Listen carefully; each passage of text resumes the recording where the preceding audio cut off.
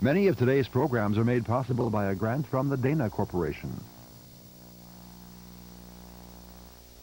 Many of today's programs are made possible by a grant from Panel Processing Incorporated.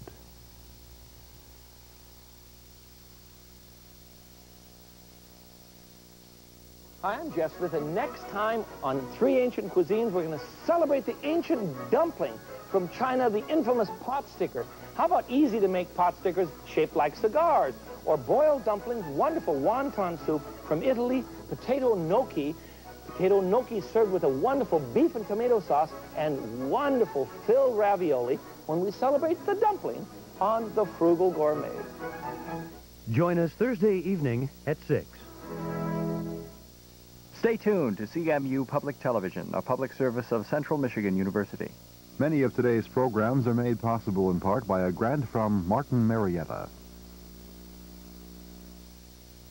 From energy-efficient vinyl windows and insulated doors to vinyl siding, we're Northern Michigan's largest home for energy-efficient and maintenance products. We're Astro Building Products, South Airport Road, Traverse City.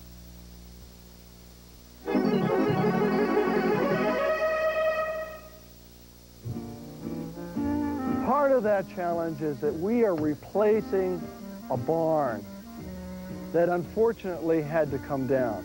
This was a very young barn, and people didn't care for it. There are some disadvantages to having a fireplace, right, Tommy? Right, and we have a key example here when we have a, an envelope of an R30, and you want to cut a hole in it and actually leave a window open is what you're doing.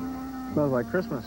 That's exactly what it is. This is balsam fir. This is widely used in, this area for Christmas trees. I wouldn't give you two bucks for this one.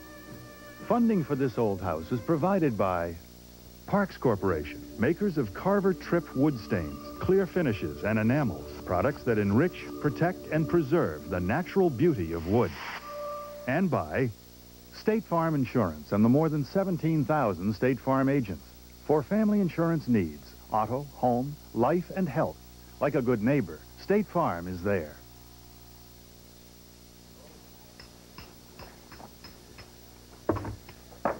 Hi, I'm Norm Abram. Welcome to this old house.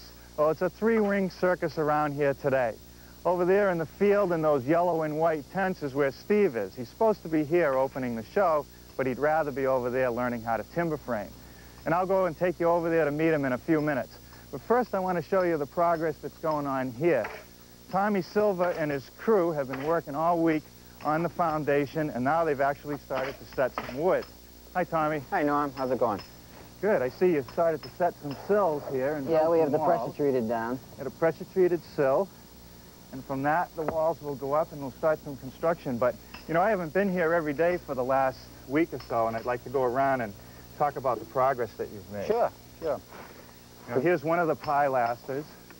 Yeah. You did a nice job with those. Now, up here, I see you use some foam insulation. Yeah, that was just to keep the uh, cement from oozing through. It's easier to do that, Norm, than cut a piece bit of wood. wood yeah. there. Okay, and then you've got a whole series of pilasters, one here, another one over here, and you did a real nice job scribing your forms in to keep the concrete from falling out. It looks great. Thanks. Now, up here there's a pocket. Yeah, that's for the uh, the beam that's going to run across from, from pilaster to pilaster to cut the span of the floor down. That'll be, there'll be two of those running through, and then the floor joists are going to go across. Right. Now, over here, I see you've used that new curtain wall technique with the concrete block. How do you yeah. like it? I like it, Norm. It was easy and fast. Uh, we've already coated the interior, and then I just wanted to get this stripped away. Now we're going to coat the whole thing with Good. that. It has a fiberglass strand in it, and it's like a Makes mortar. it real strong. So even with one side coated, it's real solid. And they say that you can use it just as a structural foundation if you want to. Yeah, that's what they Build say. Build a house on it. I thought it was great. Now, what's going on? I see we've got the utilities here. Yeah, we have our, one is for water, and then the other line is there's three electrical lines that run down to the submersible pump in the well. And that'll control it from here, the That's- power and the control. Right, And so the small one uh, is for the wires, the large one is for the water supply. right. And down here, uh, you've put in some something a little ahead of time, uh, to, uh, sort of an investment. What is this about? Well, this is a dual purpose thing. One is a perimeter drain, Right. and then we have the perforated pipe for that. Generally, we do that all the time. Yeah. And second is, in case this tests uh, radon, we have a, a, a vent in there that'll run around and take the air out uh, in case we need it. Right, especially in foundations like this where there's big stones and chunks of granite, there's always a fear that you might have some radon, That's so right. we're ready for it. It's a cheap, it's a cheap time. It's a cheap time to do it. That's right. You know. Now up over here, you've got some foam stuff in here, and that's where the uh, sewer line is going to come in from our septic tank. But boy, time, it seems awful high. Well, you know, Norm, we had that problem that you have the groundwater, and we have to be up high. You know how we would love to have come down low, but we, we just weren't uh, weren't able to. Yeah, well, it's a good thing that we've had to level this foundation and put that eight-inch cap, because now we can get enough pitch to get the sewage to exit the building. Yeah, it worked out pretty good. Well, it looks great. All the utilities are in, and you're really just starting with the lumber. You don't have to worry about busting holes through the foundation. You've got all the stone down in the basement here, Nice ready for level. the slab, a Yeah. nice clean place to work. Do You have any problems? Uh, I think we've got all the bases covered except for we, we have to know the issue on the fireplace. We're doing it, we're not doing it. We're, you know, it's going back and forth, and I think we have to sit down and settle it. Well, let's see if we can find Lynn and have him make a decision right now. Sounds good. Okay. Hi, Lynn. Hi, Lynn. How are you? Good, how are you? Fine. Boy, there's a lot of things going on around here. It's real exciting. How are you holding up? Oh, I'm having a ball. I really enjoy this. And I see you're uh, playing around with your chimney possibilities. Yeah, I uh, put together a rough approximation, guessing at the scale as to what a fireplace uh, would look like and how big it would be. Well, really, what are your reasons for wanting this fireplace? Well, Barb and I've talked about this a lot, uh, looked at the pros and cons. I think it's a couple of factors. One is aesthetics. Uh, we like the romantic idea of a fireplace. Uh, secondly, uh, I've seen some studies that show that you get 86% of the cost back when you resell the house. And in talking to local brokers, we found it's a factor. Uh, there's a house in the next town that hasn't moved because it doesn't have a fireplace, and it's the only thing wrong with it. Well, you know, even at that, with the advantages from that point of view, there are there are some disadvantages to having a fireplace, right, Tommy? Right, and we have a key example here, Lynn. We have a, an envelope of an R30, and you want to cut a hole in it and actually leave a window open is what you're doing. No matter how good the fireplace unit is, it'll still leak, and Yeah. it'll still draw some of that heat Yeah, out. sure. It's just something that you're going to have to think about. Yeah. Yeah, and looking at it from, from my point of view, there's some design considerations also. Obviously, if the chimney goes right here, Yeah. we're going to have to change some of those Yeah. window layouts. And it looks a little short because, you know, according to the code, we've got to be 10 feet from the roof. The chimney has to be two feet higher, so I think it should be about there. So you're looking at about a 32-foot chimney. So I was off a little. A little bit. So that's going to add to the cost. But, you know, if cost is really an issue, some preparation could be done now, and you could always put this chimney in later. Mm-hmm. All right. But if you want to do it now, you know, we've, we've got the budget numbers we've been working with, and granted they're conservative, but you have to have estimates at this point. Even at that, with the budget as it is, we're over about $30,000. And if you decide to do the chimney, I would say five to 10,000 additional dollars, depending on, you know, the Mhm. brick or Sure, stone that yeah, you use. yeah. But the decision is really yours. Okay. Um, well, we we thought a lot about it. Barb and I talked about it last night. Uh, I recognize that it's going to cost more to heat the house, uh, but we like the idea of a fireplace. Uh, so we've decided uh, let's put one in. You heard it, Tommy. I heard it. You're going to do it. It's Thanks, Tommy. Well, with that problem solved, I guess you can go back to work, and I'm going to go see if I can find Steve. Okay.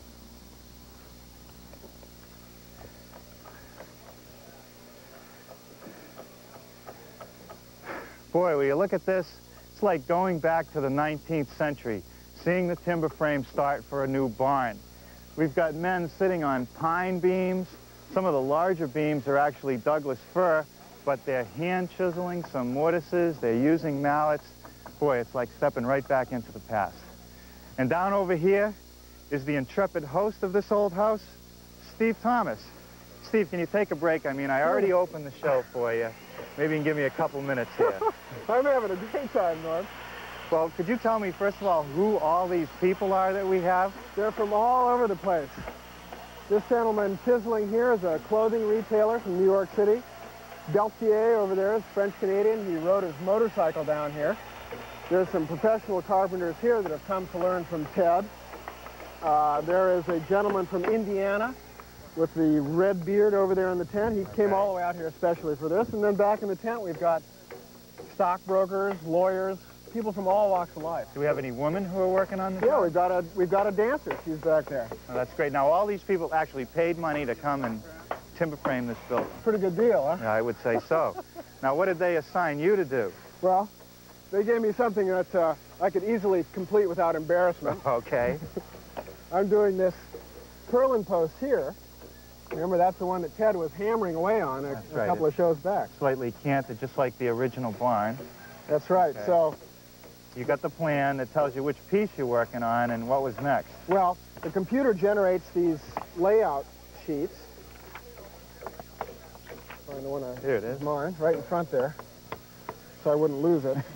so these are all, they give you all the dimensions, all the bevels, and everything there. So these dark areas show a mortise and these points are tenons. Right. Okay, so you, you then learned how to lay it out. Right. Tedd spent a long time yesterday telling us the importance of a good layout. It's the old uh, measure twice, cut once rule that really applies in particular when you got an 8 by 8 Timber beam. framing. Okay, now when I came down, you were working on this tenon. What were you doing? Well, in the old days, Tedd said, you would have chunked this out with a handsaw, Yeah. and then you come back with a, a timber framing chisel to do the fine work. Okay. So that's that's where I am now. I'm just I've chunked it out and I'm down to the to the fine work now, cleaning so up this joint. You just don't cut it out. You actually rough cut it and then you trim it. That's Now, right. That looks pretty sharp. Can I try that chisel? Boy, that is a sharp chisel. I imagine that's an important part of uh, timber framing is having nice sharp chisels. Yeah, Tedd spent uh, several hours with us yesterday teaching us just how to sharpen chisel. Boy, this pine uh, trims up like butter. It's Yeah, yeah, it's gorgeous. Huh. Well, you know, I kind of imagine that this whole job would all be done with chisels and mallets, but boy, I see an awful lot of power tools in the background. Yeah, well, we're not as, we're, we're kind of lazy, Norm. We take after you. We, we have plenty of power tools around. So you got to use some of those, too. This is a gorgeous circular saw here. Uh, a little bit large, but A little bit large, but uh, it's got a special blade for timber framing, Okay. and you can do all your big cuts with this with this machine. all right. So what are you going to do with that today? Well, it's all set up to finish cutting out this tenon here. Okay. Believe it or not, this thing is really easy to handle. Is that right? Oh yeah, it's, it's incredible. Looks like a monster. Yeah, watch me blow it.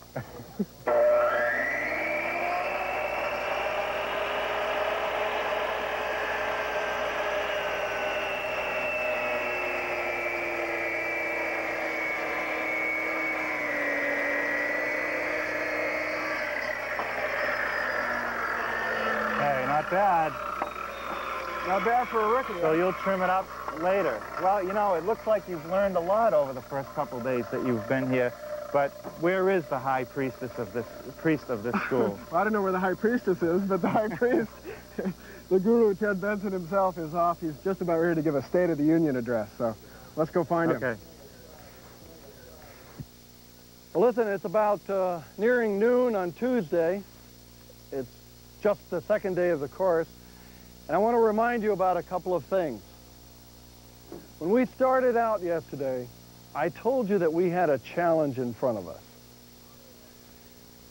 Part of that challenge is that we are replacing a barn that unfortunately had to come down.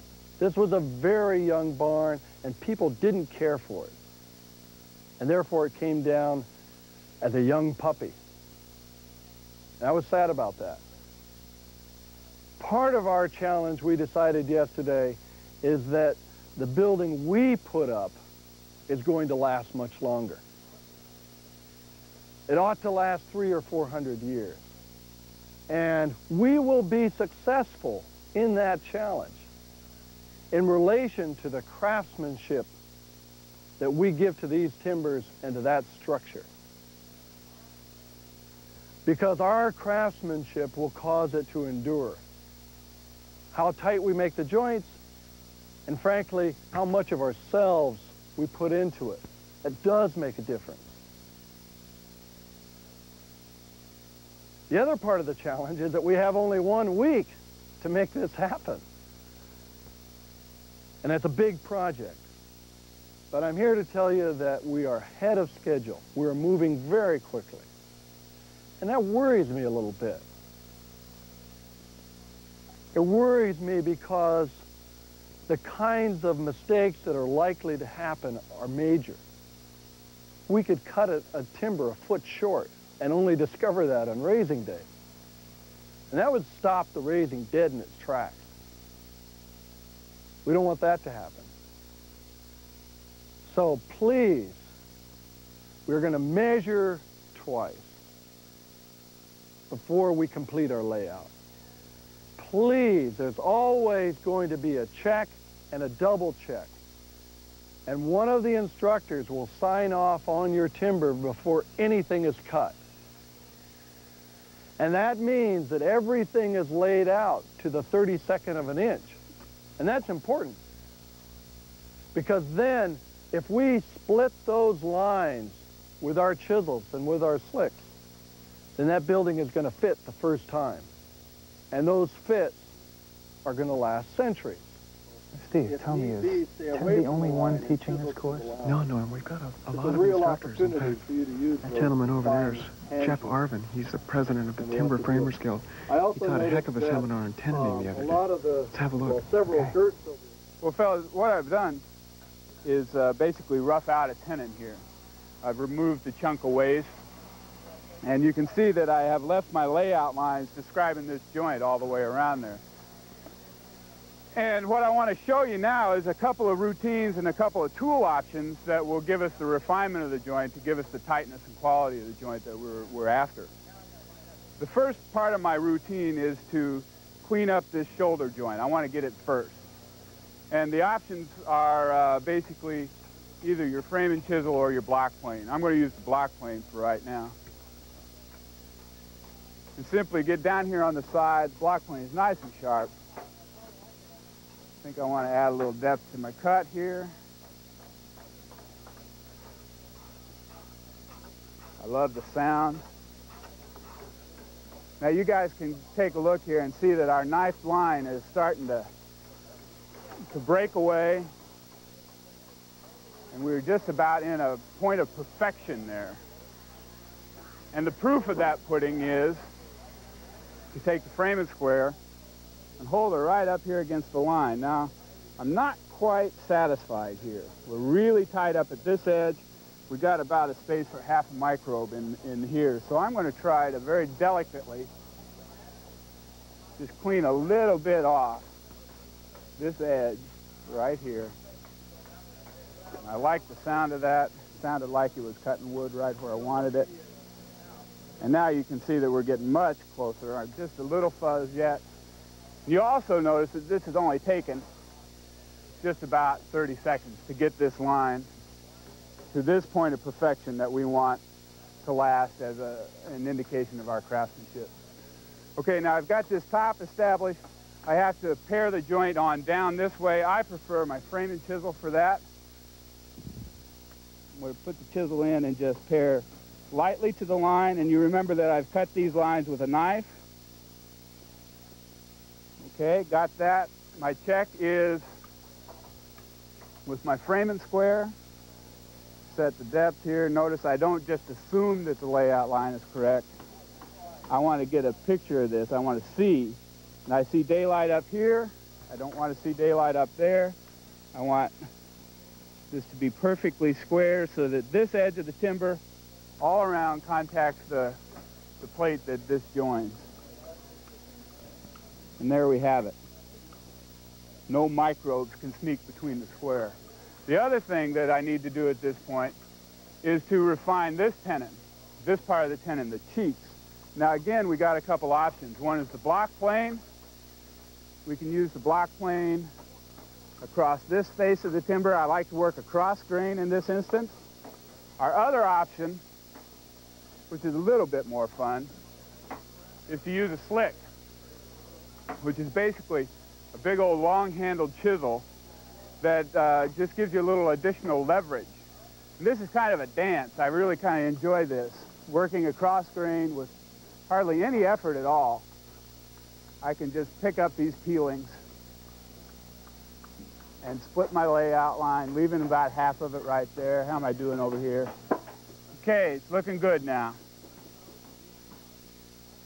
I'd say that's an acceptable joint. I've shown you everything that I've learned in the last eight years. Now you take it and give it a try. Well, Steve, uh, this is quite an experience. I can see why people would actually be willing to pay money to come here and spend a week. This is great. Yeah.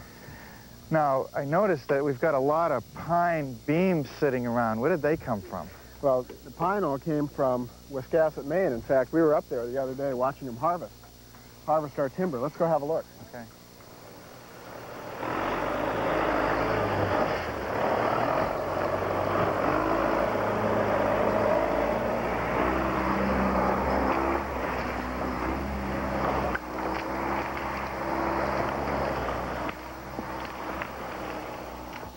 here we are near Damariscotta, Maine, where the name of the game is lobster and lumber. That log you just saw headed south is going to the mill.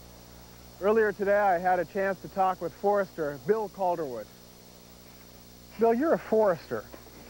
Now, how does a how does a forester look at a patch of woods like this? From our training as foresters, where uh, we look at a patch of woods mostly from the commercial value Mhm. standpoint. Uh, good forestry means growing the the most amount of value per acre per year that's uh, possible with what's growing on the land. And what, what species do we have here? You stopped right here. We have uh, one of the most valuable species in this area is northern red oak. And why is that valuable? Red oak is used, uh, has been used over the years as boat building material for lobster boats, lobster trap stock, Mhm. uh, things of that nature. It's also uh, becoming more popular in post and beam frames. Mm-hmm. Now, uh, I see a little tree over here. What's this? Let's uh, just see if you can find out what it is by taking a smell. Smells like Christmas. That's exactly what it is. This is balsam fir, and this is widely used in, in this area for Christmas trees. I wouldn't give you two bucks coasts. for this one, though. This uh, is not certainly not worth 50 cents. It's uh, spindly because it's been growing in the shade all of its life. It Mhm. hasn't had the sunlight that it needs to develop good lush foliage. And what about these trees behind? These uh, trees behind are eastern white pine, and this is probably the most valuable species in this section of woodland. Um, Why are they valuable? White pine is valuable because of its versatility. It's, it's used uh, in all sorts of uh, lumber for home building, uh, quite widely used for finished lumber. Um, it's also the material that was selected to make your this old house post and beam frame. Well, what else do you have here, Bill? Uh, one of the other species uh, right over here is another hardwood. This is uh, red maple. Um, What's that used for? Red maple is uh, not really a terrifically valuable tree commercially. Uh, it's used in this area mostly for firewood. Sometimes it will grow into a, a small log, but it's a low quality, low value material. Well, do you have any trees that are harvestable on this patch? Yes, we do. Right over here, we're planning to take this uh, white pine out uh, right, right over here. Why this particular one, Bill? This tree is uh, getting to the size where it's approaching maturity. It's certainly a good valuable saw log at its present size. It's taking up a lot of growing room that some of these smaller trees could better utilize than this one.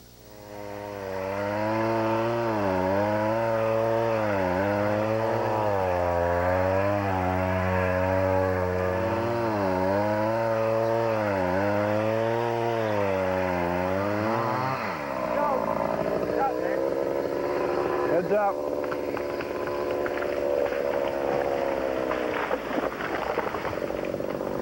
Well, that was dramatic, and uh, timber. No, yelling timber went out with the, uh, the cowboys of old, I guess. So what will happen to this log next? Next, as you saw earlier, the, the skidder will come in, pull this tree out of the woods. We'll cut it to length, put it on a truck, take it to the sawmill, and saw it up into whatever we want. Boy, I'd love to see that operation. We certainly can. Let's go. Great.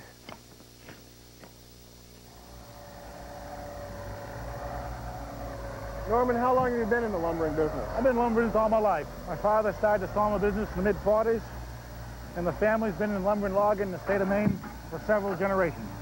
And what are you sawing today? Today we're sawing some eastern white hemlock. What for? We're sawing some 8 by 8 and 6 by 8 to build a dock down in Friendship, Maine. What's the stick? This is a state of Maine international log rule. This is used to calculate the number of board foot in the log.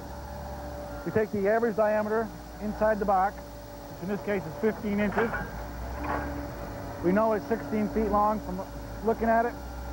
15 inches in diameter, 16 feet long, 160 board feet. What's a log, 160 board foot log worth these days? Today that log is probably worth about $28. 28 bucks, huh? Yes. What happens to this log next?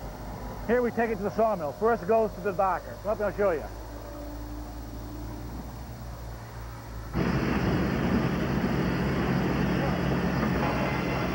Norman pointed out that removing the bark before the log meets the saw keeps the saw blade sharp. Skidding the trees out of the forest, as we saw, embeds all kinds of grit in the bark, which would dull a blade quickly. Another reason to remove the bark is that the bark itself is a saleable byproduct. Once the bark has been removed, the log is transferred to the saw carriage, where a 150 horsepower motor a 50-inch blade at 750 RPM. The sawyer adjusts the carriage under a pencil-thin beam of light that indicates the path of the saw blade. These instant decisions, made routinely by the sawyer, determine the pace and profitability of the sawmill. We notice that nothing is wasted here. The first cuts, or slabs, are dropped below to a chipper. Norman pointed out that the chips are sold off to make paper.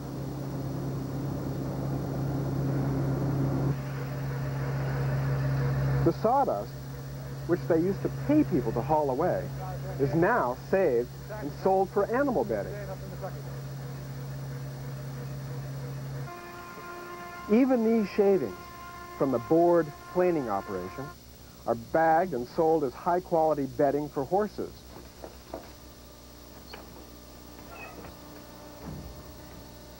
Well, Norman, I am impressed. Between sawdust and shavings, you Yankees really don't throw anything out. But I guess this is the bottom line. Dimension lumber all ready to go. That's right, Steve. Whether it's those 2 by 4 or 2 by 6 that Friendship Dock or those 8 by 8 down to this old house. It all comes down this line onto the customer. Well, thanks for showing it to us, Norman. You bet. Our pleasure. Well, Steve, it looks like you had a great afternoon up there in the backwoods of Maine. Yeah, those Maine folks are real nice, and uh, I'll tell you, the lobster's not half bad either. Oh, I can imagine that. Well, meanwhile, back here, you and your fellow classmates are doing quite well. And I don't see any reason why you're not going to meet that schedule for Saturday. Well, if our luck holds and the weather's good, in just two days, we're going to have a good old-fashioned New England barn raising with clog dancers and fiddlers and plenty of good food. It's something that I wouldn't miss for the world. Sounds great. And that, of course, is the subject of our next show. So until then, I'm Steve Thomas. And I'm Norm Abram. For this old house. Come on, let me show you this uh, new chain mortise that we got on this job. Okay. Funding for this old house is provided by They're just great programs. Public broadcasting. It's entertainment and you're learning at the same time. Come see for yourself here on Channel 6. From the majestic Notre Dame Cathedral in Montreal, enjoy the sounds of the season in a Christmas special with Luciano Pavarotti.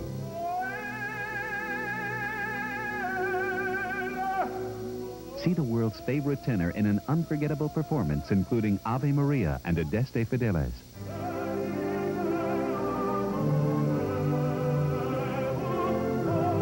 Luciano joins the celebration Sunday at 725 here on 6. This is Channel 6, KRMA TV, Denver.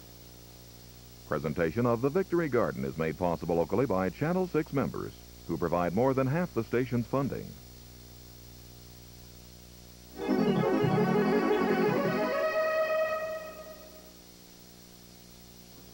Hello, I'm Bob Thomson, and welcome to the Victory Garden. Combine a truly great garden with a first-class hotel in the Australian countryside, and you have a gardener's vacation dream come true. And that'll be our story today. When Peter Seabrook visits Milton Park Country House Hotel near Sydney, Australia, Marion will join Peter to sample some of the local and unusual cuisine. And back home, Roger Swain will be checking in from the suburban garden. That's today's show, and it's just ahead, so please stay tuned. Funding for the Victory Garden is made possible by public television stations and by W.R. Grace, makers of Peter's Professional Potting Soil for all home gardening needs, indoors and out. By Monrovia Nursery Company, major producer of container-grown plants, supplying garden centers and nurseries nationwide. And by the American Rental Association, 30 up here to look at it, and it is Oh, fantastic. it was amazing. We had timber framers all over the place. We had come-alongs. Everybody was wearing hard hats. We had a commemorative T-shirt made for the occasion. The whole thing went up in a day. The weather has been lousy all week. It's been raining. It cleared for six hours. There, it was almost magical. Well, you know, there were a lot of people down back cutting mortises and making those tenons. Did it all fit together? That's what I wanted. to know. There was one mortise eight and a half inches out of position. Somebody had just flipped their layout, and that was all. We hauled a chain mortiser up there, in about 15 minutes we had the whole thing fixed. That's it. That was it. That's it was great. incredibly smooth. But looks like we're really rolling today. What's happening? There's a lot going on now. You know, the stress skin people have been here for the past two days in a lot of rain, yet they still managed to put up about a third of the building. And, you know, this is like nothing we've used before. Yeah. No studs and, and sheathing, just panels. And I've spent some time talking to them about how the system works. And let's go see Give what's happening. tour. Yeah, Sure. I'm really anxious to see what's happening.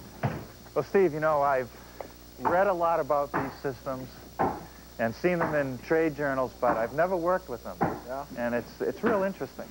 Now, of course, here's the nice timber frame that you put up last weekend. And what they've done is they've started out by installing some 12-foot drywall on the outside of the post and the beam, just tacked it on. Yeah, how come? Well, because later they're going to come along and set the panels on the outside. Mm-hmm. And by doing the drywall first, you end up with only one horizontal joint, Mhm. nothing in the corners, no vertical joints. But you still use a standard pattern to fasten the drywall with screws, just like you would on studs. Well, that's pretty smart. Well, how does this whole thing go together? Well, on the outside, they're getting ready to set the panels on the drywall. Let me take a look. Now, Jim Leroy and his crew have been working on this the last couple days. And of course, here's one of the panels that you showed us how it was made last week. Right. You've got the oriented strand board on the outside and the inside, and then your polyisocyanurate sandwich in the middle. That's right. Now, where does how does this go up on the outside? Where do you guys start? Okay, they're going to start over here in the corner. But before we set any panels, we took advantage of the situation. You know, we're going to have a lot of lights up on our post, and uh, we don't want the wires to show. So the drywall was held back about two inches or so, Mhm. two and a half inches, and because it's half inch thick, you can get a wire chase in here. So now there's a half a dozen or so wires all running up to different locations, and we won't see any of them. Uh-huh. So are they ready to start on They're ready to here? start, and the first thing that they're going to do is they foam the corner, and now they're Mhm. going to run some foam on the sill. Now, isn't it kind of overkill, foaming the corners and the sills and everything? Well, not really. You know, the panel is has a very high insulating value, and you want to keep that continuous throughout the building. And if you don't seal the little gaps down at the sills or at the corners, or even have that panel run over the band joist or the rim joist, which is right here, Mhm. you could lose as much as 11% of your efficiency. Geez, that is really significant. Now, what are these guys doing here? All right, first they're going to plumb the wall up, and then they're going to nail it in place. I noticed the nails are already set here, half set through the panel. That's right. Well, you know, that's a good idea because remember those wires are back there, Yeah. so they preset the nails so they won't drive through any of the wires, and, Yeah. and they're pretty serious nails. They're a They sure are. galvanized nail, like a ring nail, so Uh-huh. it really holds. And of course, as you know, Steve, the softer the wood, The longer the longer nail. the nail. That's Right. right. Now, what are these grooves in the in the ends, Norm? right, well, that's where the next step comes into uh, place. What they're going to do is on the inside and outside groove, they're going to set a plywood spline. Now, that's just normal plywood. That's right, it's 5 8 plywood. And notice they have a, another worker up at the top to... Now, is that nailed? That'll get nailed later. Right now, it just sits in between Okay. there. Okay, I see a foam can here. All right, they're going to bring in, and again, another joint. So in the center groove of the panel, they're going to put down a bead of foam. Now, that hole there is a uh, is what? That's just a wire chase. Okay. so That's that uh, you'll see some of that later. Okay, now it's all foamed and they're ready for the next panel. Move out of the way here.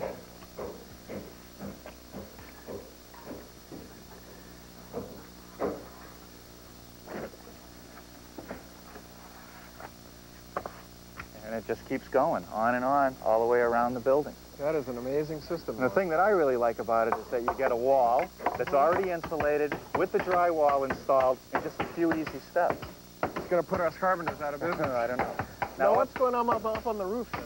All right, that's a little bit different system. Let's go up and take Okay. a look. So, Steve, over here is a pile of the roof panels. They're four feet wide and 12 feet long. Right, I know they're beveled here. Why? Right, well, that's where it's going to meet at the peak. Uh-huh. It's already pre-cut. Good idea. Now, notice that on these, the drywall, and actually in this case, blue board, is already installed. Uh-huh. Now, why blue board here when we've used drywall down below? Well, you could, it gives us an option. You could treat it like drywall, or you could plaster it. You know, you Uh-huh. could do a textured plaster or whatever. Now, Norm, I noticed that there's oriented strand board only on the outside, nothing on the inside. Right. Are these panels strong enough for the roof? Oh, yeah, you bet. Remember, up on the roof, we have rafters that have four-foot centers. Mhm. So this panel is designed to span that four-foot span, and believe me, it'll hold any snow load that we're going to have here. Great. Can we see one go in place? Sure, let's climb up.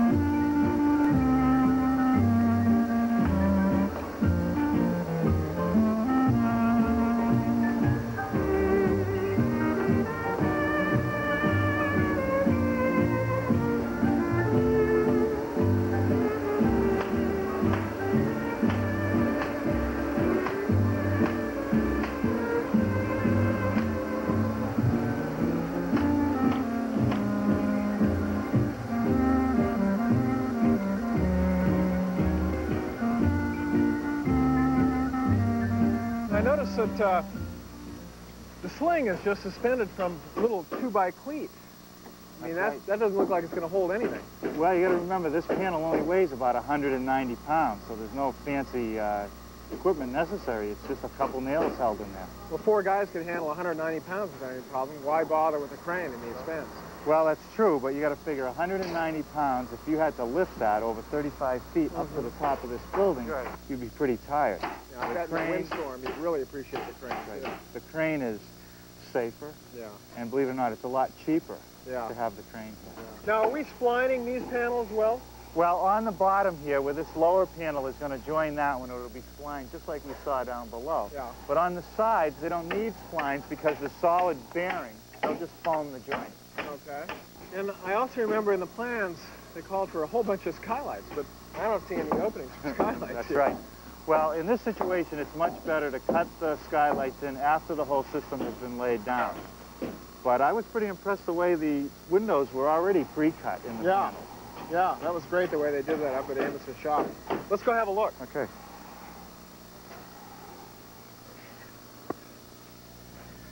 Well, Steve, the factory tour that you gave us where they actually manufacture these panels was real interesting. But the thing that really fascinated me was that automatic router system which cuts out these window openings, oriented strand board insulation and all. Yeah, it's incredible. All they have to do then when they, on site is to insert these 2x4s. Right, they put these two by fours in and nail them from both sides of the strand board. And that'll provide some nailing for the window and the trim later on. The real time saver. Sure is. Now, the thing I think we should review again about this building is that it's a hybrid building. We've got a timber frame, three vents, which stop here. Right. Now, from here all the way back to the to the back wall of the building is a completely different framing system. That's right, it is a hybrid, and there's a reason for that. Remember, the, the Wickwires wanted a view of the pond. Right. So our architect designed the house with these big window openings so they could get that. Now, if we had a post in this corner, that would indicate some kind of brace here. And that would give us all kinds of problems to, Uh-huh. to get this opening. But more importantly, over in the kitchen, you know, a kitchen is a terrible place in a post and beam construction because you're always fitting countertops Right. around it, trying to find a way to hide the posts rather Right. than make them show. Right. You spend all this time building the frame, and then you spend all this time hiding it. Right now we can hang cabinets anywhere we want with no interference. Okay, well, give us the drill on this system. Well, it's a pretty straightforward system. We start out with uh, these wooden I-beams which span across to create the second floor. There's a bedroom going to be above. Right. And they're on this wall. They actually hang from these joist hangers, which are top mount. They hang over the top of the Mhm. wall. Believe it or not, there's not even a header in this wall. Incredible. And it can still carry the load of the whole structure above it? Sure. What's really happening is that between the 2x4 that's at the top of the wall on the flat and the 2x4 that's down here, sandwiched be between this plywood, you've created a box beam. Mm-hmm. And the amount of strength strength that is, that makes is incredible. You'd have to put a ton of weight up there even to sag this just Really? a little bit. Well, you sound sold on it. I can see the twinkle in your eye. You just can't wait to, to eliminate uh, all carpenters. But, you know, there is some skepticism still about this system. That's right, and I still have a few questions of my own. Well, here's the guy to answer it. Amos Winter, whose name is on the side of the packages of all these panels here. Great. Hi, Amos. Hi. You know Norm Abram? Norm, Amos Winter. Hi, it's nice to meet you. Same here.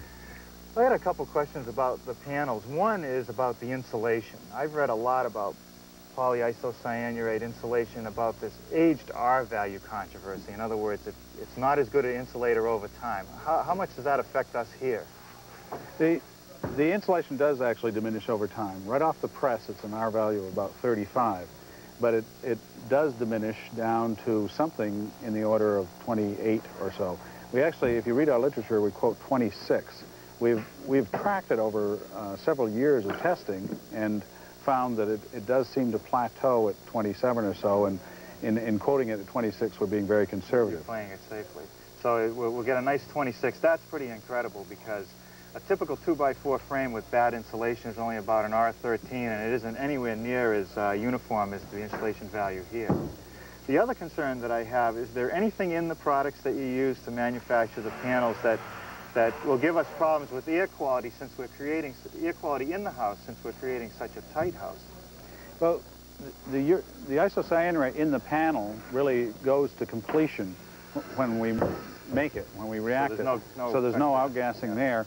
The uh, OSB has a phenol formaldehyde adhesive in it which outgasses some formaldehyde, but typically it, it's gone by the time you move into the house. It's a, it's a fairly short life thing. So, so the materials are not a problem, but if you make a house this tight, you automatically create some interior uh, pollution problems, uh, carbon dioxide from people breathing, uh, dust, mold. Uh, do we have to worry about that? Yes, actually, uh, probably the best way to deal with that is an air-to-air heat exchanger, an actual mechanical ventilation. One issue is energy efficiency. To get energy efficiency, you need to make the house airtight. To get good air quality, you need to provide some type of outside ventilation. You also need to get rid of moisture. So in addition to the air-to-air heat exchanger, you may want fans in moisture-generating areas like bathrooms and kitchens. Well, we'll have to keep that in mind as we move along. Great. Thanks, Amos. Thank you. Well, meanwhile, I see Paul Kennedy, our electrician, busy at work in the kitchen. But before we go check in with him, I want to show you a sequence we shot the other day where we struck water on the site with Dave Haynes, our water well driller. Get the grease in the back. Hello, Dave. Oh, hey, Steve. You're right back, right on schedule. Hang on a second here. How are you doing? Say hi to my brother Joe. Welcome Steve. to this old house. Nice to meet you. You got a beautiful rig. Oh, thank you. What do you take for it? Yeah, 400 and she's yours. 400 bucks, you got it. Oh, no, no, no, no. Add a few zeros on the end and we're getting close. Give me the tour, will you? Well, basically, we got truck-mounted rotary drill here, Okay. where we've got our main group with cluster that makes it run, and we've got an engine that develops about 426 horsepower. and Okay. We've got a compressor up here that drives the pneumatic drills to make it fly. Okay, so it's air compressor. right? Correct, it's compressed air. And on the back side of that's your hydraulic pumps that make the uh, rotation and everything else do what it's supposed to primarily. Drill pipe here? You got drill pipe and drill tools, which is stored in a tray on the side of the machine. Okay. And then we come back to the back of the rig. What are these big cylinders here? Well, these are the two leveling jacks here. There's three of them on the machine. There's two mounted on each corner of the rear. And then you've got one located in the front of the truck in the middle. Mhm. And this is where you level the machine off so you can drill a straight hole. Looks like a bunch of levers here. What, what's this all about?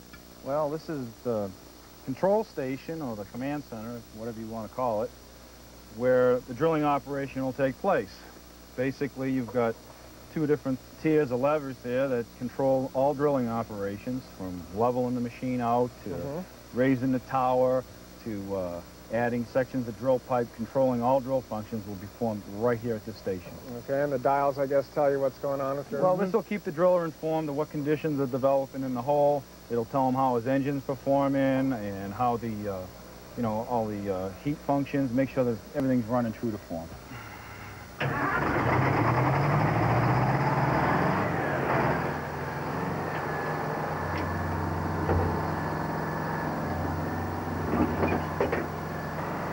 First objective was to drill a hole down into the bedrock.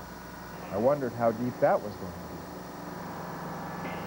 This is the actual bit where we're going to start the primary drilling operation. It's what they call a tri-cone roller bit. It's got three wheels, and basically those three wheels we're going to be rotating so it's actually going to grind and pulverize up and make a hole down below.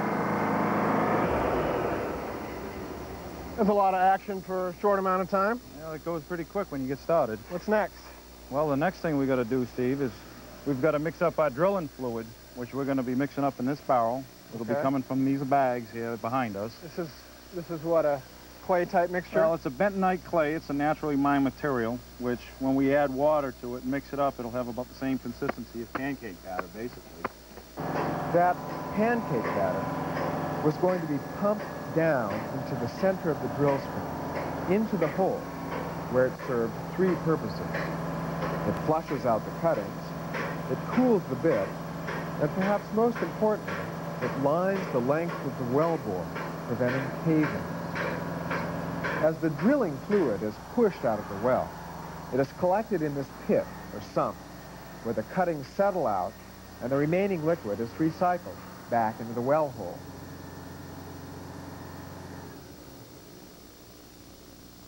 So Dave, you got your pancake batter. Yeah. Looks real tasty. What's next? Well, we're ready to start drilling. Okay.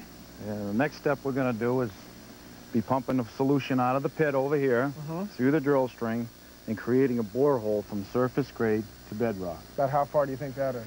I'm going to estimate roughly 40 feet. I might be wrong. We'll put a case of beer on it. Okay, you got a deal. Then from this point, once we get down to the bedrock, we're going to drill a minimum of 10 feet into it. Once it's good and solid, then we'll extract that drill string from the Uh-huh. hole and then insert these steel pipes. Okay. And the first thing we got to do is thread on one of these known as a drive shoe. Mm-hmm. This threads onto the bottom of the casing and actually makes a nice flat hardened sealing surface right into the bedrock. Okay, so that just seals the, the casing to the Correct. bedrock. Once Good. this is down to the bottom of the hole, your threaded casing sections will be running to the surface. Okay. Then we install a driver on the top with a pneumatic drill, and we actually beat on it and set it like a nail, Okay. basically. Just so it's nice and sealed down there. Correct. This stuff is steel. How come it doesn't rust in the ground? Well, primarily, once it's in the ground, the air can't get to it. You need air to make oxidation happen. Okay. So the, it's got a real long life expectancy Great. as far as it goes. I'll stand back and watch you do it. Okay, let's go for it.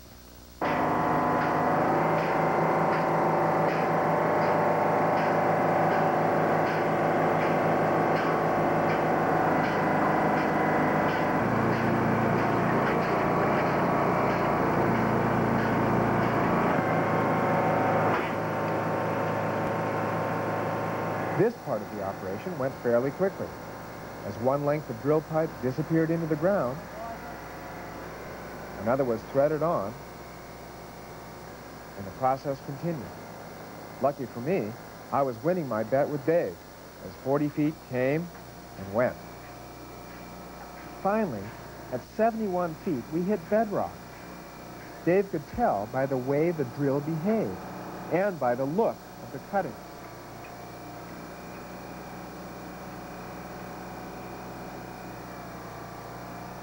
They then removed the drill pipe and got ready to lower the permanent metal well casing into the hole.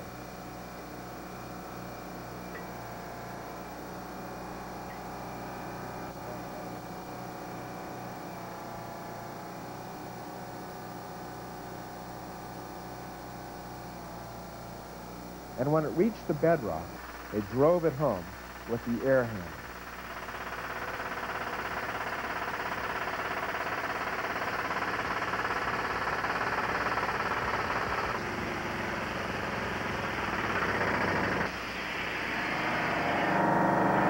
Well, Dave, for uh, 400,000 bucks, you got a machine that puts on quite a show. Of course, Yeah, you yeah. guys aren't too bad yourself. oh, thanks, Steve. I appreciate that. so, uh, how deep are we, Dave?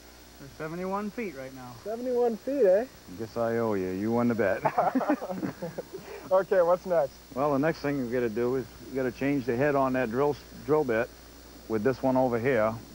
This is a new sharp one. It's been all dressed up and it's ready to go in. These are what, uh, tungsten? These are tungsten carbide inserts, and what we're going to do is change the one with the one that's on there, and then we'll drill through the center of that casing that we've just installed through the bedrock till we run up into a fracture zone that creates enough water. Okay, about how deep do you think we have to go?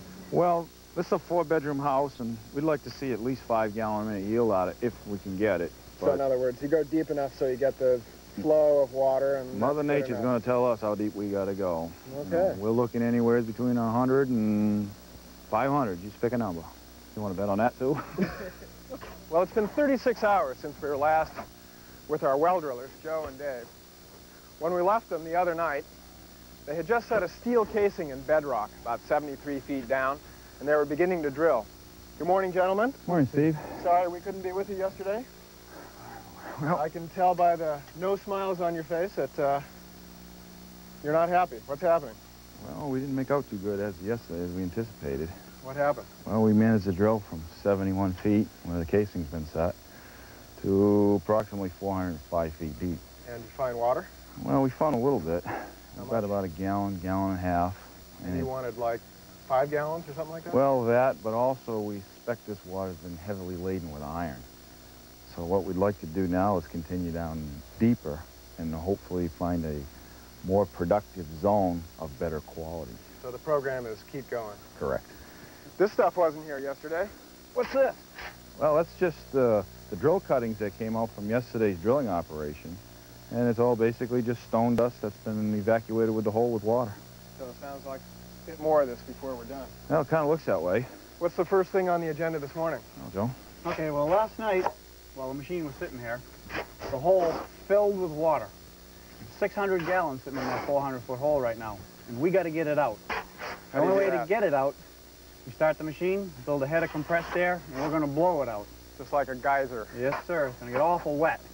If we get rolling, you probably ought to back up a little bit, or you're going to get awful wet yourself. Okay, let's go. Okay, let's do it.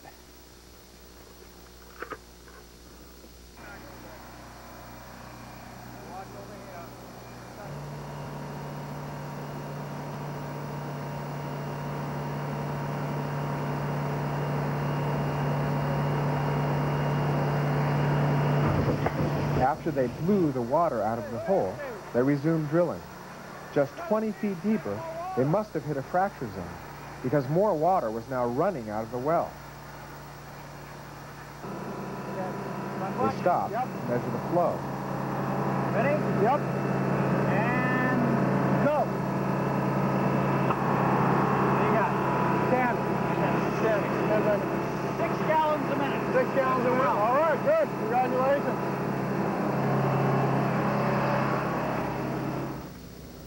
What about the iron content that you guys were worried about? Well, it doesn't look like it's going to be so bad. We've diluted it with more water than we had before. I think it's going to be a, a pretty decent well. Good. We'll be able to take us, get a pump thrown in there and take a sample to a laboratory, and they'll tell us exactly what contents we have and what we'll have to do about it later. Good enough. All right. You guys put on a good show. Thank you. Well, all we got left to do is break down. We're out of here. Well, this is incredible. Five days after construction started, we're wiring. Paul, welcome to the show. Thank you, Steve. You know, a lot of electricians wouldn't touch a timber frame with a 10-foot pole, but you're grinning. Well, Steve, I've done wiring for 17 years now. And a few years ago, a contractor friend of mine built a timber frame home in Andover. Mm-hmm. And doing that, I worked closely with him and the panel people and the timber frame people to know where to put the wiring. And the whole key, Steve, is to get the wiring in early. You have to get it in early. So what you've got to do is plan where you're going to run your outlets and things. And let me just show you over here. We have a window that's scheduled to go in. Now, with the window out, we have an opening, a chase at 16 inches, okay? It runs all the way through. We can fish our wires through. We can bring our wires down into the basement, drill into the basement, come back around, up to the other side, and over to the next outlet. Very simple right now. Two, Okay. two days from now, this window goes in, our opening is closed up. It's much harder for us. and we've got a lot more work to do. Okay, I get the picture. Well, we'll be checking in with you throughout the project. Right now, I see the crane's hooked up for a pick, so I'm going to go check that out. Take Okay. care.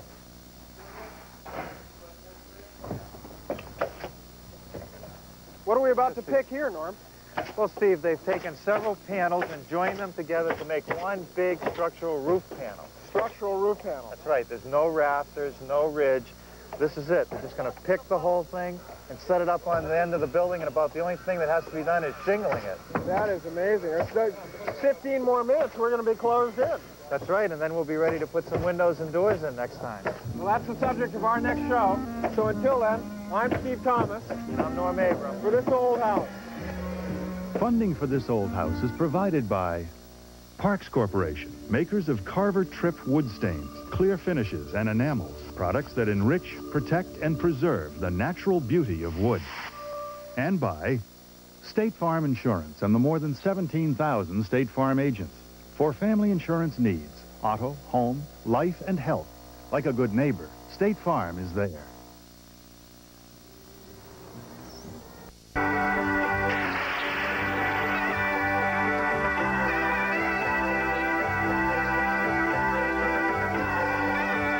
Asking questions of India, we may perhaps learn something about ourselves too. This is only an impression, only one Westerner's journey, an outsider's point of view. I simply went to see. This is John Hemingway inviting you to come along on a journey of discovery. Darshan, an Indian journey, next time on Travels. You could make a lifetime's worth of journeys and still not see all its variety and richness. See it Monday evening at 8 o'clock. From the campus of Central Michigan University, this is the CMU Public Television Network. From energy-efficient vinyl windows and insulated doors to vinyl siding, we're Northern Michigan's largest home for energy-efficient and maintenance products. We're Astro Building Products, South Airport Road, Traverse City.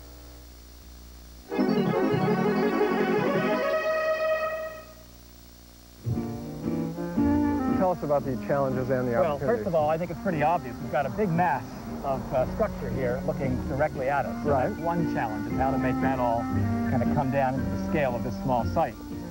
You enjoying sweat equity? Oh, we're having a great time. Can't you tell? Yeah, I can see it.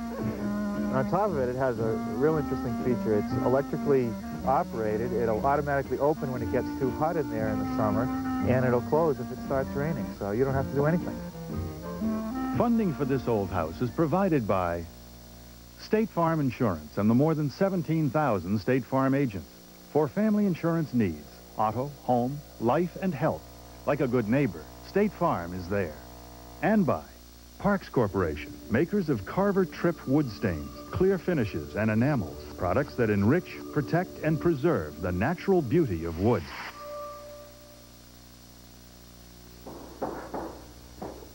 Good morning. I'm Steve Thomas. Welcome to this old house. Well, last time you were with us, you saw us installing the stress skin paneling. That's the high-tech sheathing that covers our barn. I think you have to agree, it looks pretty good. Since then, we've got a roof and some skylights. Now, it looks real simple, but it's a whole complex system that Tommy Silva, our general contractor, will give us the rundown on later. We've got a load of custom windows that we're going to start to install. And later on, Tom Wirth, our landscape architect, is going to show up with his plan. But there's some question as to whether we can implement it because our homeowners are facing some budget options.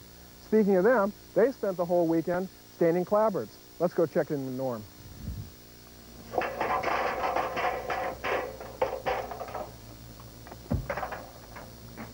Hey, Norm. Tom. Steve. Hi, Steve. I was going to ask you about this roof system, but first, uh, how come you shingle from the top down, Tom? does look a little strange, doesn't it? Yeah. But there is a reason for all of this, and maybe if we go down over here, we can explain it to you. You know, any roof surface, the finished surface, like these fiberglass shingles, can act like a moisture barrier. Right. Trap moisture underneath the shingle. Right. And a black roof surface like this can build up a lot of heat. Right. You know, the sun beating on it, it, Uh-huh. it builds up heat. And if you trap moisture and heat underneath these shingles, not only will the shingle deteriorate quickly, but you could have failure of this oriented strand board. So Tom's come up with what's called a cold roof system, which is placed between the stress skin panel and the finished roof surface. Okay, now the whole point of this system is to ventilate hot air and moisture. from the That's from right. you roof, got to get rid of it or it's just not going to last very long. Okay, so what's the system, Tom? Well, right here, you can see a cross section pretty easily. We've cut out a section here for the chimney that's going to be coming up. Uh-huh.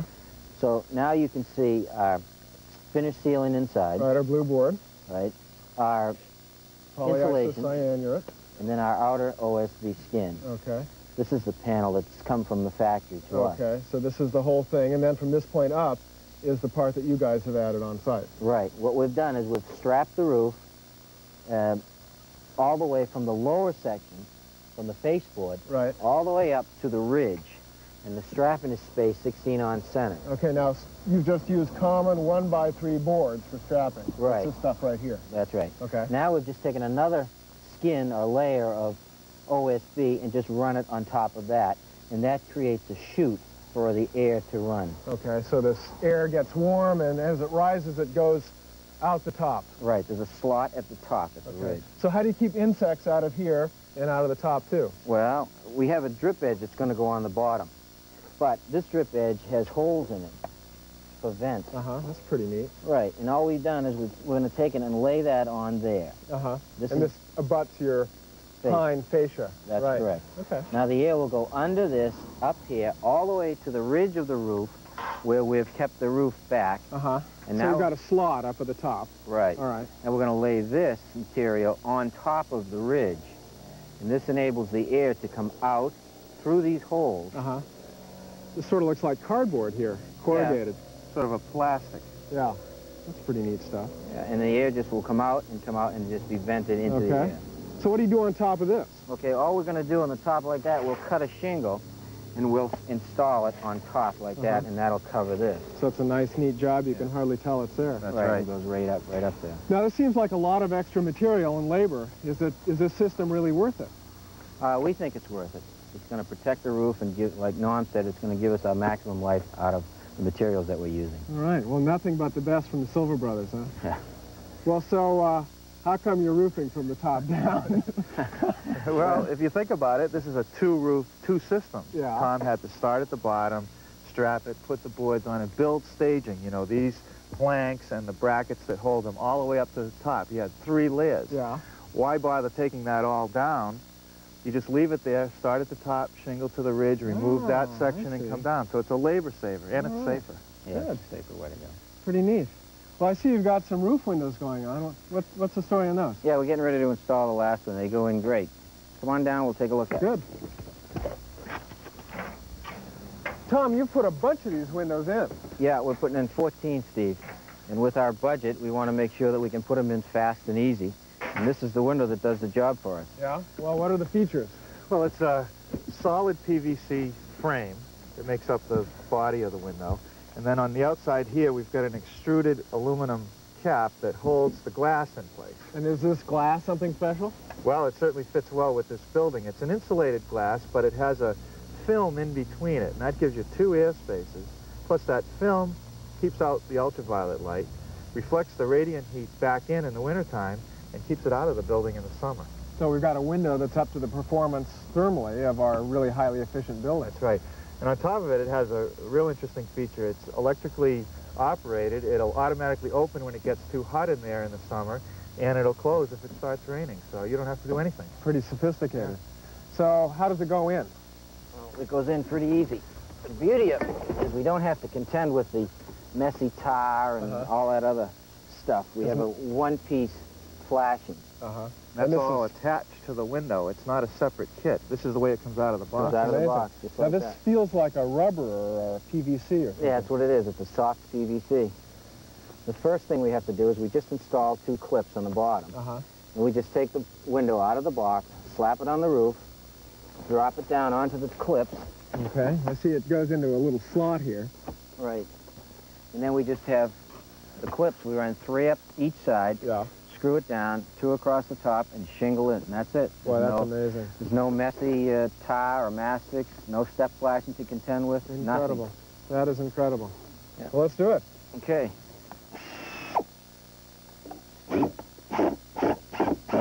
Well, by now, in a regular window, we'd be thoroughly covered in tar or fumbling with step flashing. You better believe it. So you got a starter strip that goes under there. Right, we just lay this down. Boy, that is really easy. This goes right on the top, and that's it. Now all I'll do is shingle up the sides, and we're done. Boy, that is an amazing system.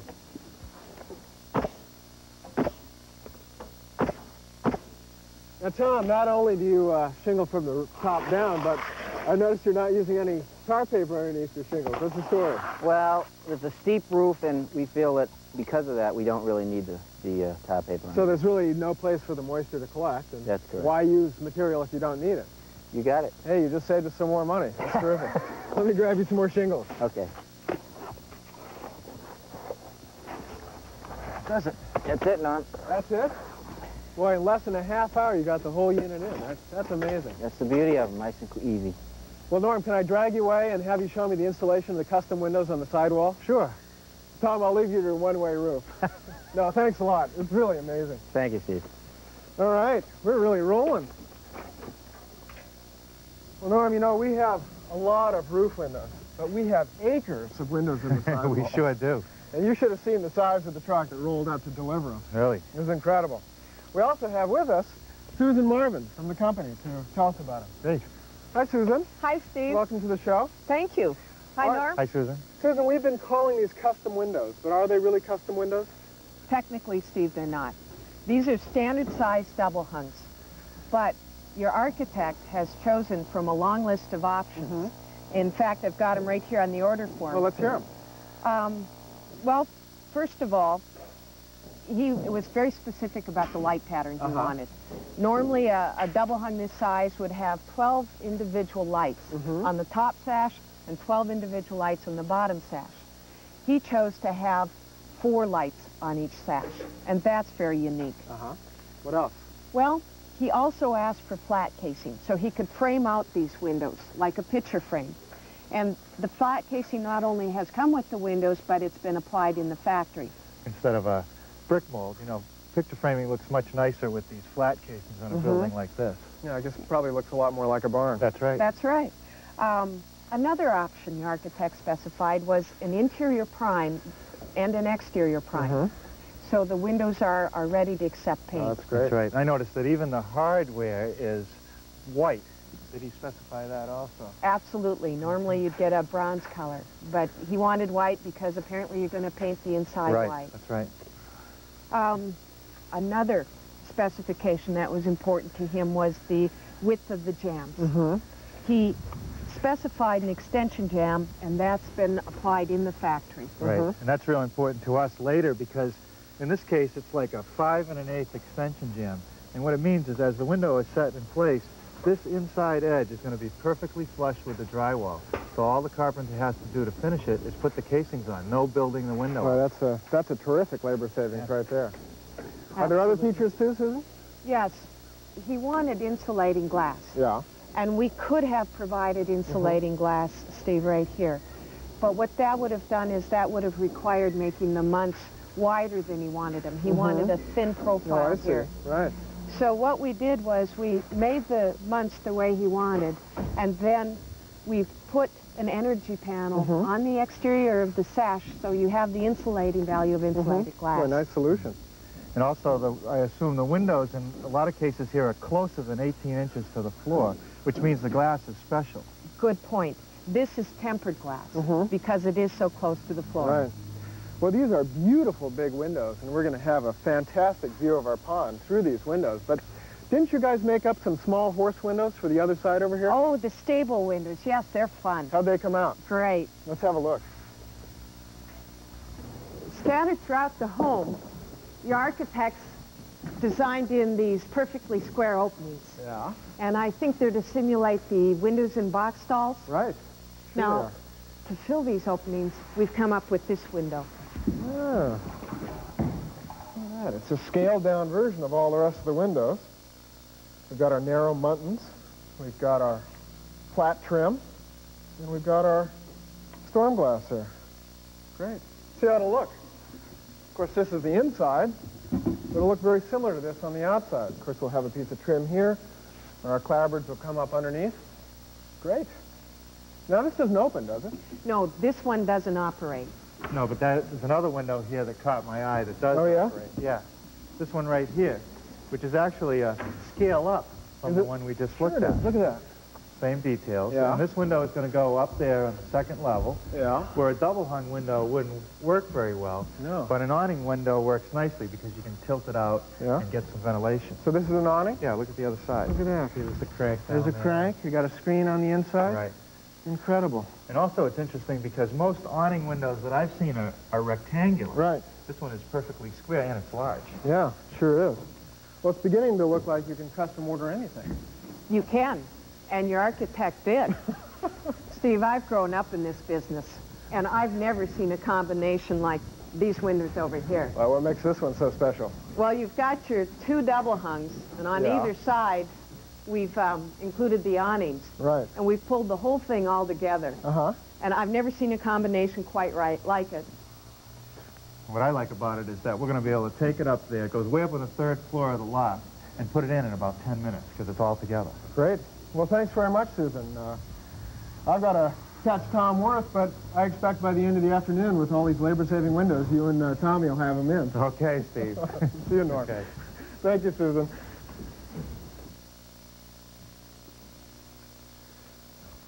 Well, it might seem just a little premature to be discussing landscaping before the siding's even up on our barn. But remember, we only have about six weeks before the frost comes. And of course, we've got some budget constraints too, but luckily we've got Tom Wor- Wirth to work all that out. Hi, Tom. How are you, Steve? Good. I understand you've got some design solutions for us. Well, we've been working away, and I think we have some good uh, things to look at. We've got some real challenges here on the site, you know.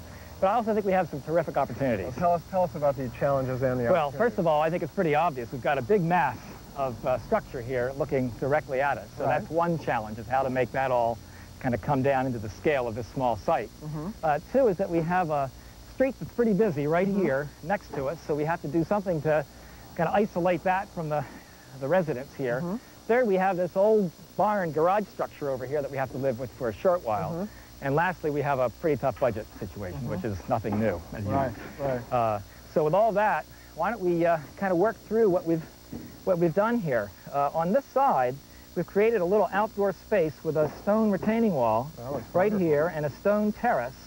Uh, and on the back side of this retaining wall, we're going to build up a little mound Yeah. and plant that with some evergreens. Rather subtle, Right. but yet it will create a strong barrier between the Mhm. road and the house. I wanted to show you uh, that. We also Okay. have a, a terrific piece of granite that was here originally as a door sill. Yeah, I remember it. And um, it'd be a shame not to incorporate this Yeah, into the landscape, absolutely. you see. So what I'd like to do is to take and turn this up Mm-hmm. uh, and have this as the seat surface and put it into the wall. Now that wall is over here, which is uh, oh, about 15 feet away or so, and it will run this way across the front. I did want to show you uh, here on the plan, a little sketch that I've done. If you were inside looking out, you would come out onto this little stone terrace, and there's a piece of granite you see, which we've incorporated into the wall to be about a 16-inch height, and the mound of evergreens behind. Little stair goes down the side, and I wanted to show you how we get down to the south Okay. side of the house. Well, really what you've done, Tom, is to sort of create an exterior room here. That's that's the idea. Yeah. We've done that in a series, in series of spaces around the uh, Uh-huh. the barn. Well, what about the wall before we go too Well, this is uh, falling apart right here, as you can see. It's in it's in pretty bad shape with all the frost heaves behind it. Sure. So I think what we really need to do is to tear this all apart and reconstruct. Uh-huh. And I think uh, Roger Hopkins, our granite man, is going to take and use some of this stone and incorporate it with newer stone Mm-hmm. to bring this wall up and bring it across. So we'll have a wall that'll look pretty much like this wall, but a little higher. We're also going to be bringing this grade down. Now, on the south side of the building over here, we have a whole nother kind of situation, a whole Yeah. nother exposure. well, it's even more massive here, isn't it? And we have a wonderful opportunity for uh, a garden, you know, with Yeah, the sun coming sure on this do. side. We also have some drainage problems. As you can Mm-hmm. see, we've got puddling in here, so that's one thing we have to resolve. Right, and all the water's running straight off the roof. We have no gutters. Yeah. So I did want to show you that we've got on this side of the house a little spot here for vegetables, and we've put a fence here on this one little side Mm-hmm. to kind of contain the, uh, the space, an arbored fence uh, kind of over Oh, here great. for roses, and then another uh, stone wall on this side. But uh, one thing I did want to show here, also I have a little sketch, Mm-hmm. yeah, um, of how that would look, you see. So the stone wall, the fencing, and the stone uh-huh. wall on this side. And here's a, a view of the whole. Yeah. thing looking directly from Yeah. the south. Well, this is, makes another quite an intimate little area with a completely different purpose for growing vegetables. Right. quite sunny and warm here, Yeah, too. it should be pleasant. Now, we do have a, another bit of a problem on this side, on this corner, where you can see this wall is beginning to, to burst out down here, too. Yeah. But we have some great old grapes here that I understand are very vigorous. So what I'd like to do here is to take this wall and build it out and kind of slope it Mhm. down like this, right in, right down in through here. Mm-hmm. And then we'll take this bank, which forms this, this sort of rear edge of the barn, and bring that around and have that meet this slope right Mhm. here. Uh, the other thing that I wanted to show you is that we have this uh, kind of neat little uh, path, Yeah, I path noticed that. that winds up the bank like this to this Mm-hmm. upper area. And I just wanted to illustrate, you know, how we make that work, and we'll show you as it's constructed. But it's a, it's a, it's a nice little way of getting up, Good, sort of informally up the slope. Walk us down the garden path. All righty. Well, Tom, you know, the site looks a little rough, but it was only several weeks ago that this whole back acreage was filled with tents of timber framers, screaming saws, and pounding mallets. So we have cleaned it up a little bit Good. for you. Well, I appreciate that.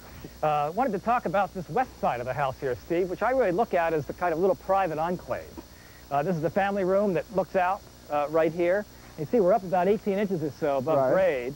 So I'd like to come down with a couple of wood steps Mm-hmm. to this uh, granite uh, platform here.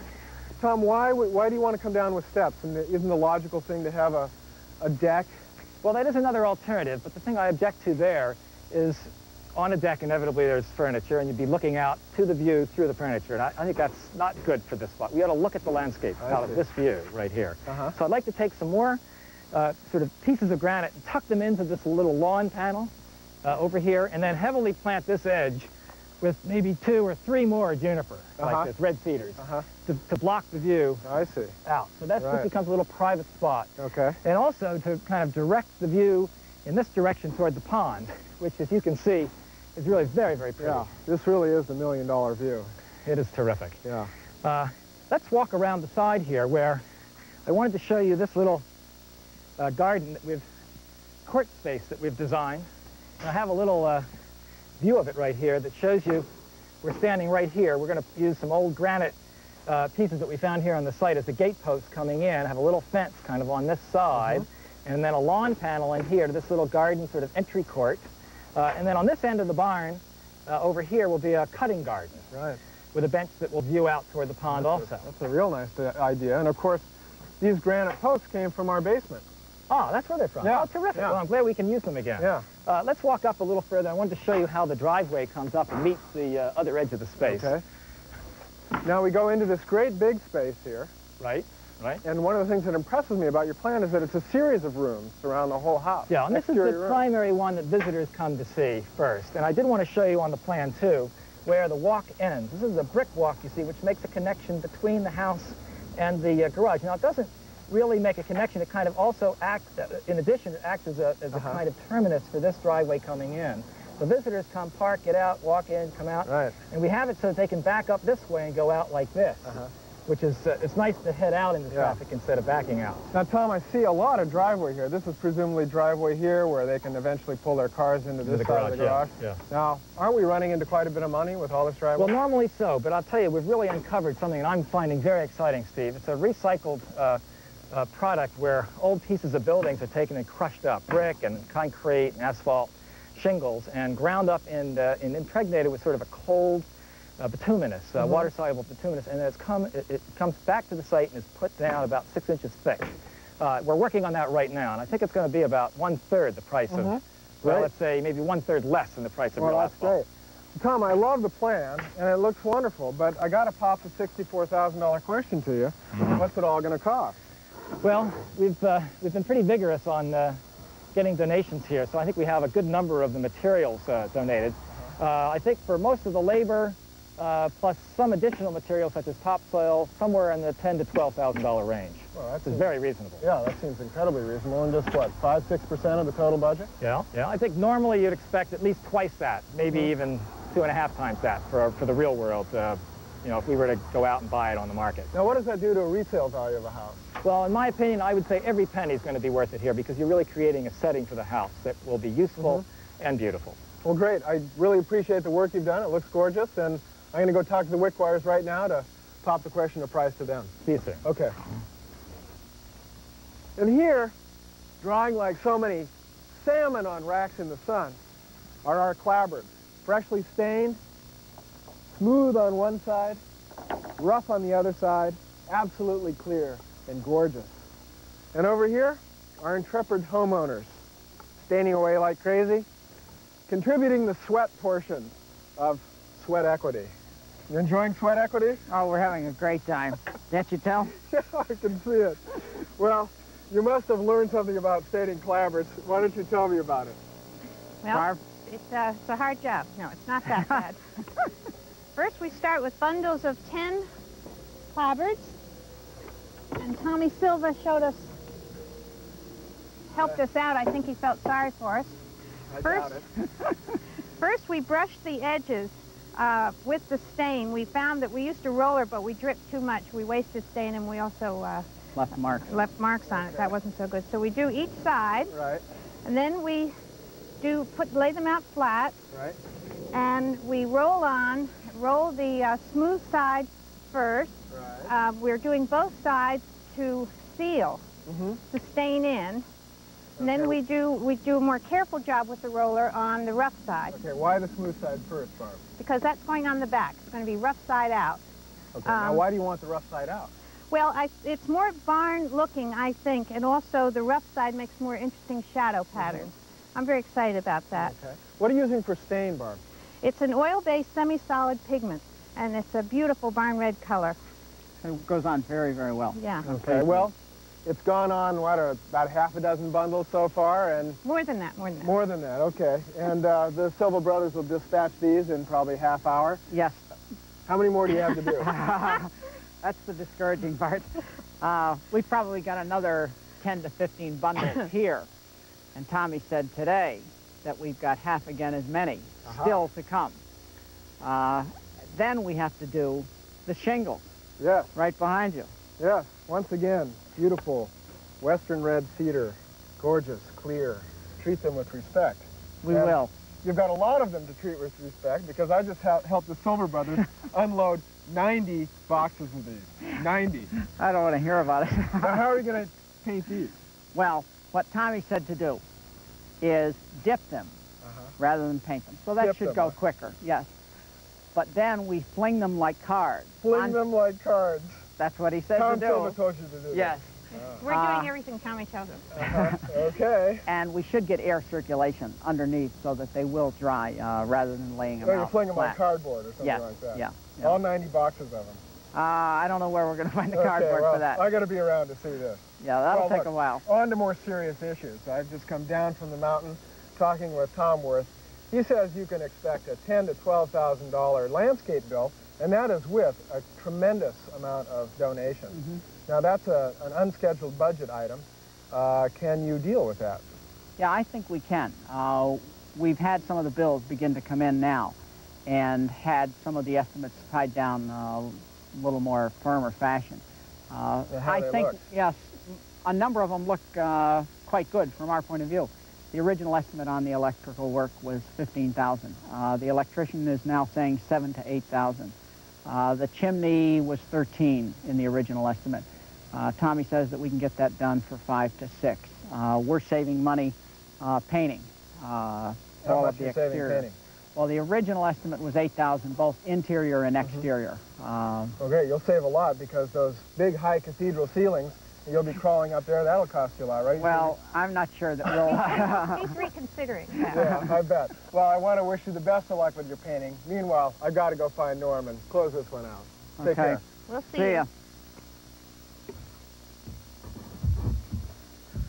Well, Norm, our homeowners are still comfortable with things. They feel that they can control the budget, and they're contributing their sweat equity as well. Well, that's going to save them money. You bet. So what's in store for next time? Well, next time we're going to pour the concrete slab down in the basement, and we're going to use something we never used before.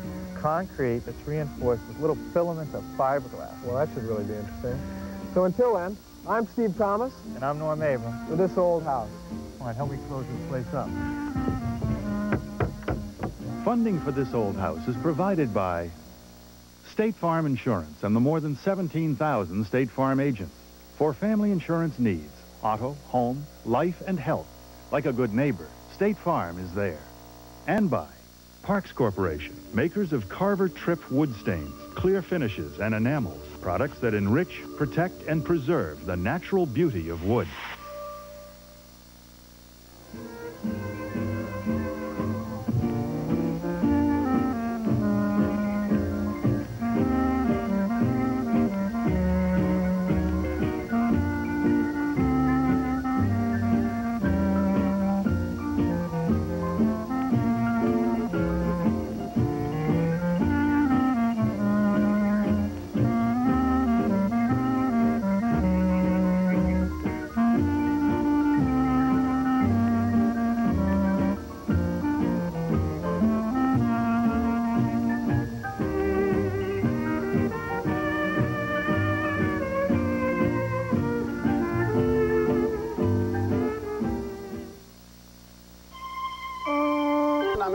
Door? And you go, gosh, I knew I forgot something. Well, of course, the way you do it is you build up the pen of logs and then cut the door through. Again, we're going to do that later. So we've got to cut the door in, we've got to chink it, we've got to put the fireplace on, we're going to have to put the roof on too, and we're going to have an interesting kind of log gable roof using, uh, we are going to actually undercut into the top of, um, of some of these pieces like you see right here. Unusual thing, but that's because we're doing a log gable roof. Well, we're going to do that next time. I appreciate you staying around and helping me on the log house so far. We'll get together again and finish it up. This is Roy Underhill in the Woodwright Shop. Thanks for joining me. So long.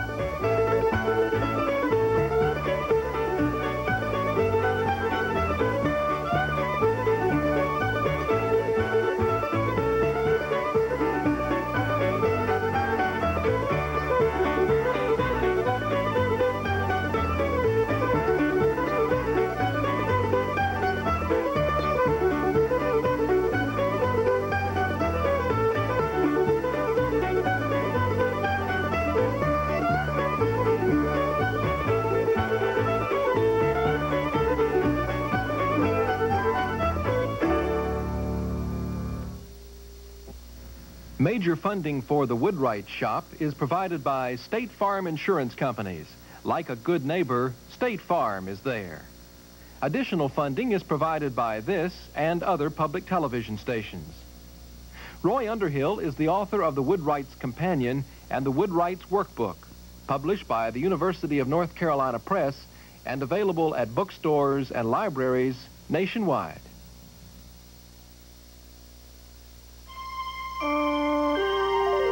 This is PBS.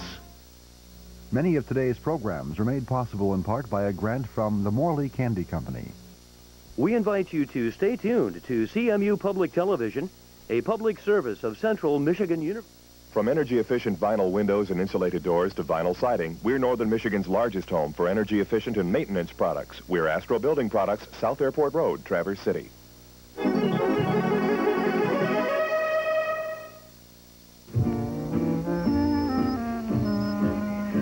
That's your last length of pipe, but I don't feel it hitting bottom. Well, it's not supposed to hit bottom, Steve. We also have had this past weekend hundreds and hundreds of visitors. Uh, we had one couple drive through from New Jersey just to find the barn.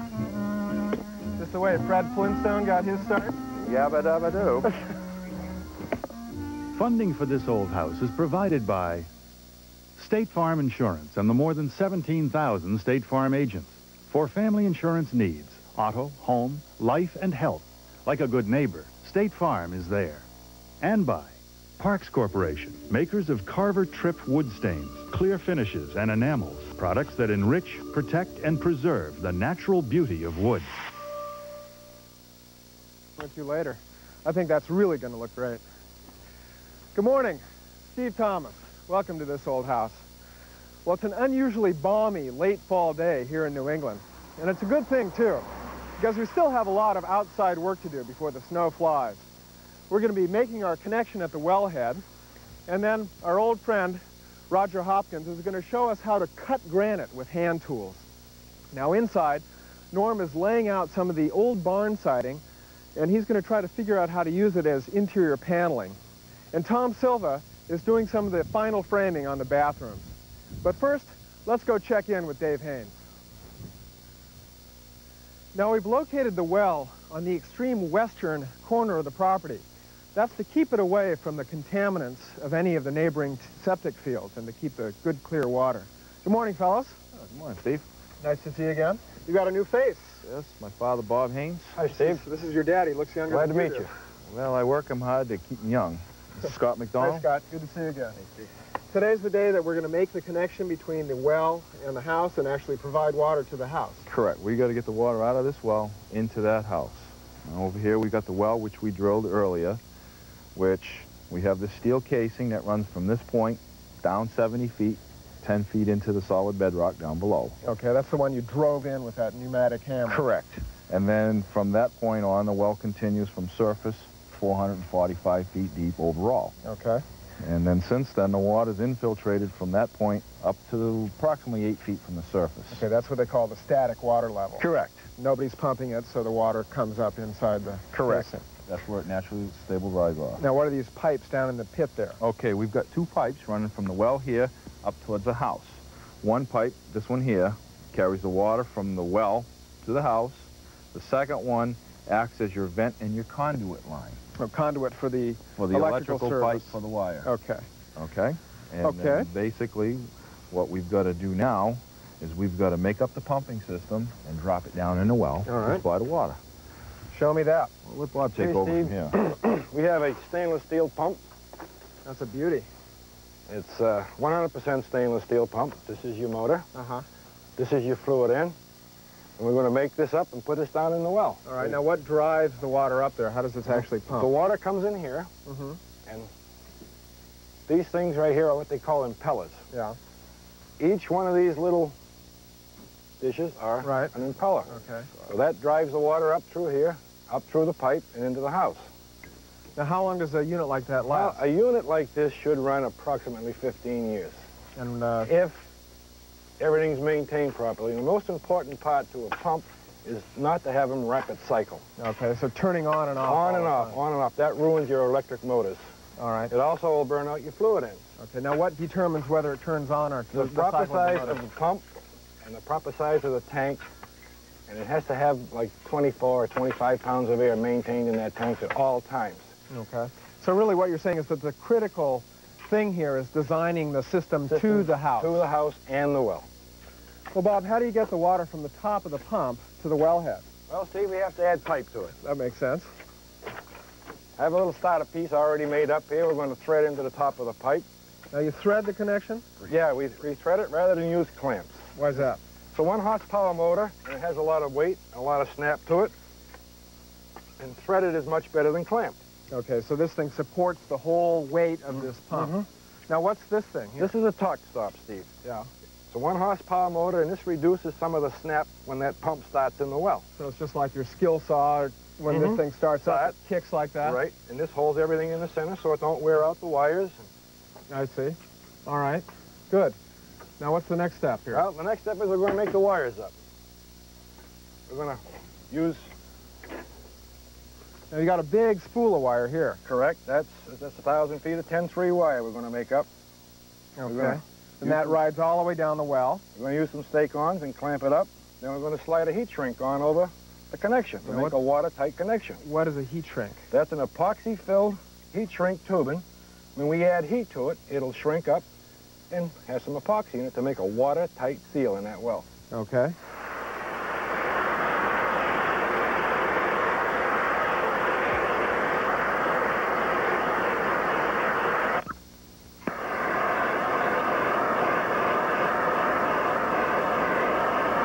Yeah, they're up. Yep, see the epoxy coming out the end? That makes a nice, tight, forever watertight seal. That's amazing stuff. So even if you immerse this thing in salt water, nothing uh, would get That in will there. stay watertight forever. Great.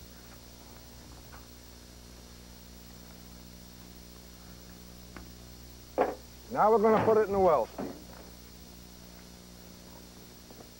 Now, how do you keep it from dropping down there? Oh, that's a little trick David will show you.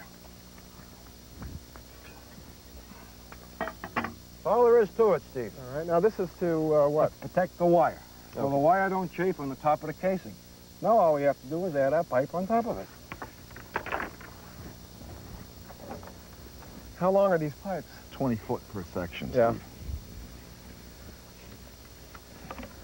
You just make this up just like you made up the drill pipe on Right. the back of your rig. Everything's. A little lighter, that's all. All set. Mm-hmm. Got some tape there. No, not until we add the next section, Steve. Okay.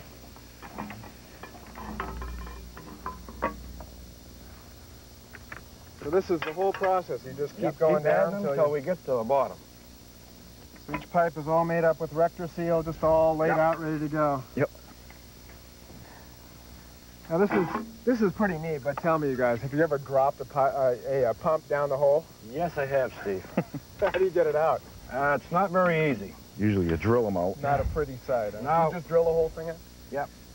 Well, it's stainless steel, which is non-magnetic, and plastic's non-magnetic, so you got nothing to grab. So you really weren't kidding. If you do drop a pump, you literally have to bring the rig back, set it up, drop the drill bit down the hole, and grind that pump to Yeah, dust. Drill them out. as long as there's, if there's no wire connected to it, that's it. There's no way to get them out. Now what's this device? This is a wire guide. It keeps the wire like the one we put on the bottom of the pump. It keeps it in the center of the well Okay. to protect the wire and protect the pipe. That makes sense. We've actually pulled some out of the hole, Steve, where these little ears have been worn completely right off. So there really is a tremendous amount of whipping action. Yes, there is. Anything we can do to minimize it and help. I can feel this thing is starting to get heavy. I'm glad it's not a thousand feet down. You me Got that both. right. It's heavy, Steve. Well, that's your last length of pipe, but I don't feel it hitting bottom. Well, it's not supposed to hit bottom, Steve. We What? want to actually hang it in the well. Yeah. What we've done is we, we've got this thing, we're going to set it at 400 feet. The Mhm. well's at 445. Now, what we're going to do is hang the pump at that level, so there'll be 45 feet of hole below it, which will act as a sediment pocket in case any foreign matter should come in with the water formations itself. We've actually calculated Mhm. that and gave it someplace to go. Now, what's this thing here? well, this is the top half of the pitless adapter unit. And basically what we have is a unit similar to this. Yeah. We have two piece. This piece here hangs inside the well, Yeah. okay, with your gasket and everything else. This is your drop pipe, which will be hanging from this piece. We're going to lower that down inside the well, four feet below grade, and it'll actually slip in and hang like that. And you do that with this? With this steel pipe here. That's uh, what they call a pull pipe. That's ingenious. Now this I have to see. It looks like this will be fairly tricky here to actually maneuver that little flange into the other thing way Mhm. down the pipe there. Not really. It's pretty simple once you've done it once or twice.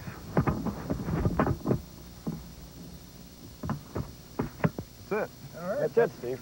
All we got to do is cut the wires, splice them, put the cap on, and then we're ready to go inside the house. Great. Now, Dave, both our water line and our conduit containing the three-wire 220 service to the pump run from the wellhead under the slab here. Come up over here into the control center in the tank where Bob's finishing up right now. We finished hooking it up for you, Steve. Good work. Electrical panel, control box, lightning arrestor. Lightning arrestor. Tell me about that. That's to protect the pump motor from high voltage. If you Mhm. get a hit with like lightning, So a house gets hit or the pole outside gets, gets hit, that protects the motor that's in that pump. And we don't want to have to change that motor. So this is sort of like a surge protector on your. Absolutely, Okay. correct. Pressure switch Mhm. starts and stops the pump. Mhm. Pressure gauge so you can see what the pump is doing. Okay. What's this blue cylinder? This blue cylinder is a tank It catches the water. It's got a big bag inside of it, Right. full of air. The pump starts, forces that air bag up to the top of the tank, Mhm. Reaches 60 pounds, shuts off. When you call for water upstairs, instead of the pump starting, that airbag forces the water back out. I see. So the airbag compresses like this. Mm-hmm. As you call for water, it expands. Expands, forces the water out. You get a 20 pound drop, pump restarts, fills the tank back up again for you. Great. Are we ready to get some water out We're ready to fire her up. Okay. Are we ready?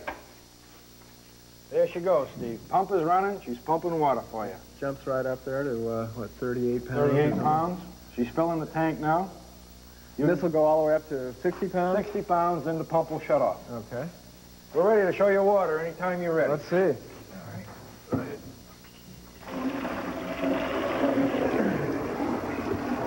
I don't know if I'd like to drink this. Well, you got to bear in mind, too, that water's been heavily chlorinated. You dumped chlorine in there? Oh, yeah, we did that at the time we drilled the well. Yeah. And also that that well has been sitting stagnant for Uh-huh. a couple million years, too, till we decided to punch a hole in the backyard. Uh-huh. So what do you do, drain the system for a Well, while? basically, the thing to do is put the hose outside, let it run for a couple of weeks, and then we'll take and come back and sample it at a later date. Good. Well, I can't thank you guys enough. Welcome. Steve. It's been a pleasure. Meanwhile, I've got to go find Lynn Wickwire, our homeowner. All right. Take care. Thank you much, Steve. Hi, Steve. Lynn. How you doing? Good. Hey, how do you like your barn? Oh, I think it's fantastic. Uh, we're just having a great time. It looks the way the barn used to Yeah, look. Yeah, sure does. How do the neighbors like it? Oh, they're having a marvelous time. Uh, they all appreciate what uh, has happened, and Yeah. they uh, they think it's a great uh, job. We also have had this past weekend hundreds and hundreds of visitors. Uh, we had one couple drive through from New Jersey just to find the barn. Uh, they've had to do some work because we haven't given the address out. Huh.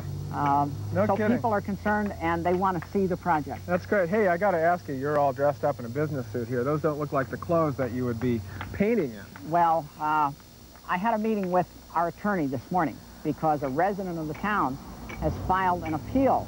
Wait, an Uh, appeal? I- we don't have to take the barn down, do we? No, we don't think so. Uh, we hope not. Uh, but the appeal uh, contests the issuance of the building permit by the building inspector. Now, tell me about this one. This is...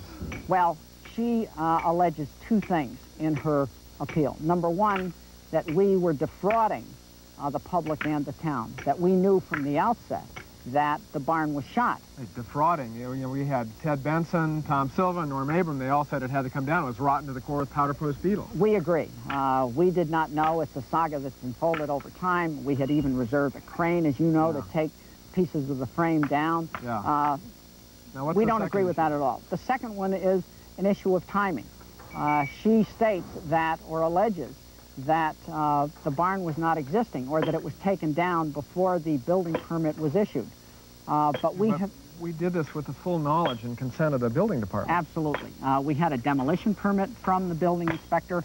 He came out beforehand, before the frame came down, and agreed that it was shot. Uh, Mhm. we would save what we could, but that it could not be saved and used inside the new barn. Now, where's all this going? Well, the appeal, the hearing on the appeal will be heard in the next couple of weeks. Mhm. And we will present our evidence uh, and argue the points there, and the Board of Appeals will make a decision sometime thereafter. Well, I'll let you go, and uh, we'll keep our fingers crossed, Okay, believe me. thanks. Okay. Do you believe that one? Well, onward and upward. I gotta go find Norm.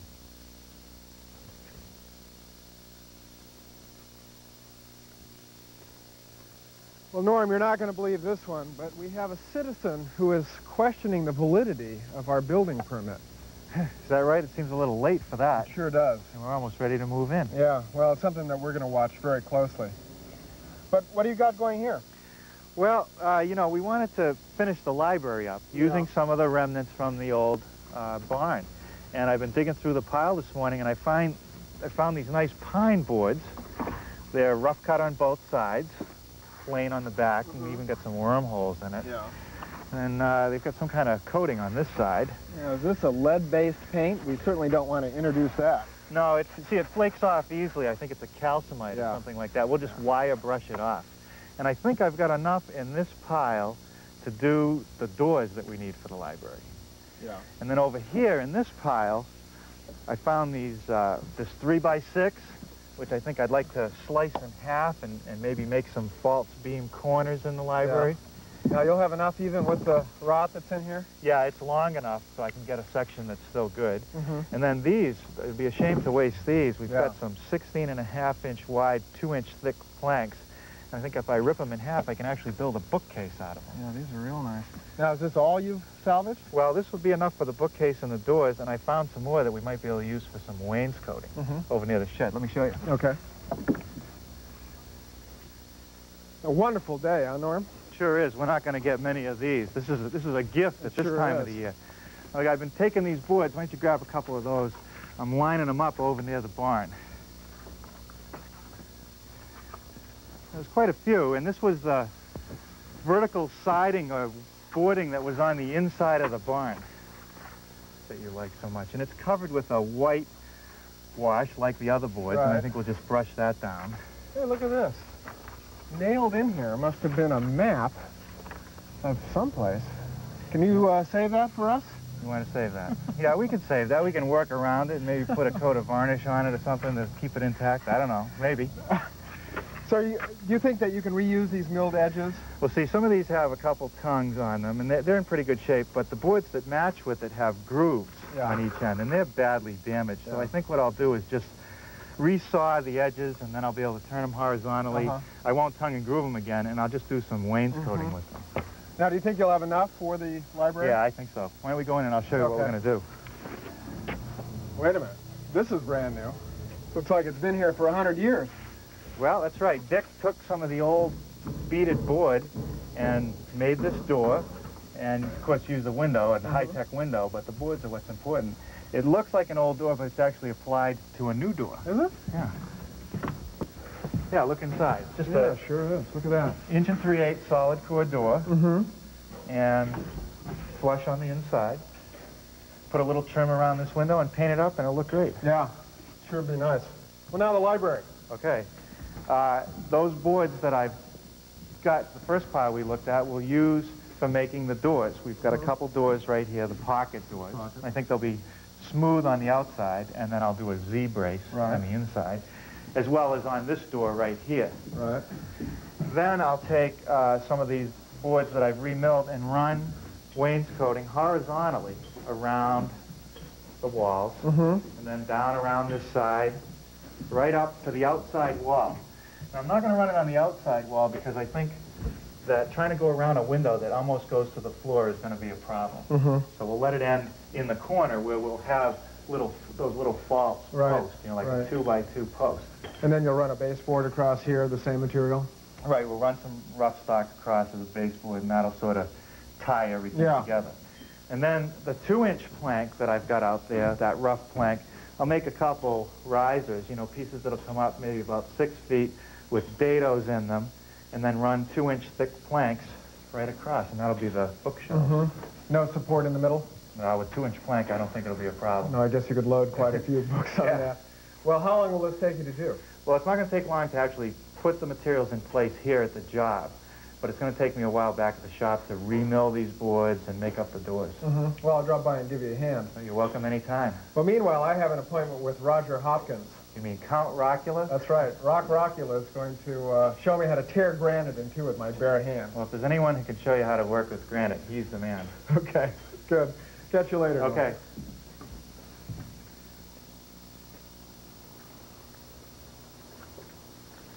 Boy, the terrace is really shaping up, Roger. We should pretty well wrap it up today. Yeah.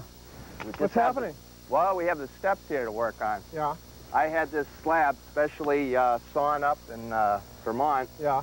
such that we can uh, easily split it up. Now it's nice and smooth on this side. Has this been sawn? Right. Uh, what we're going to do is we're going to split this lengthwise along this blue mark, and then we're Mhm. going to split it across. Uh, Can we split it this way as well? well, not with the hand tools we're going to use because of the way the grain is set. Mm-hmm. How do you do it?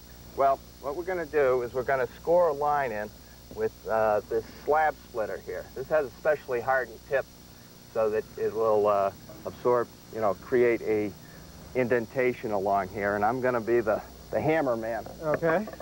What do I do? Just hold it up there like a big coal What- chisel? Well, what you're going to do is hold it vertical and uh, per, uh, perpendicular to the, the stone. Yeah.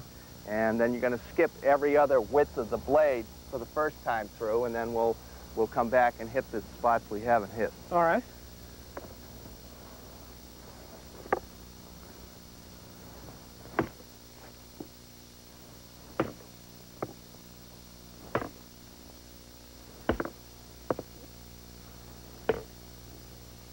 I just keep walking right across. Right. Want to make sure that's perpendicular now. There we go.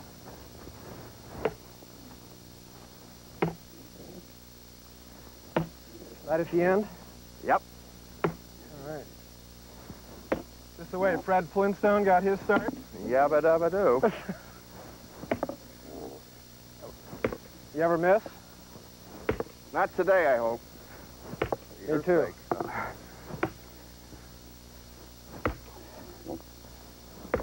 It's gonna go. From here, from the middle? Uh, just comes back towards me. Starting back here? Yep. Well, actually, we can skip along a little further. Okay, good. You'll hear the change in the sound of the stone. It's starting to crack. Yep.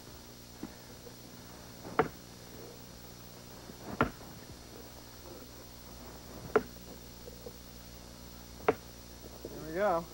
One more. That's it. Now, let's see how we did. Pry it apart.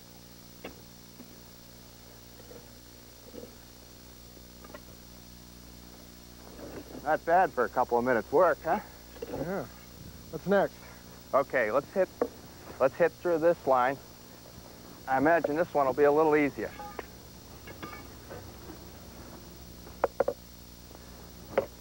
Now come directly across over oh, so we get the message into the stone where it's going to end up. Now on these short ones, you work your way back and forth like this? Not a bad idea. Keep it perpendicular. Going. There, There we we go.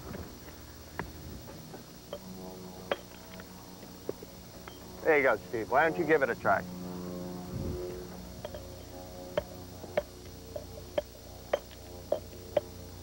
That's it. Now, as I understand it, the idea of doing this is to give this face a little character, sort of round it out. Right. Well, you can see the relief here, the stone Mhm. protruding out. Makes it look a lot more natural. This wonderful stuff to work. Now we'll do the other side. Okay. Now, do you start from any particular... Well, you can start right along there at the end. That's it.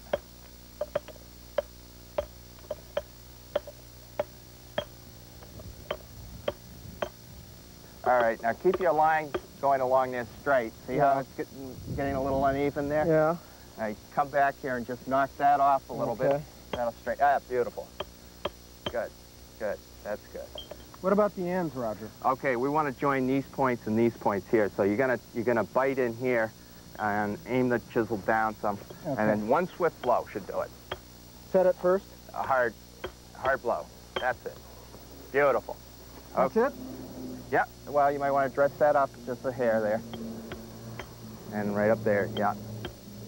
See, now you got a nice, nice straight line. Mm-hmm. Now, I noticed before we set our step that you've been real careful to excavate all the soil. And you've got, just got sand and gravel there. Is it that important? We don't want any water to stay in the soil here. Uh, we want it just to completely drain through so that we have no free- freezing thawing action in the Mhm. winter where it'll throw the steps out of, out of place. This will just drain completely through.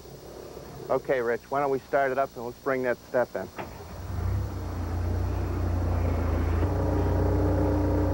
Good, Rich. Good. Down a little. Down. All right, let's leave it there, Rich.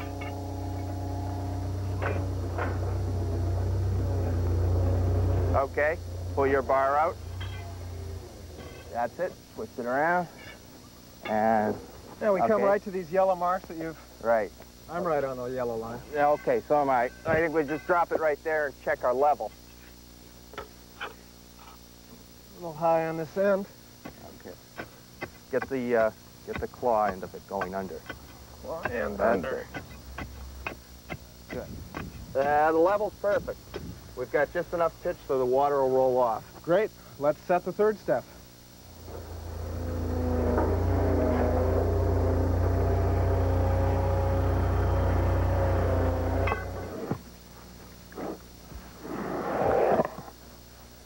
All right, let me have the level. Well, we've got to bring that up almost that much. Put the bar under it and we'll tamp some in. Well, Count Rockula, these stairs are gorgeous. I guess you've got one more to go up here, eh? Right. These ought not to go anywhere for at least a thousand years. I hope not. You know, I love the way you've recessed this fixture right into the wall here. Well, this is an ingenious idea out of Vermont. Instead of uh, building a wall around the light, Yeah. why not build the light into the wall? I mean, this is a solid 12 by 12 block, and we have a low voltage lamp in here For safety? for safety and for ease of installation. You just run the cord right through the, uh, the wall and onto the transformer. Mm-hmm. The nice thing about this light is that it casts a it can angle down and cast right over all these steps. So it lights the stairs and you don't see the source of the light. Right. Well, Rock, thank you very much. Rock. We didn't get to the framing this time. Maybe we will next time.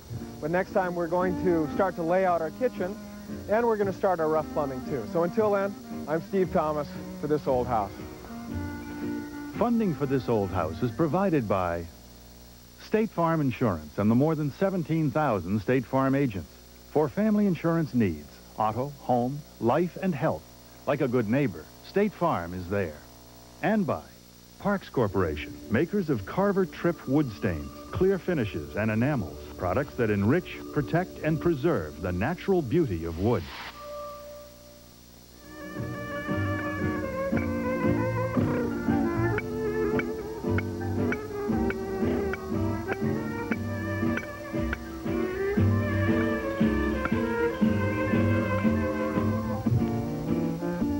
Farm Insurance and the more than 17,000 State Farm agents. For family insurance needs, auto, home, life, and health, like a good neighbor, State Farm is there. And by Parks Corporation, makers of Carver Tripp wood stains, clear finishes, and enamels, products that enrich, protect, and preserve the natural beauty of wood.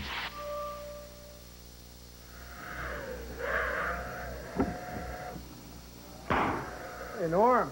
Hey, Steve. Boy, it's nice and warm down here. And boy, look at the headroom, you know? I know, this is an incredible basement. It's actually a good thing that we had to build on top of those rubble stone foundation walls, or else we never would have got this headroom. That's right, because today in a normal foundation, you end up with less than eight feet. And to pour a tall one costs a lot of extra money, so this is great. I think I'd put a shop down here. Oh, you bet. Right away.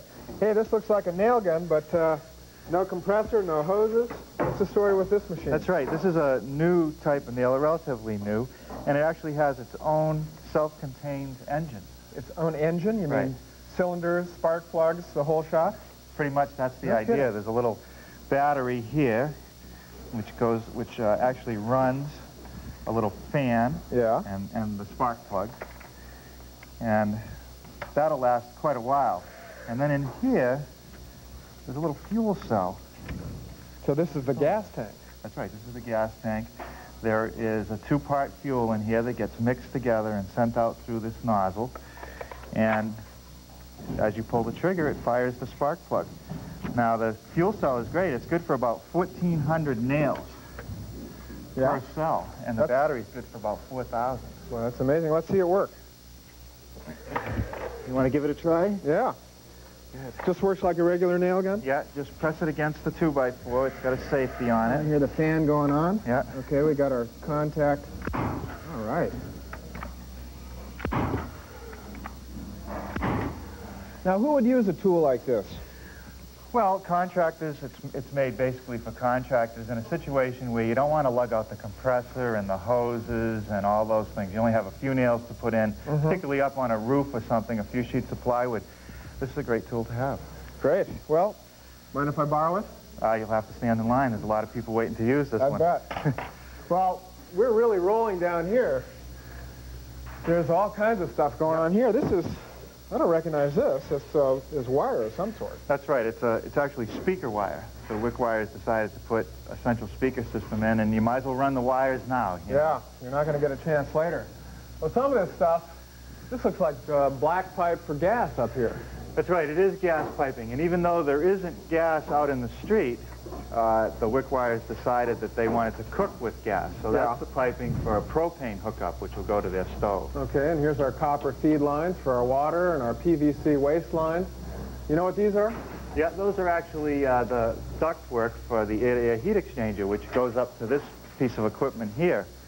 And you know, Steve, I'm really glad that you decided to put one of these in because Yeah. when we set the panels on this building, I was concerned, and we were all concerned about the air because it's so tight, Mhm. and this will do the job. Well, I had a chance to talk with the installer, Rick Hartson, the other day. Let's have a look. Interior air pollution is becoming an increasing concern these days. We have with us Rick Hartson, who's going to explain it all to us. Hi, Rick. Hi, Steve. So what's our problem? Well, the problem is we have too tight of a house. Too tight of a house. Tom Silva's going to be overjoyed to hear you built, built it too well. Yeah, that's Why true. is that a problem? Well, being so tight, it creates a lot of indoor pollutants. Um, like how? like it doesn't let them escape. Uh, they have, there's cooking odors, there's bathroom odors from aerosol cans, uh, adhesives from countertops, uh, building materials, they all give off uh, different types of pollutants. I see. So all this stuff sort of collects in a cloud in the house, and because the house is so tight, it can't escape. Correct. What are you going to do to solve that problem for us? Well, what we're going to do is, with this piece of equipment here, we are going to take and exhaust, suck the air out of the house, and exhaust the polluted, dirty air to the outside. Mm-hmm. And as it goes to the outdoors, it passes over a heat exchanger. And this heat exchanger is like a bunch of fins Yeah. with a large surface area. And at the same time, it draws fresh, clean air in from the outdoors and passes over that same heat exchanger and absorbs or extracts Mhm. the heat from the outgoing air. Now, there's kind of a contradiction here, but here we've built this very tight, very efficient house, and you're coming along and poking a big hole in it, and uh, you're bringing cold air from the outside and pumping it into our house. I mean, doesn't that sort of defeat the whole purpose of an energy-efficient house?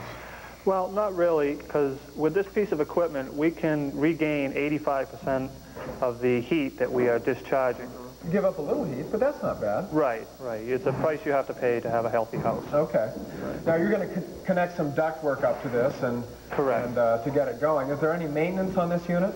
Uh, very little. Um, you have a filter that has to be changed or cleaned. It's, it's washable. And you periodically check it, and if it's dirty, you clean it. Okay. And what does it cost to buy and install one of these units? Uh, for this particular system, you're talking three to four thousand dollars. Well, it seems like a hefty chunk of money, but, but one that uh, is necessary for a, a healthy house. Yes, it is. Well, thanks, Rick. I'll let you get back to work. Okay.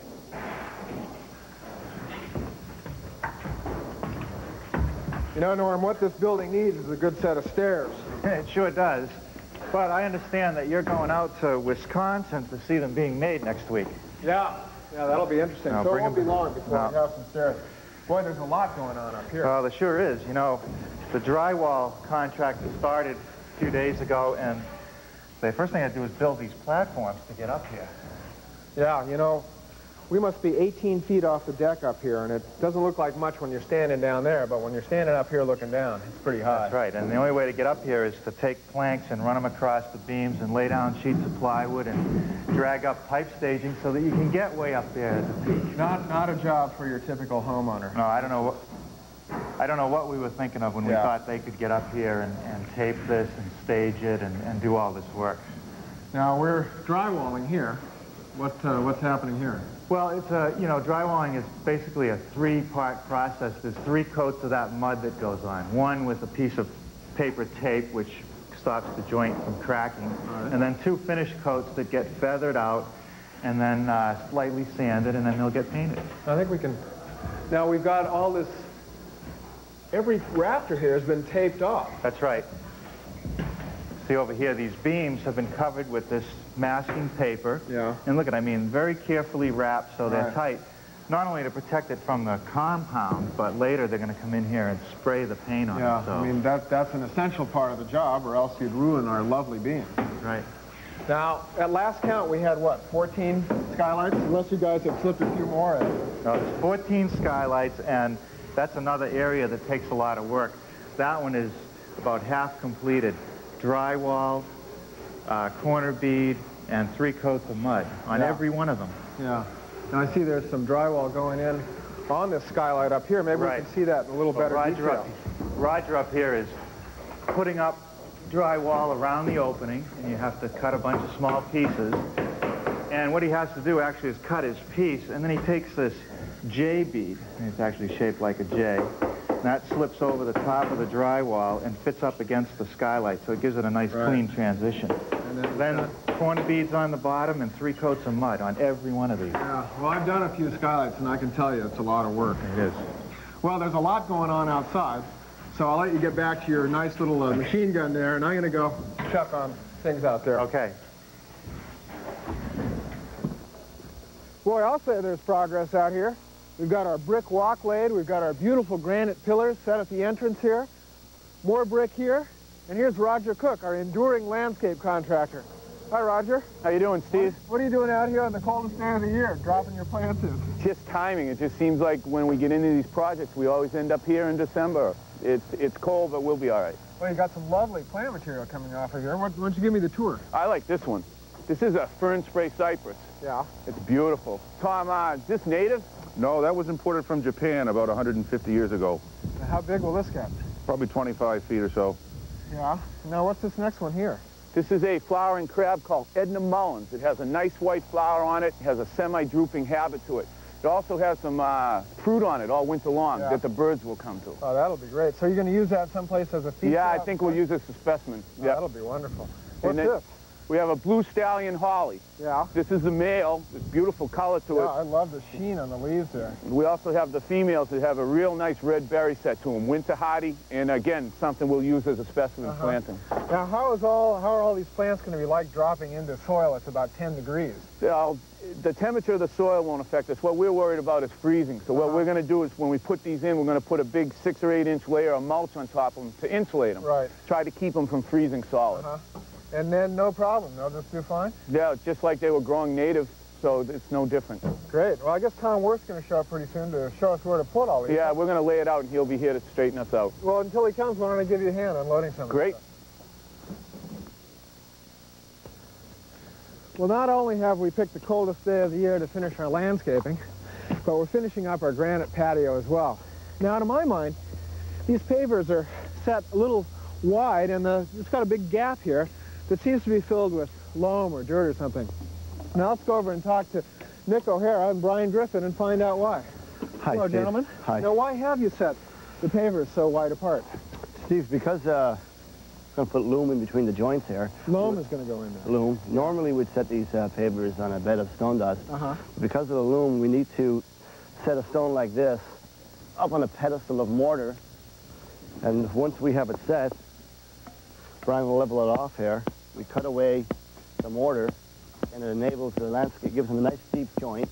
Yeah. And it enables the, the landscaper to put um, soil in there. Uh-huh. Now, what I don't understand is why couldn't you do the same thing with stone dust?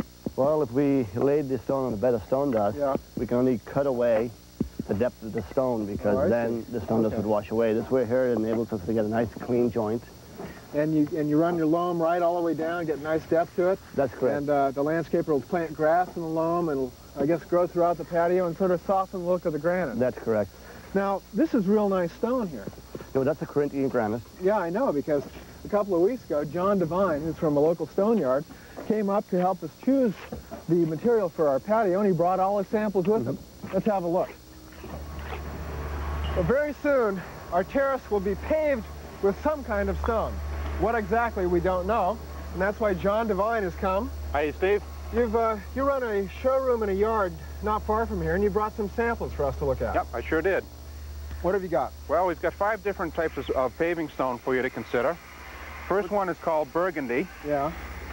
That refers to the color of these little knobs here? Ex exactly. That's actually agate. Yeah. And uh, not quite gem quality, but it uh, adds a lot of interest to the stone. Now, this has got a real pronounced grain. How is this to work for a mason? It's, uh, it's fairly easy to shape the stone, but not really easy to cut it in half or to cut a corner off. So they really have to work with the stone that, that uh, he's given. Okay, so they sort of nibble away at it? Exactly. What about this one here? As far as workability, the same idea. This is called Heritage.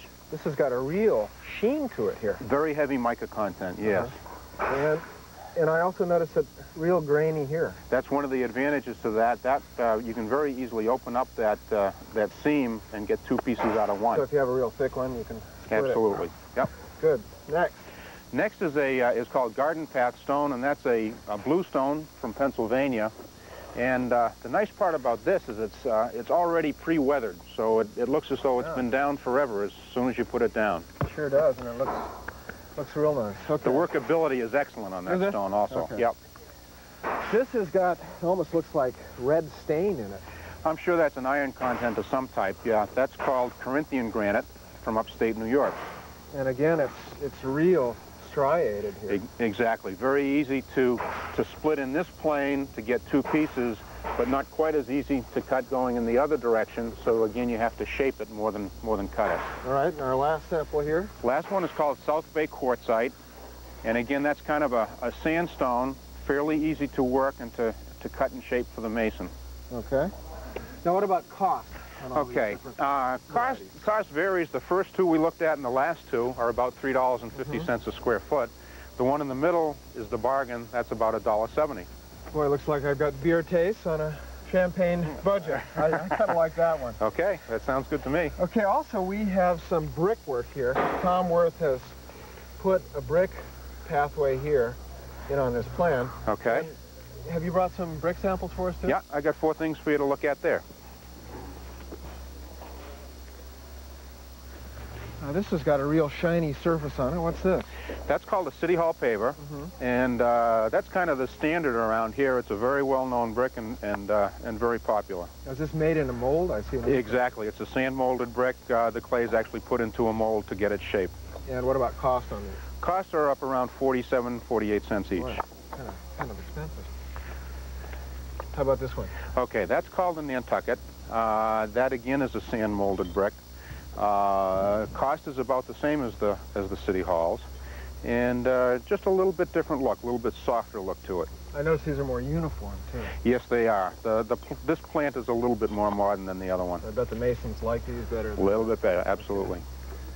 Next one is called a Champlain, uh, and those are down around 34 cents each. Is Uh, this molded as well? Same molded brick, that's right. The advantage of the molded brick, uh, again, is the, the instant antique uh, look to them. And uh, it, it gives you the, uh, the appearance of being down forever almost immediately. And our last one here. Last one is called an autumn blend paver. Uh, that's made by a different process. Uh, those are an extruded brick. Uh, the clay actually comes out of the machine uh, almost like spaghetti and then uh, is sliced off. Now on all of these, do we have any problem with freezing and thawing with the, you know, the bricks spalling and cracking? Okay. They are all designed as a paver, and there is a certain ASTM specification that they have to meet, which they all do meet. Uh, you can't buy just any brick as a paver. A face brick will not do. That's when you'll get into the problem with freeze and thaw. So they'll all, they're, they're all equal in terms of durability? Absolutely. Well, I kind of like this one here. It's got a real nice look. Yep. And uh, it happens to be one of the least expensive. But uh, can you leave the samples so Tom Wirth can have a look at them? We certainly can. No problem at all. Well, thanks very much. Okay. Thank you, Steve. Take care.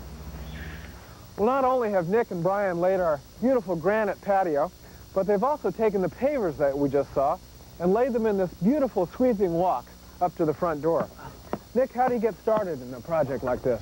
What we've done here, Steve, is we have a, a bit of gravel compacted, and then we put two inches of stone dust on top of that. Uh-huh. And then on the outside edge, we've used a redwood to form up this walk. Yeah. And that gives us a nice, clean, crisp curve. Yeah, I was admiring that. Thank you. On the inside of that, we place a brick for support. Uh-huh. And we place it on edge like this, and we call this a soldier course. And we pound that in the same level as the walkway. And then when, when the walkway is finished, we strip the, the redwood away, and this supports the walkway. Okay, I get the soldier course now. How do you start laying the field? Let me show you up here, Steve. This is a, a running bond pattern. Now, what does that mean? Well, we start off here with a full brick, a half a brick, full brick, half a brick, all the way across the walk. Yeah. All the way down through the walk, again running bond.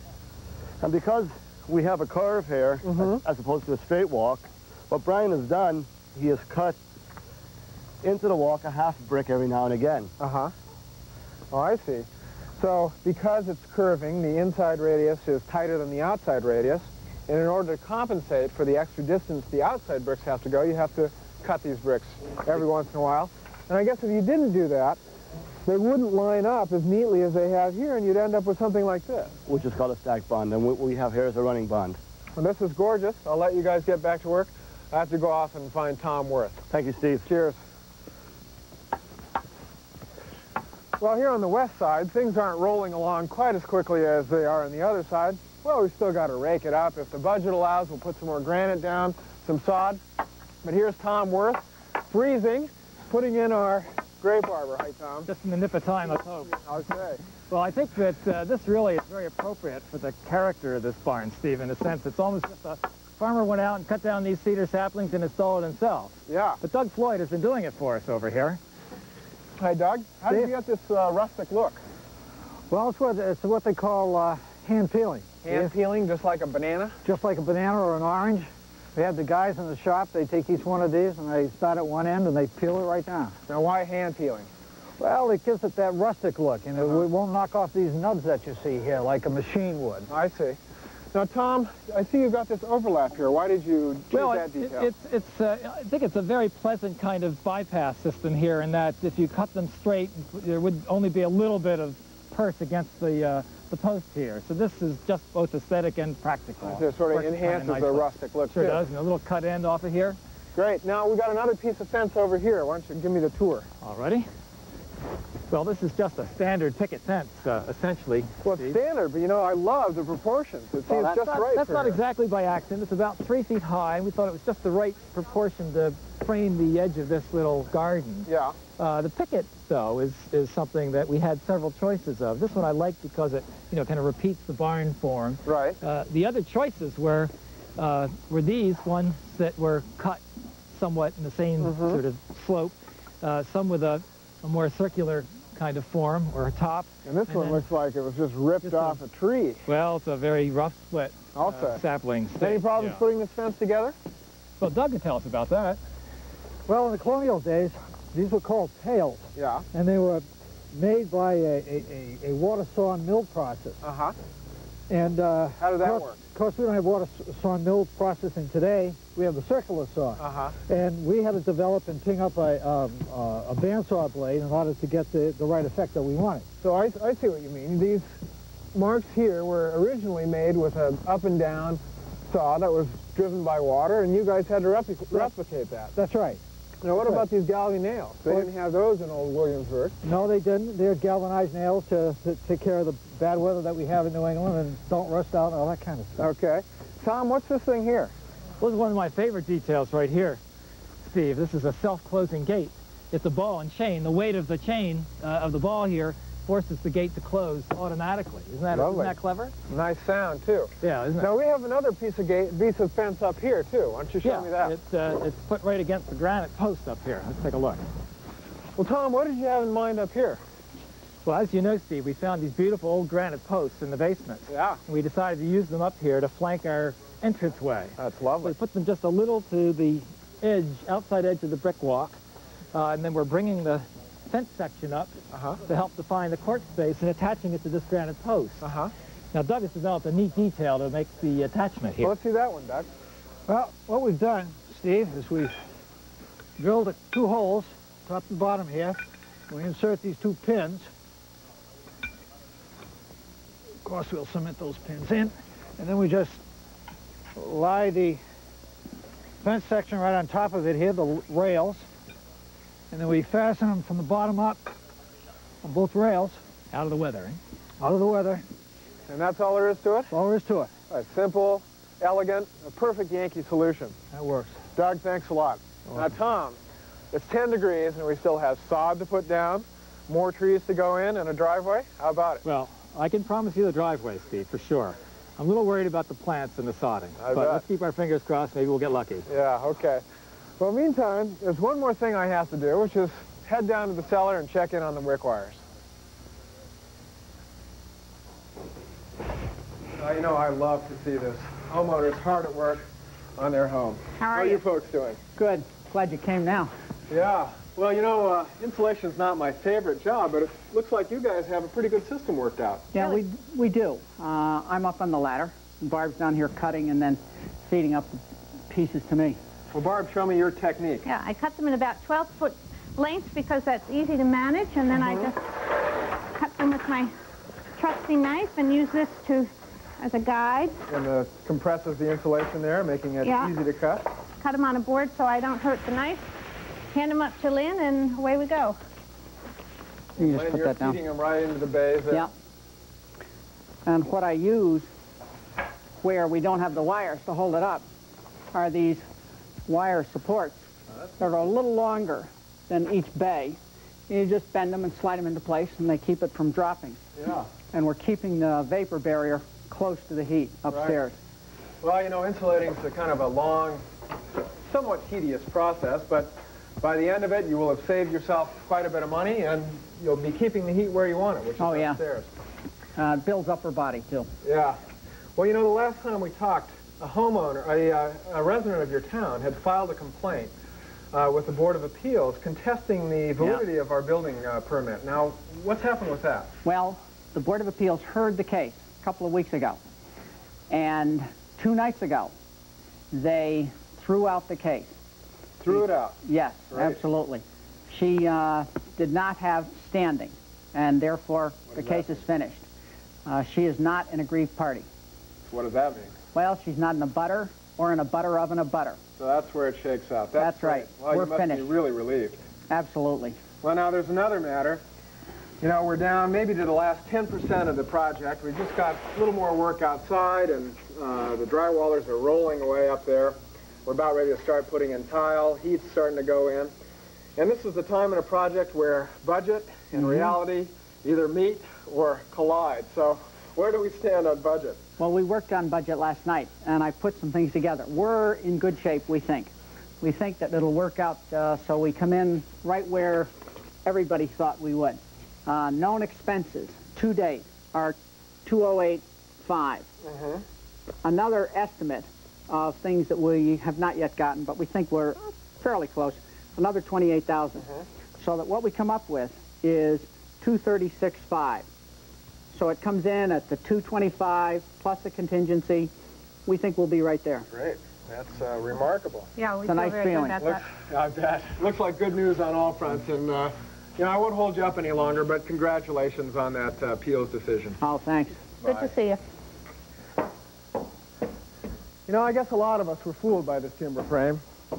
Remember that afternoon it went up? Four hours we had a whole building standing here. I have to admit that I thought it would be two weeks before the Wickwires moved in. Well, it's taken a lot of time and a lot of meticulous craftsmanship to flesh this building out with sensitivity to that frame. But it really won't be long now. Next time, Richard Trethewey is going to take us on a trip to Germany in search of the perfect power plant to drive our heating system. Till then, Steve Thomas for this old house. Funding for this old house is provided by State Farm Insurance and the more than 17,000 State Farm agents. For family insurance needs, auto, home, life, and health, like a good neighbor, State Farm is there. And by Parks Corporation, makers of Carver Tripp wood stains, clear finishes, and enamels, products that enrich, protect, and preserve the natural beauty of wood.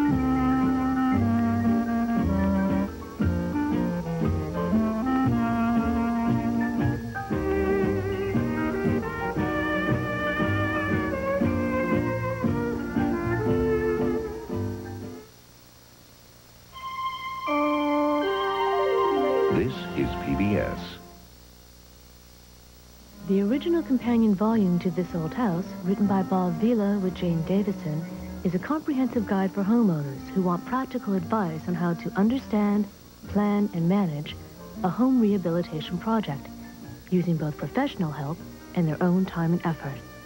To order your copy of the softcover edition, call 1-800-441-3000.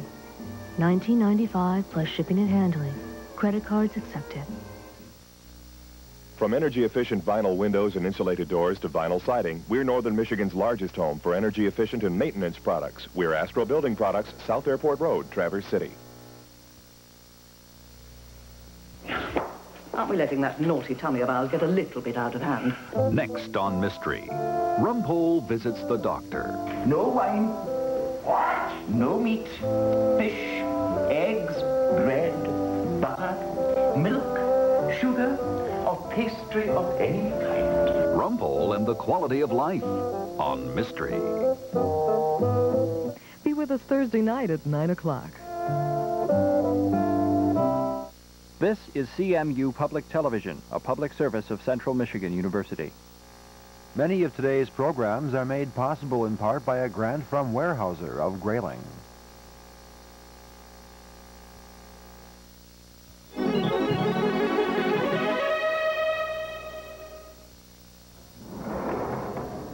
Hello, I'm Bob Thomson, and welcome to the Victory Garden. Today, Peter Seabrook will take us to the spectacular botanic garden at Malahide Castle in Dublin, Ireland. Roger Swain will harvest from the winter garden, and Marian makes a hearty Portuguese kale soup.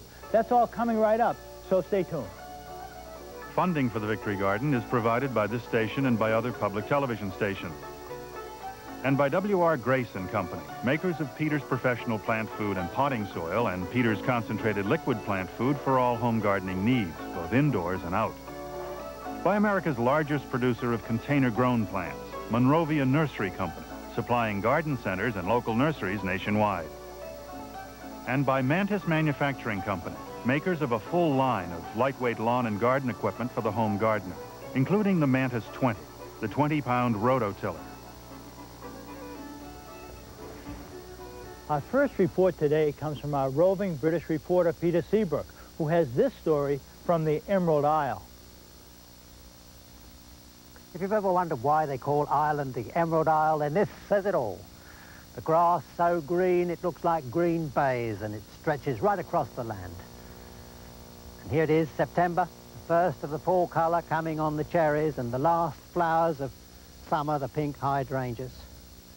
And we're pretty close to Dublin, about six miles from the city centre. We've come to Malahide Castle, the seat of the Talbot family for 700 years, but our gardening story starts much more recently than that. It was Lord Milo Talbot who started in the 30s his passion... Additional funding is provided by this and other public television stations. Roy Underhill is the author of the Woodwrights Companion and the Woodwrights Workbook, published by the University of North Carolina Press and available at bookstores and libraries nationwide.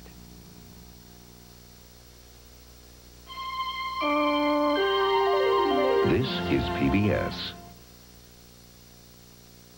Many of today's programs are made possible in part by a grant from Hub Supermarket of Prudenville.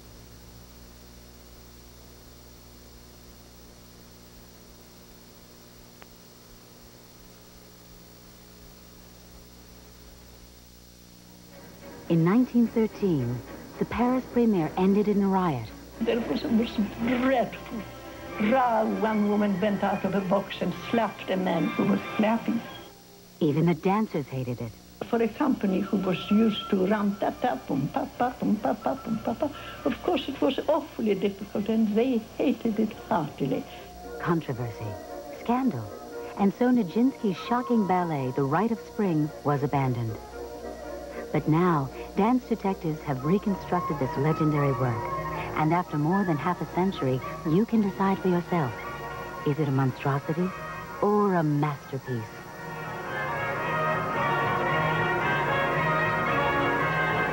See the powerful ballet that made dance history in The Search for Nijinsky's Rite of Spring.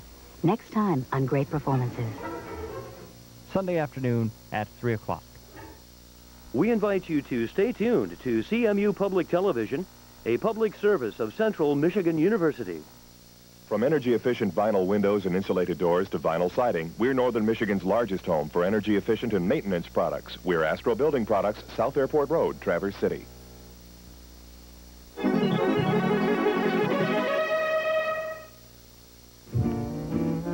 Tom, it's 10 degrees and we still have sod to put down, more trees to go in, and a driveway. How about it? Well, I can promise you the driveway, Steve, for sure. I'm a little worried about the plants and the sodding. You know, we must be 18 feet off the deck up here, and it doesn't look like much when you're standing down there, but when you're standing up here looking down, it's pretty high. Right. And this is the time in a project where budget and reality either meet or collide. So where do we stand on budget? Funding for this old house is provided by State Farm Insurance and the more than 17,000 State Farm agents for family insurance needs, auto, home, life, and health. Like a good neighbor, State Farm is there. And by Parks Corporation, makers of Carver... And the Woodwrights Workbook, published by the University of North Carolina Press and available at bookstores and libraries nationwide.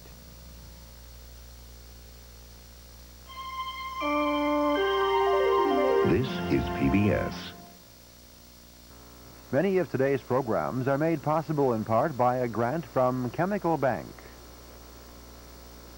Do you think World War II was a good war? This week on Firing Line, author Paul Fussell offers a fascinating view on romanticizing war. But I'm not really saying that it was worse than all other wars. I'm saying that it was by no means the good war without quotation marks. What I'm trying to do is to restore the quotation marks around Studs Terkel's title. Yeah, right. A lot of people like to remove those, but I insist that they be there because yeah. no war can be a good war. It can be a war in a good cause, as this was. Yeah. But all war is wicked, vicious, and criminal, even if necessary. And that, that's really what I was trying to get at. But what we criminal in execution, mm -hmm. not necessarily in conception or in resolution, right? No, no, no. Killing people is wrong. Everybody knows that. Yeah, right. But a lot of people who don't think about it very imaginably conceive that uh, somehow it is not wrong if you do it for the right reason. Tuesday at 1 p.m. This is CMU Public Television, a public service of Central Michigan University. From energy-efficient vinyl windows and insulated doors to vinyl siding, we're Northern Michigan's largest home for energy-efficient and maintenance products. We're Astro Building Products, South Airport Road, Traverse City.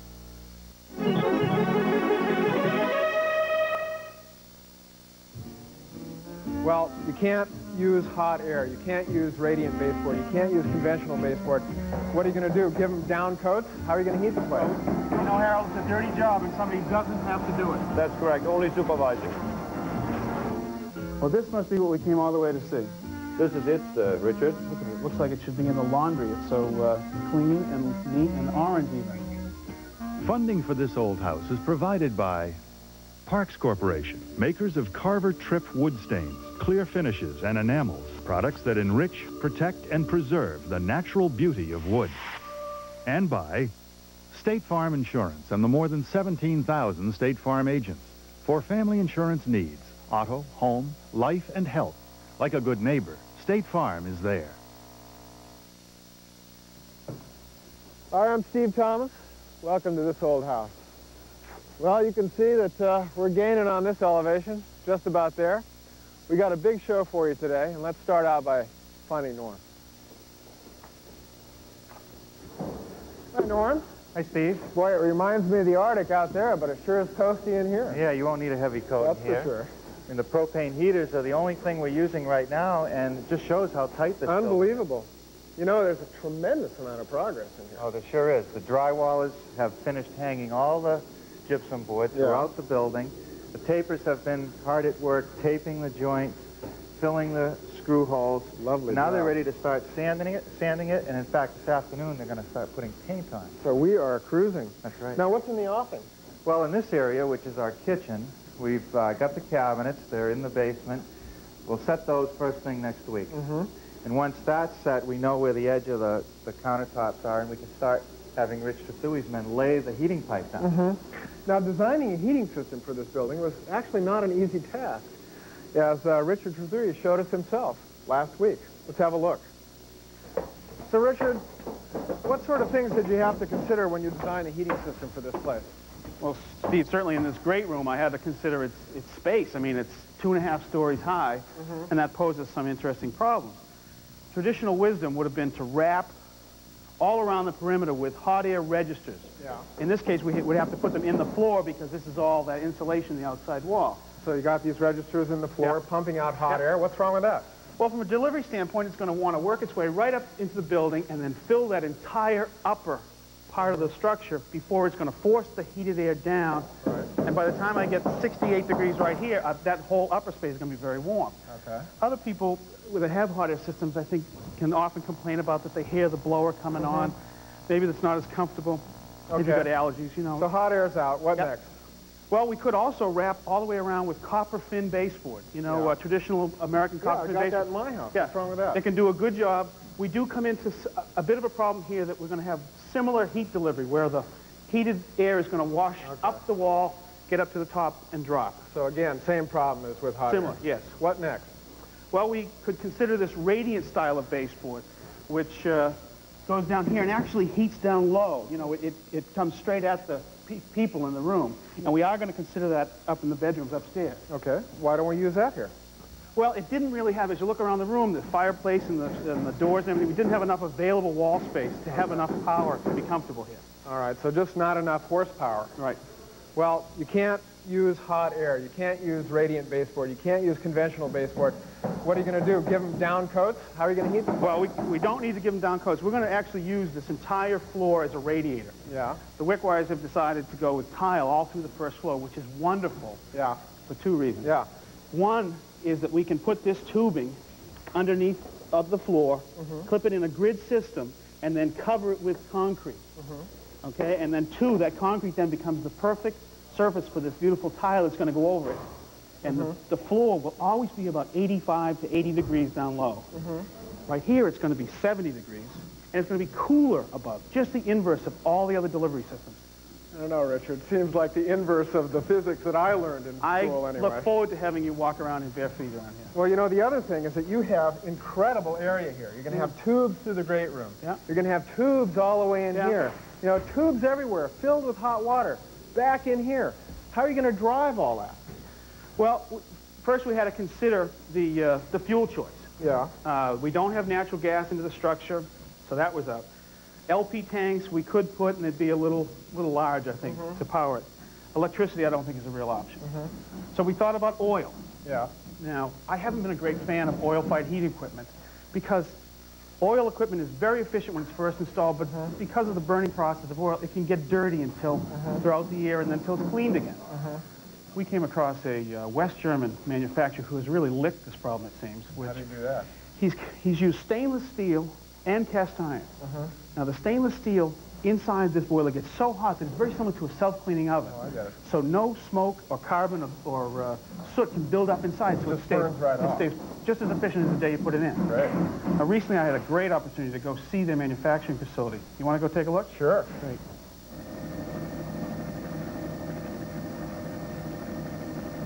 What a great day I picked to fly into West Germany. This is the Hessen region, located in the center of the country, northeast of Frankfurt. It's filled with tiny, picturesque villages, surrounded by small, very well-kept farms. What I was looking for was the Castle Waldeck. That's it over there. Now I'm expecting to meet Harold Prell, my guide into the high-tech world of German heating boilers. Harold! Harold! Richard, we've been expecting you. Harold, 4,000 miles by plane, 80 kilometers by car. Got to be a thousand steps up here to this castle, and now 15 more down to this dungeon. I got to ask, why are we meeting here?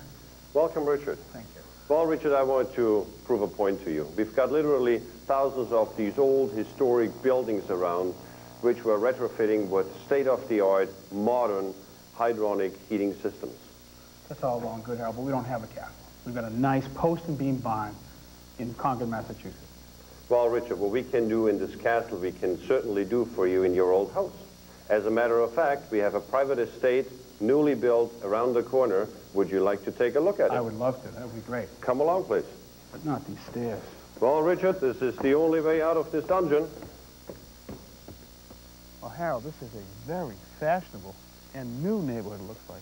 Yes, those are all custom-built homes in that area here. Custom sounds expensive. Yes, it probably is, but uh, people tend to spend the money. They live longer in the houses. They keep it within the family.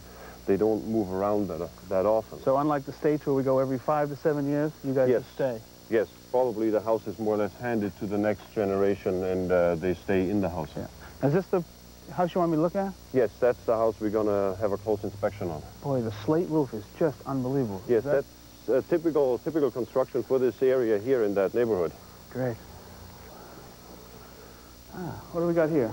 Looks like a big hunk of concrete. Yes, it is. Uh, precast concrete up here. I wouldn't want to be the heating engineer has to figure this one out. Yeah, there's certainly quite a bit of heat loss and uh, quite a job to heat the place. How are you going to do it? How do well, do it here? Uh, in, the, in the main entrance hall, as you can see, we've got uh, a distribution header already sitting here. So is this all underfloor heating? This is partly underfloor, partly radiator, partly convector heating, so it's a mixed system basically matched. to accomplish the heating of the house. So where is the underfloor in this? In this The underfloor would be in the main entrance hall. It would go into some of the radiators. It Yeah. would also go into bathroom areas where there's a lot of tiles Oh, used yeah. and things like that Get to just give complementary heat up there.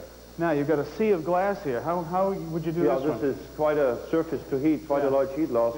And as you can see in the floor on here, we've got underneath that cover, we've got uh, basically convector baseboard sunken in. So we have basically here enough coverage for that cold Okay. surface. So hot water runs hot water runs through a fin down inside this thing. That's correct. And washes the window. And, uh, and the depth basically determines the uprise of the hot air. These are these are what plastic? Yeah, PVC uh, uh, windows, uh, sliding doors actually, and reinforced with galvanized steel. Look at that. Boy. Yeah, even the seals are, it's like a fridge Yeah. door. Uh, they seal pretty tight and uh, snugly. Great. What is all this over here? Well, this is uh, what they call a Kachelofen, a tile stove actually, made Mm-hmm. out of individual tiles. And as you can see, there's a built-in uh, bench area here. And um, Mm-hmm. Does this it all is- get warm somehow? It's all it's all warming up basically by natural convection. The the warm air basically How? rises. It takes a while for it, about an hour, hour and a half, to really soak it up. But it then radiates the heat for So hours. where do you where do you turn it on? Where do you get it? Well, on the other side, actually, on this side here, uh, there is the the fueling end of it. Oh, I see. It's a fire. In this in this instance here, they left the door Mm-hmm. as a glass room, so you can see the the fire at the same time. I don't know, Harold. Upstairs, I see radiators. I see underfloor heat, the great windows, that stove. Downstairs, I see a huge radiator. Starts to feel like overkill, doesn't it? It seems like a lot, Richard. Uh, however, keep the design conditions in mind in the area. Minus 18, minus 20 Fahrenheit, two feet snow on the ground in the wintertime, masonry walls in this construction, concrete ceiling, and we want to keep the place nice and cozy, keep the chill out of it, the humidity. So you need the power. That's correct. Let me show you the mechanical Okay, room. great. It's always my favorite room. Oh, look at this, Harold. All the pipe is bent and brazed. Look at the no fittings. They don't use fittings? Yes, it's all it's all bent. Look at that. And this is a sort of a header arrangement where all the tubes come down and get brazed right in. That is Yes. so different from the way we do it. That's something else. Look at this. This is, everything's labeled with these. Yeah, it almost looks like institutional Yeah, they're so uh, labels. For the homeowner to identify what is what. That's, every house should have uh, the important valves labeled. Great. What do we got here? Domestic hot water storage tank indirectly heated by the boiler. Okay, so it gets the heat from the boiler. What's this thing on the front? What's this box? The box on the front here is a heat pump. A heat pump. So what, where does it get its power from? What's its source? It extracts the heat from the room air and transfers it into the tank to boost the domestic hot water temperature. So there's enough heat in this room to heat up this tank? Correct. There is uh, heat loss from the piping. There is heat loss from every equipment in that room, which is, again, reutilized. Does it make sense from a cost standpoint? Uh, yes, it actually does. This uh, heat pump application is subsidized by the government. Oh, great. Well, that's a good partner to have, huh? Yes. For hot water. Certainly is.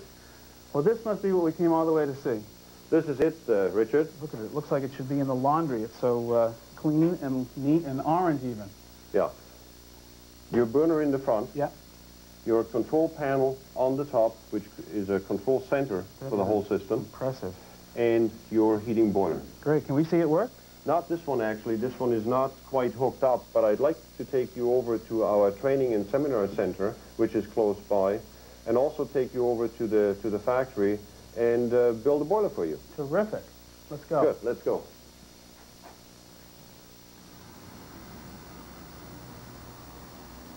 To get to the training center, we passed through a number of lovely old villages with their half-timbered buildings and those slate roofs. The training center itself was quite an operation, complete with a hotel and even a restaurant. Was wird genommen? Was wird gemacht? Technicians from all over Germany sign up for seminars and hands-on training here. Nur dann, wenn diese Chlorite hinzukommen.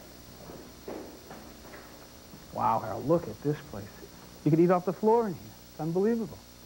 So you've got all this stuff hooked up to uh, flue and to the piping and oil and gas? Even the electrical is hooked up. Wow. So after you put them through training upstairs in the classroom, you can really bring them down here and do hands-on stuff? Yes, that's what this room is for. Fantastic. What are we looking at? The top unit, uh, heating boiler. The bottom unit, a horizontal domestic hot water storage tank. Okay, so boiler and tank. this one here is uh, bottom boiler, top storage tank. Mm-hmm. And this one? Two boilers in one for a larger commercial applications on demand, higher BTUs. The top unit kicks in. Great. And what do you got in mind for us?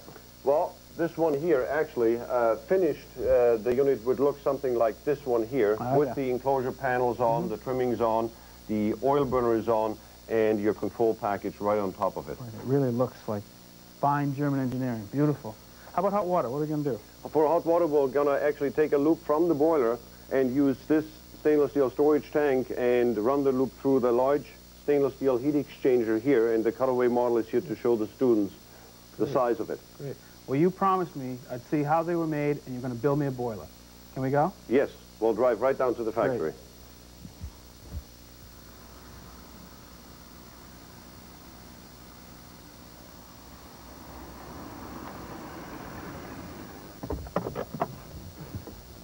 Boy, Hal, this is something, this huge plant in this little tiny town. How many people are working here? About 2,300. 2,000. How many in the whole town? About 2,000 live in town. You've got the whole town. Yes, almost. So, Harold, this looks like the world's largest room. What's happening here? This is where all the raw material comes in from the German steel mills. Oh, I see. You buy it in rolls. Yes. This is uh, regular steel? This is uh, carbon steel. Let's see. Looks like it's, uh... How many... What's this thing weigh? It Something like weighs about uh, 10 metric tons. 10 metric tons. Yes. How many boilers can we get out of 10 metric tons? Depending on the size, approximately 80 units. And then it goes up to this? Yeah, it is put onto the uh, onto the machine arrangement here. Yeah. You know, that looks like a It is- newsprint. Yeah, it's uncoiled from here. And pulled through? It goes through the machine. It is stretched here. Okay. What, to straighten it? Yes, and then from here it is sheared off to its exact length. The machine is operated by a machine operator here, Oh, which yeah. supervises the operation and watches the machine. Interesting. Then from here we'll take the bundle Oh, yeah. and uh, deposit over here, and from here on we'll take the material and roll it. So what's happening over here, Harold? This is where the pre-cut steel is being processed, Oh, yeah. being picked up by the arm, lifted over onto the conveyor belt, Oh, yeah. and from there, iron is put into a mold, allowed to cool down, and then machine surface. You can see very close tolerances on the outside. That's a beautiful piece. Well, before I left Germany, I had a chance to see the foundry where these cast iron rings are made. A crane fitted with an electric magnet loads scrap iron and other ingredients into a furnace. There, it's all melted down and when needed, poured into heavy crucibles that swing from an overhead track. These are then pushed along by hand to the casting department. There, sand molds are made with a very expensive and complicated looking machine. To make these molds, a master copy of the ring, machined very precisely out of brass, is used to make an impression in blocks of densely packed sand.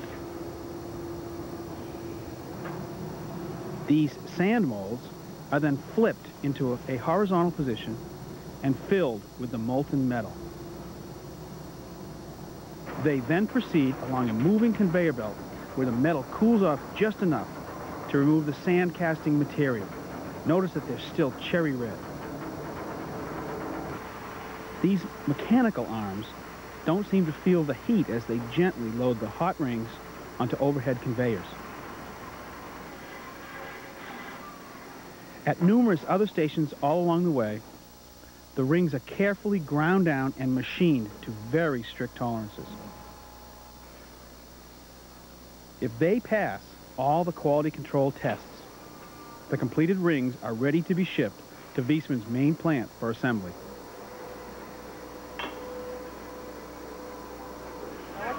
In this section here, he is assembling the individual rings to a predetermined engineering pattern. He's actually aligning the individual fins with each other. In the oven behind him, we preheat the shells which we manufactured previously to about 700 Fahrenheit. They enlarge due to the temperature. Why do you want to do that? You want them bigger? We want them larger to accept the cast iron assembly here to heat shrink it in place. I see, so they're going to push that right inside it. Yes. Then we take it from here, allow it to cool down, and go into the next manufacturing. Here, you can see why you can't manufacture uh, one drum alone. You have to have individual rings. In this section here, Richard, we assemble the individual items we Oh, yeah. manufactured previously. The, uh, this is the outer shell and the inner shell. With the fins, yeah. Yeah, and we put the rear plate and the front plate on. This is the front plate. Okay. See how that fits? Nice. And from here, take that assembly and spot weld it over there. Oh, yeah. Just to hold the assembly in place. This station here, Richard, is where all the sub-assembled boilers come in. Oh, yeah. We're going on to this conveyor belt here. Still spot welded only. Then from here into the machine, the automatic, well, the welding wire is automatically introduced. Yeah. And we do four welds simultaneously at the same time. What an unbelievable machine. This is a completed boiler now with all the welding seams in place, you can see. What a work of art. Look Even the tappings are on for the water side. Oh, I see. Is this what that machine does? Puts Yes, this in? machine basically puts all the welding seams in place. Let's take a look at that. Let's have a look at it, yeah. But it's all automatic, huh? It's all automated, yes. This is the welding robot. You know, Harold, it's a dirty job and somebody doesn't have to do it. That's correct, only supervising.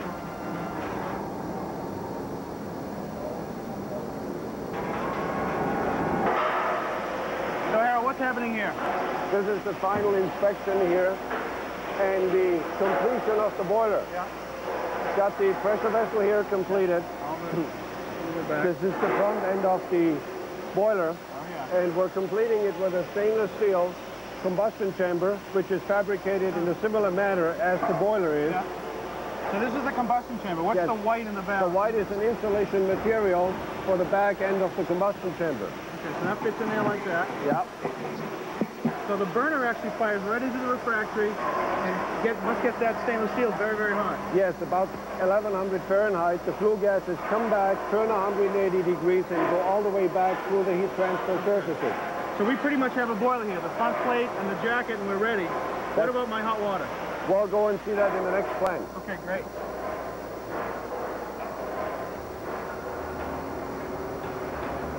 Well, Richard, you asked me earlier about domestic hot water production. This is how we do it. Oh, yeah. This stainless steel tank has no end caps on. This way we have a better view inside. The shell is made exactly the same way as the boilers. You see the welding seam on the bottom Yeah. here. The outer shell, as well as the large diameter coil, is fabricated from a high-grade stainless steel. Boy, well, that seems like it would last just about indefinitely. Yes, even in aggressive water situations.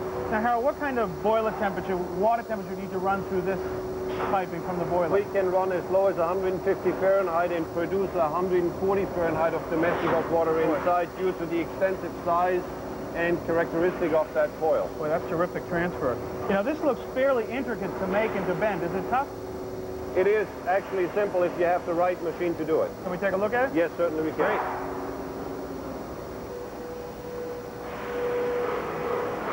So, Richard, this is the way we make the, the coil for that domestic hot water storage mm-hmm. tank. The pipe comes straight out from our own pipe mill. It's welded in here. Yeah. And then we drive it into this mechanism here. It is crimped in place to hold it firmly. And we're using for this coil approximately 50 feet of straight pipe length. Look at that. You can see the coil start here. Boy, there must take a lot of uh, sort of force to get that to bend. Yes, you have to have a lot of uh, pressure on the drive in order to force it through. It's an inch and a quarter diameter coil. Well, you're right. It does make this machine does make it look easy. Yes.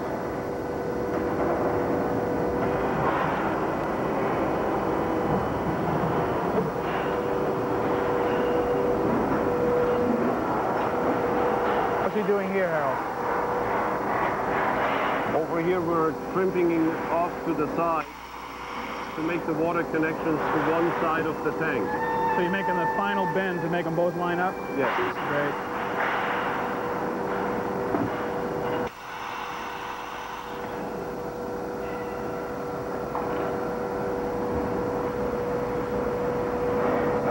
At this station over here, we're immersing the finished coil into the water bath, fill it with air pressure in order to see if we have any leaks. This is what we do as final quality control. Well, I'm glad to see that, Harold. Look at the size of this place. You can actually fit your own train inside your warehouse? Yes, you can. Unbelievable. Tell me about how we're going to get our order. Well, you place the order, we'll put it into the storage for a while, pull the orders, then computerized forklift takes it out, loads it onto the train, it goes to the nearest port and is shipped overseas. Well, Harold, I can't tell you how impressed I am with not only the manufacturing process, but all the innovation that went into this product. I can't wait for the first cold day when we fire up this boiler in Concord, Massachusetts. Thanks for a great tour and for having us over here. Thank you very much. I'm glad you could make it, Richard. Great. Let's get a cup of coffee.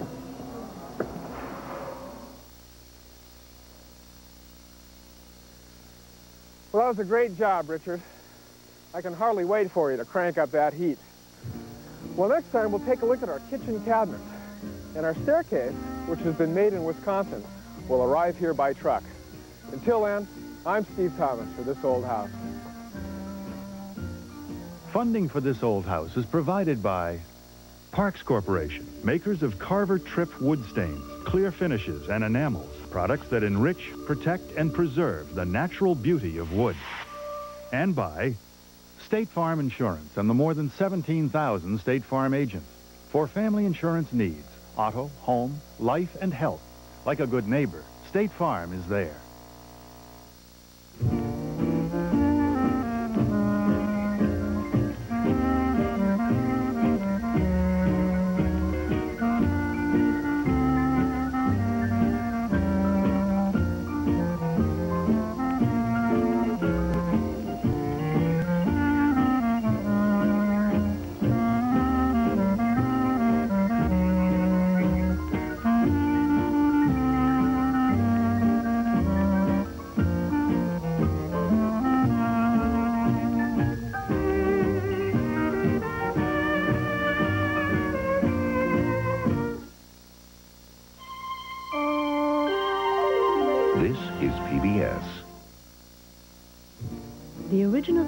Volume to This Old House, written by Bob Vila with Jane Davison, is a comprehensive guide for homeowners who want practical advice on how to understand, plan, and manage a home rehabilitation project, using both professional help and their own time and effort. To order your copy of the softcover edition, call 1-800-441-3000. 1995 plus shipping and handling. Credit cards. From energy-efficient vinyl windows and insulated doors to vinyl siding, we're Northern Michigan's largest home for energy-efficient and maintenance products. We're Astro Building Products, South Airport Road, Traverse City.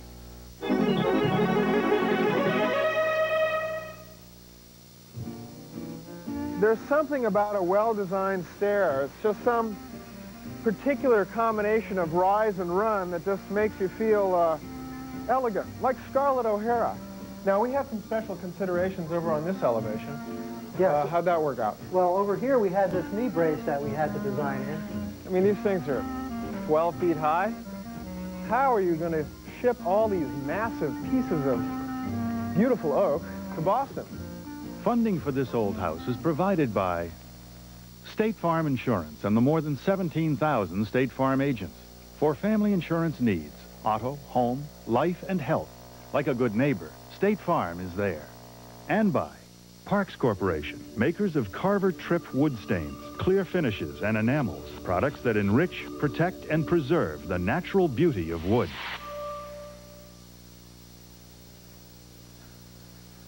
Hi, I'm Steve Thomas. Welcome to this old house. Well, today we celebrate the arrival of our beautiful oaken staircase which was made for us in Neenah, Wisconsin. But before I take you inside to show it to you, let me first take you to frozen Lake Winnebago, one of Wisconsin's picturesque lakes, where I did some of the most exciting and some of the coldest sailing I've ever done. Watch. Okay, here we go.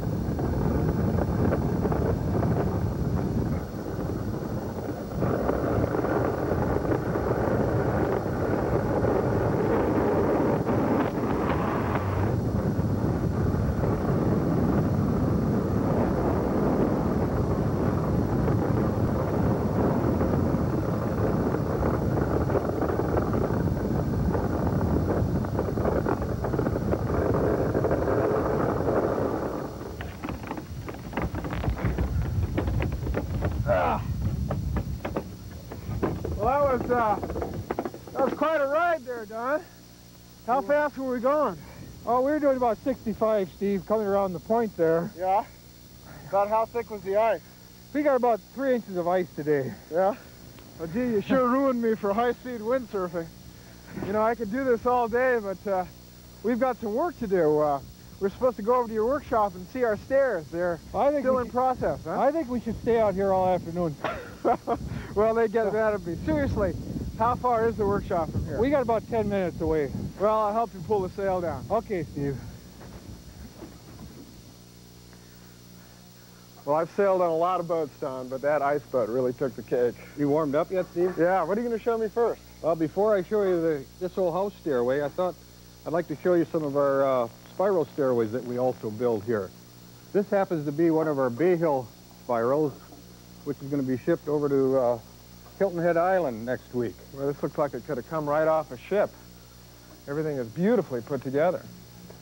And, you know, it looks like these treads are slipped down over a solid trunk, almost like a mass of oak. How does it go together? Well, uh, Jim and uh, Kevin are putting one together right over here, Steve. We start out with a column uh, base block. That's this? That's the bottom part. Mm-hmm. And we thread on a column spacer, a tread, a column spacer, and just keep going like that. I see. So it goes together like a necklace. huh? That's right. The Yeah. tread has a dado machined into it, and the column spacer has a shoulder machined onto it. This is sort of put together like a barrel. Like a barrel, like barrel stays. staves almost. Now, does this pipe stay with the stair? That, that comes with the stairway. And after the all the treads and column spaces are put on, we put a uh, landing tread on top, and it's bolted and put into compression. Mm-hmm. And uh, Jim is going to start fanning these treads out and lining the treads up with just a very simple lineup block that we make for these stairways. That's simple and elegant. Now, what about a rail? Well, we're going to put a rail into a stairway right behind you, and this stairway just happens to be going in your neck of the woods, and I believe it's going to Hartford, Connecticut. Yankee country. That's right. And what are all these? Well, these are the rail jigs that we put on the stairway. We put a piece of plastic onto the stairway 1st Mm-hmm. clamp these rail jigs on, and then the, we're going to put a laminated uh, handrail glued uh, up in these uh, rail jigs. So you'll use the stair itself as the jig for the That's uh, right. for the railing. That's right, Steve. Great. Now that's quite a bend you're putting in this uh, wood. I'd expect you to use a steam box. No, we don't use any steam boxes here, Steve. We use thin layers of oak with a special glue. Uh, Kevin and Jim are going to clamp this up in the jig here, and we'll leave this clamped up overnight. And when we take the clamps off, it'll hold its uh, its, its shape very Mhm. well. Can- the, the, the thin strips are so you can take this real tight radius. that's right. I can show you a stairway over here that uh, is ready to uh, take the clamps off. Sure. Here's a stairway that's going over to Pennsylvania, Steve. We glued this rail up yesterday. Pick it up and see how it holds its shape. Well, look at that. That spring is just ironed in there like a permanent on a woman's hair. That's right, Steve. And with all these laminations, this is going to be a real strong rail. Yes, and next we'll sand the top and the bottom off. We've got a stairway right over here that I can show you that. Okay. This rail has been sanded from the top and the bottom. We'll ease these corners now a little Mhm. bit. Well, you know, I'm really impressed by the consistency of all these parts, and the machining is absolutely gorgeous. How do you do that? Well, let's take a walk over to building number one, and I can show you those operations. Okay. Steve. This is what we're trying to make here, spiral tread, Steve. These are the finished products, huh? That's right. We've got to put a profile on the edge. We've got to drill the hole for the steel column. And we've got to dado a hole here for the uh, column spacers and drill the holes for the balusters. Mm-hmm. Now, how do you do that? Well, first of all, we edge glue and laminate a blank up. These happen to be oak. It's a two-inch thick blank, which has been bandsawed to the approximate shape of the tread. I see. Then what happens to Well, we take one of these we, over on the computer-controlled router here. Oh, I see. You just this is a blank that's been laid out on the table here, all ready to go. That's right. This blank will be machined for the, the top of the blank, and this will be machined for the bottom. Oh, I see. And uh, you say router, but this looks like three routers, and they're immense. Well, there are three heads on this on this router. We have a profile for the edge here. Yeah. We have a straight bit for the holes for the uh, column spacer and the steel column, and a drill bit for the uh, uh, baluster hole. Now, you say computer controlled. Where's the computer? Well, let's just take a walk back here, Steve.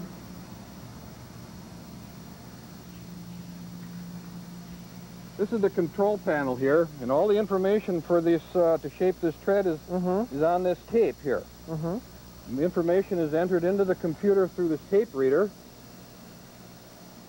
And then it member, remembers what it has to do. That's right. Great. Can we see it work? You sure can.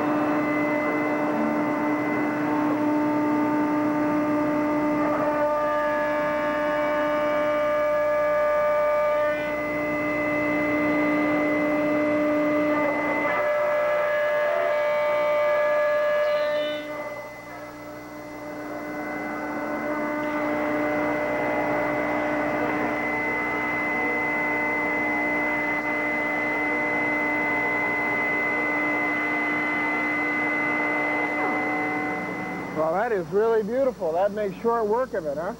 Yeah, it's short work and it's very accurate, Steve. What are you going to show me next? Well, let's go over to our circular department. You've seen the spiral, so let's go over there. Okay. You know, Don, it's nice and dry and toasty in here. You'd never know it was ice boating weather outside. No, you wouldn't. And, and dry during the winter is a serious problem for us in here. Why is that? Well, if you get, we don't have the moisture in the air, our wood will start drying out and cracking. So how do you control it? Well, we control that with your humidity control system up there. Those two heads, they're spaced uh, along the whole length of the building. Yeah. And when they're operating, when it calls for moisture, you'll see a real serious uh, stream of fog coming out Spray of of water to, That's to right. humidify. So what's going on in here? Well, this is our circular setup area. This is a beautiful stair. Where's this one headed? Well, this stairway is going to Memphis, Tennessee. This is a rather wide stairway. Can I Sure, try go- it out? Go ahead, Steve. You know, it's, there's something about a well-designed stair. It's just some particular combination of rise and run that just makes you feel uh, elegant, like Scarlett O'Hara. That's right. That's right. This stairway features a wrought iron balustrade with a with a wood handrail cap on it. Great. What's next? Now this one, Steve, is going to Rochester, New York. This stairway features a mahogany tread. The first four treads are bowed, if you notice the Yeah, uh, bowing on the that. front of the tread and riser. You've got a mahogany handrail. We make all these parts right here, and this is what Heidi's been is doing. She's carving these joints out. Heidi's been with us over 11 years. Hi, Heidi. Well, this is really lovely work. This, this beautiful handrails, the mahogany, really looks Yeah. nice. Now, what's next? This stairway over here is going to New York City. This is a little bit different. It's an elliptical stairway. And the uh, walls in this home are all, the curved walls are all up and plastered. So we had to send one of our men to the job site to make full-size uh, templates. Boy, no room for error There's there. no room for error on this stairway here. Now this one looks like it's all packed up and This stairway here is, uh, is getting ready to be shipped. where's this one going? Uh, this is going to, uh, I think, Nashville, Tennessee, if I'm not mistaken. Uh-huh. You know, the thing that impresses me is that you're shipping these things all over the country to homes that are thousands of miles away. How do you know that they're going to fit in these buildings? Well, it takes a lot of communication, Steve, and good plans. And why don't we go up to Drafty and I can show you a little bit about that. Okay.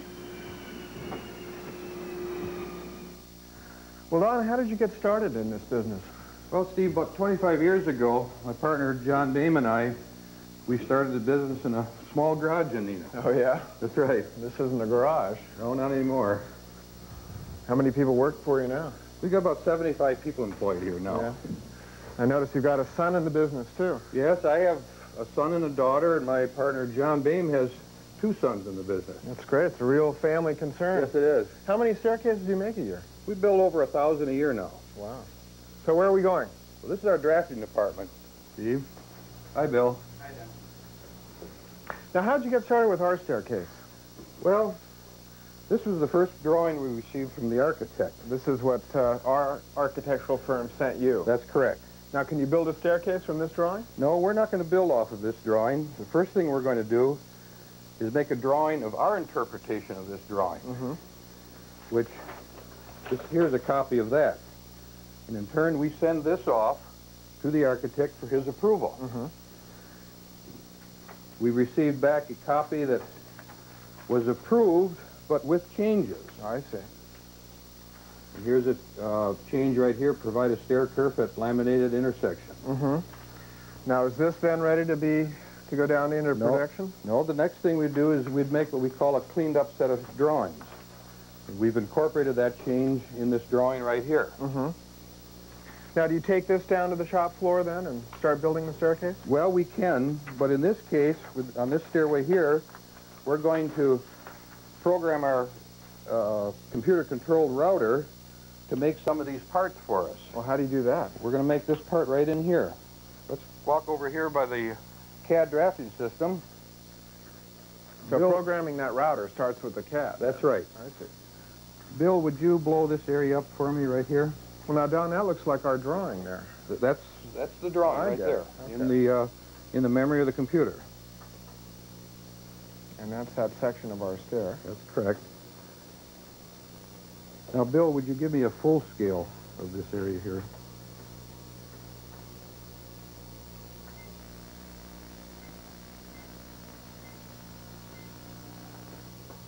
Okay, Bill, would you give me a hard copy of this now? What we're doing here, Steve, is we're talking to the, the plotter over here, Mhm. and that's going to make the drawing for us. How accurate is that plotter? This is within one ten thousandth of an inch. One accuracy. ten thousandth. That's correct.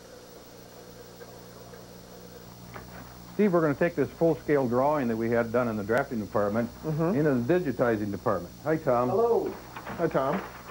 Now, s- I still don't understand this digitizing. Well, this is a special uh, grid, electronic grid board. So it's sort of like an electronic piece of graphing paper. That's correct. And Tom is going to measure electronically these points on this drawing, the length of the lines, the Mhm. radiuses. Now, what's that device he's using? Don? Well, that's a little electronic keyboard that has a magnifying glass and a crosshairs on. I see. So that communicates with the board itself. and That's it correct. Translates all these coordinates and That's, that's right. This information is going into the computer over Mhm. here, which we'll uh, punch out a uh, tape with. oh, I see. And this tape will uh, communicate with a computer-controlled router then. I see. Well, now, Don, you've taken me ice boating, you've shown me computers and punch tape routers and all kinds of stuff, but I still haven't seen our stairs. Oh, we've got them. Where are they? Let's go see them. Out this door?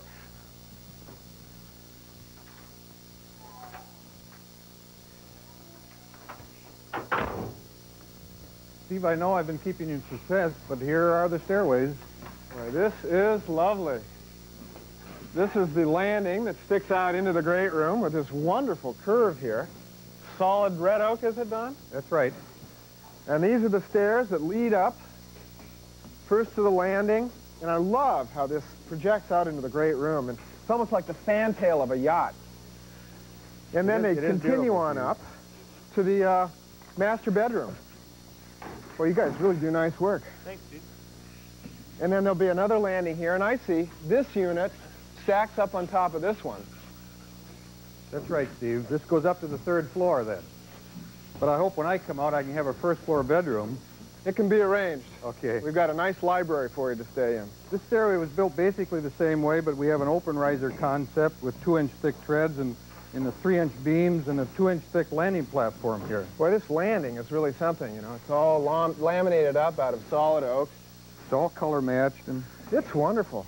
You know, I love the open risers because that'll give you a, a nice view up through that great space. Yes, it will. Preserve that sense of openness.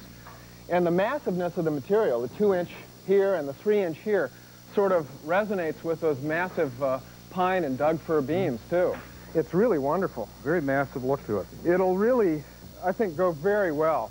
And this curve here really impresses me, this beautiful curving sweep here. How did you do that, Don? Well, we had to build a full-scale jig for that a piece.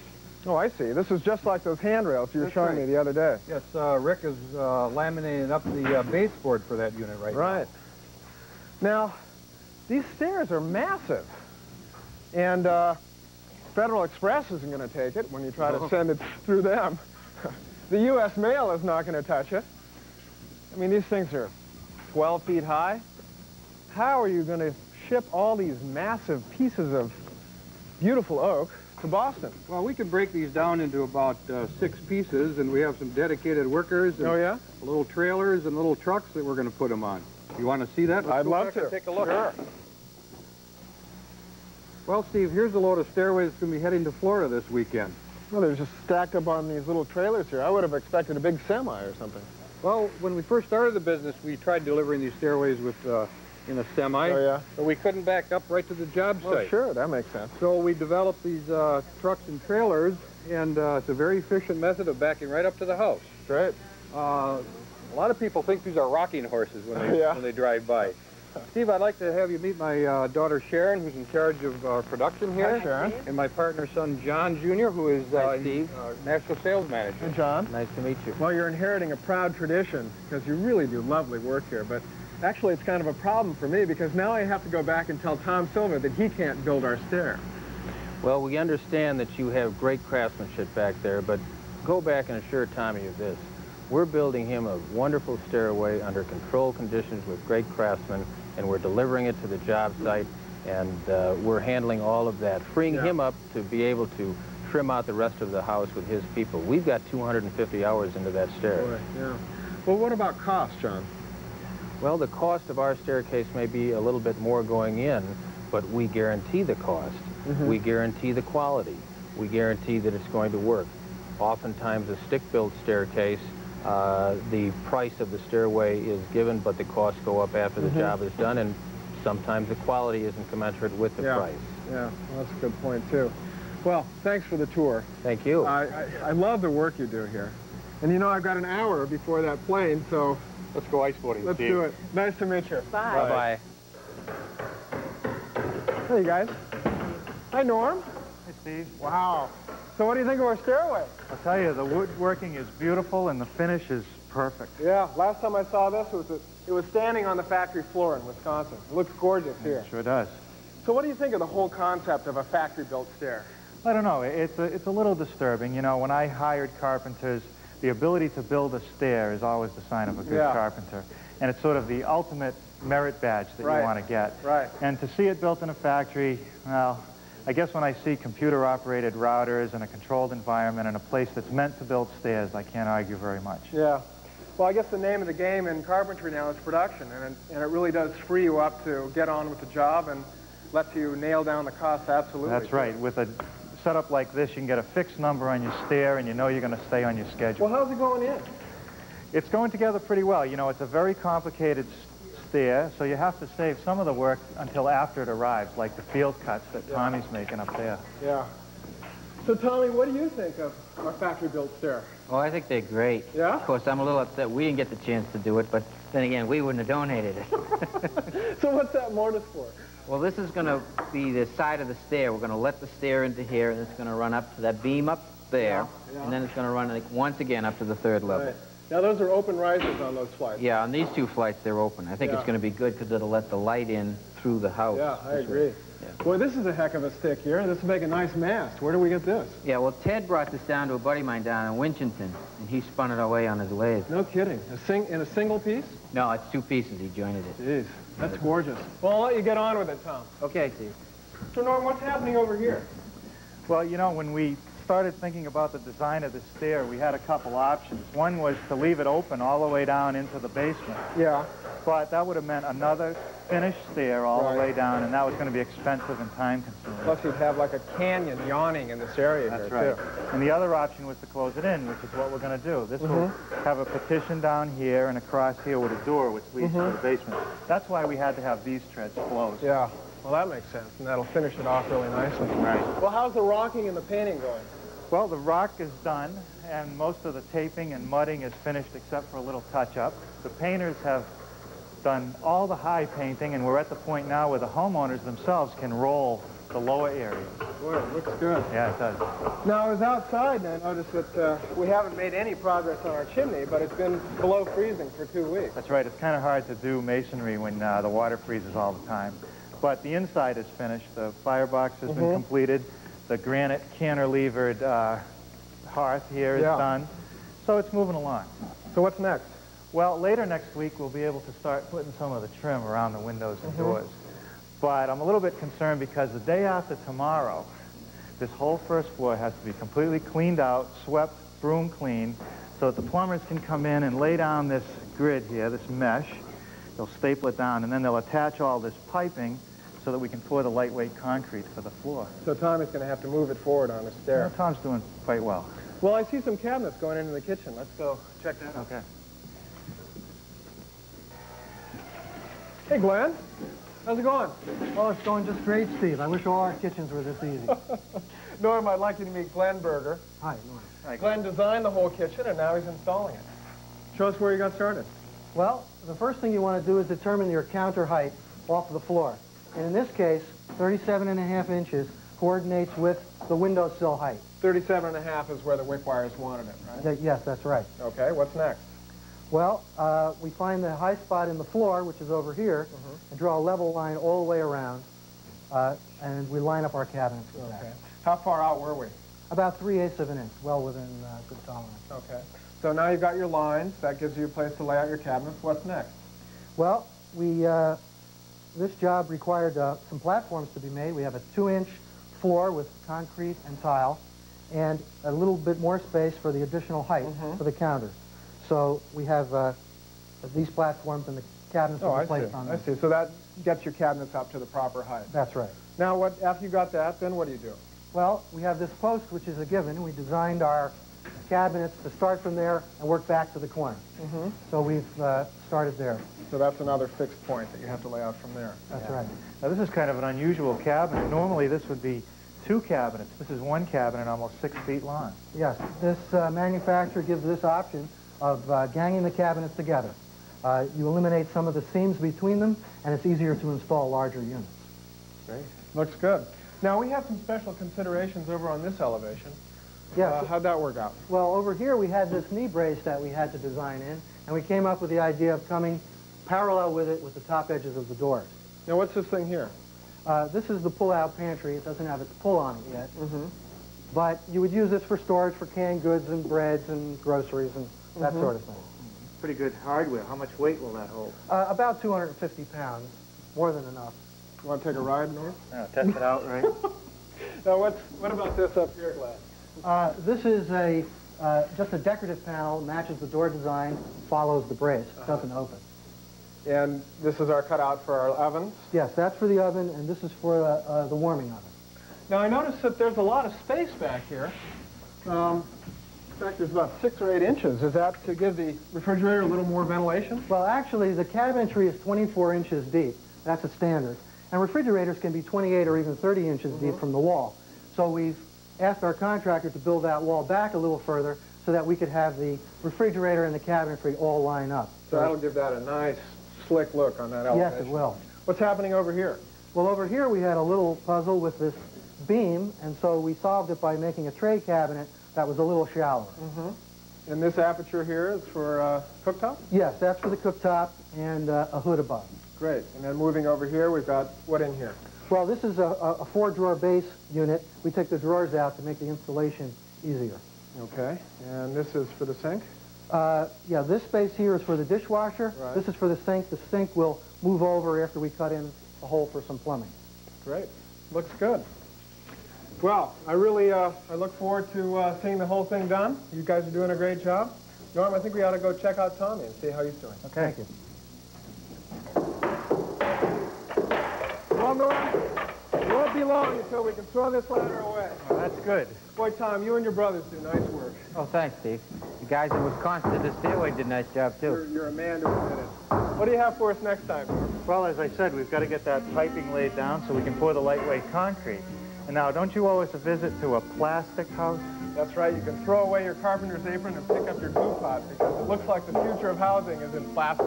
No wood. No wood. Hated to be the one to break it to you. Okay. Till then, I'm Steve Thomas. And I'm Norm Abram. For this old house.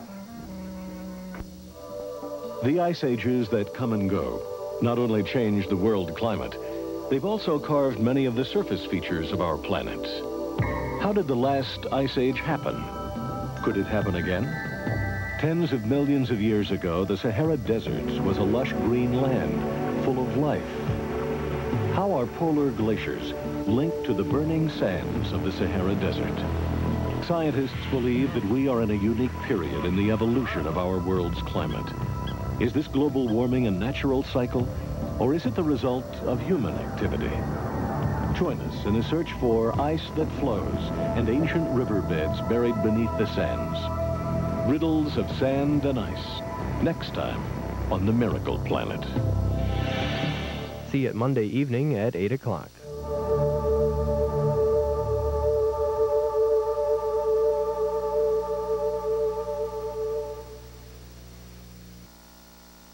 This is the CMU Public Television Network.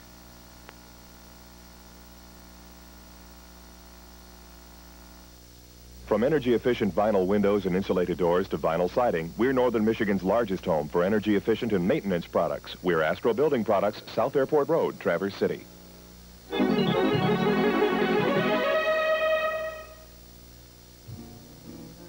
burner is connected. Yeah. All this is brought together. All the piping is into the manifold. Everything is ready to go. So let's do it. One thing. Well, I know what I'd do in a situation like that, but I'm kind of curious to see what the master would do. Steve, this is really exciting. This is alchemy right here. Looks like trash to me. Yeah, well, to you it does, but this is my chance to turn lead into gold. Oh, yeah? Funding for this old house is provided by State Farm Insurance and the more than 17,000 State Farm agents. For family insurance needs, auto, home, life, and health, like a good neighbor, State Farm is there. And by Parks Corporation, makers of Carver Tripp wood stains, clear finishes, and enamels, products that enrich, protect, and preserve the natural beauty of wood.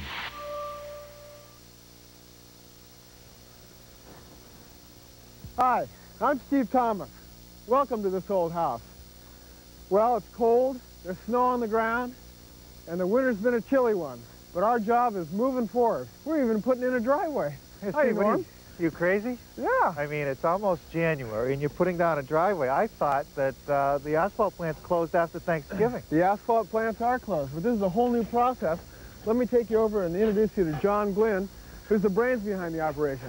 Steve, how hey, you John, doing? meet Norm Norm, how are you? John. How's it Nice to meet going? Good. Nice and cool out here today. So fill Norm in on this stuff. Yeah, what was the uh, prep? What kind of prep did you have to do to start Well, the first thing, uh, Norm, we had to get in here and get the topsoil off and uh, get down to a solid base. And fortunately, there's great gravel and sand underneath here. And then we brought in the big power roller and we uh, compacted it thoroughly. Then today we brought in from our plant in Charlton uh, the pavement and put down about an eight-inch layer, as you can see. And the roller just finished compacting it. And now we're getting uh, ready to put a chip seal down. What's this stuff? Well, what we do uh, for purposes of aesthetics, instead of just a black paving, Yeah. there are options. And this is a natural uh, pea stone that we could apply and, and uh, just seal it right in with a stuff? roller. And this is a quarry stone. a different color, and for uh, different preferences, people may rather have this. Tom Wirth thought that this would be more in keeping with the uh, natural uh, terrain Certainly. here, so we're using this. Certainly much more attractive than just the regular blacktop driveway. Well, wait till you see when this gets spread out now and rolled in, it's really going to look nice. Okay, so they're going to do that now? Yeah, we're in the process of getting that down right now. Let's watch. So, John, they're just taking a shovel and trying to spread it out evenly, just a thin layer, Right. to cover the uh, base. In a small area like this, we do it by hand. In a bigger area, we do it with machine. But they'll cast out enough just to cover the surface, and we'll roll it right in. Well, I understand how this works, but what I'm curious about is, what is this base? Well, that's the beauty of this, Norm. Imagine earth that's soaked with oil from leaking tanks. And imagine old asphalt shingles that nobody wants. And then imagine tons and tons of old building rubble, cement, bricks, stuff like that. I get that, but that's all junk. That's what this is. Not long ago, we took a ride out to John's plant and he showed us the whole operation. Let's watch. Well, this looks like a yellow brick road, John, and uh, I guess you're going to lead us down it. I guess so. Yeah, no, it does look like that. I, I like this material here. This is a real nice uh, surface here. It is. It's very uh, aesthetically pleasing. It's a natural stone uh, uh, that we put on top of our uh, paving. Here is a quarry stone. Now, this is also very nice. That gives you an option of a lighter color or a, uh, uh, a granite type uh, chip seal. Now, this is over some kind of a hard material. What's that? Right, that's the uh, base paving, and a recycled uh, asphalt. Recycled this is actually asphalt, the cake. If that's the frosting, then Oh, this yeah? would be the cake. So what's in this stuff? In here, you'll find recycled concrete chunks, uh, chunks of asphalt from uh, torn up roads. I see a little bit of, I don't know what this is, concrete or something, but Right. look, here's a brick. Some brick, right. And here's uh, some mica from something. Who And the knows? what. finer stuff would even be uh, oily soil that we incorporate in the manufacture of the mix, and that would come from uh, removal of underground uh, oil tanks No where the soil was uh, kidding. mixed with oil. Now, what else do you have in here? Oh, we also have other interesting ingredients. For example, uh, ground up roof shingles. Roof shingles. Roof huh? shingles. I got to see this. Well, let's go. Okay. Well, you really do more than just provide paving materials. You are kind of a waste manager. Yes, Steve, that's a good way to put it. As a matter of fact, here's a pile of shingles here that come from a manufacturer who would ordinarily have to uh, dispose of these at considerable cost. Now, for example, these come in here on a daily basis, about 40 ton a day. Yeah. Now, usually, they would take them to a landfill at considerable expense. And you take them for nothing? No, we're actually taking them uh, off of his hands for Yeah. a fraction of what it would cost him to landfill them, and we can utilize them in our process as a raw material. So there uh, is where the recycling comes in. I see. Let me show you a man, uh, piece of equipment here that helps us to incorporate this into our uh, product. This, is an evil-looking machine. What does this do? yeah, as you said, like a James Bond uh, piece of equipment. But these flails reduce it in size so that it's uh, able to be incorporated into our Yeah. mix. Let me take you over here, show you what this machine reduces it to. This is the pile, huh? Now what? This is that stuff all ground up? Here, here we have the uh, very same shingles, which have been reduced in size. They're of a high quality uh, asphalt to start with, and uh, impregnated with all the granules that the roof shingles ordinarily have. And now we've been able to put it into a size that can be readily mixed right in with the asphalt paving that we make. What else do you put in it? Well, let me take you over and show you. Okay. Steve, this is really exciting. This is alchemy right here. Looks like trash to me. Yeah, well, to you it does, but this is my chance to turn lead into gold. Oh, yeah? Here you see brick and other rubble, concrete that we run through our process, crush and screen. Let me show you how that's done. This I got to see.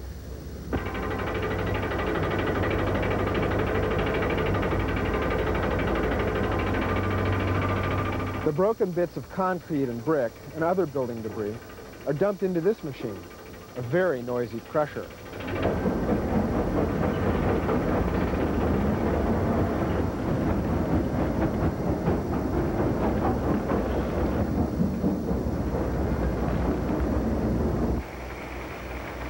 On the back end of the crusher, the pulverized pieces are separated according to size. They'll go into the paving mix later.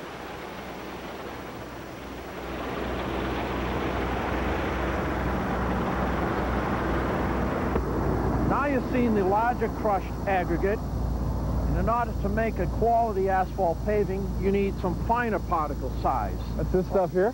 Yeah, ordinarily you'd use sand, and in this case, this didn't come off some beach. This finer stuff is from probably some filling station where we had a leaky underground tank and the soil was contaminated. So again, you're taking material that would be difficult to get rid of anywhere else. It would fill up a landfill, and you're recycling it for Absolutely. a good purpose. That's what it's all about. What's next? Let's head over to the layer cake, show you how it's all blended together. Here we are to our wonderful cake mix. Oh, this looks delicious. All those fabulous ingredients you saw us uh, going through, the ground-up shingles, I the ground-up concrete and asphalt, the uh, incorporation of the oily soil, all dry mixed right here, ready for the loader to come in and take.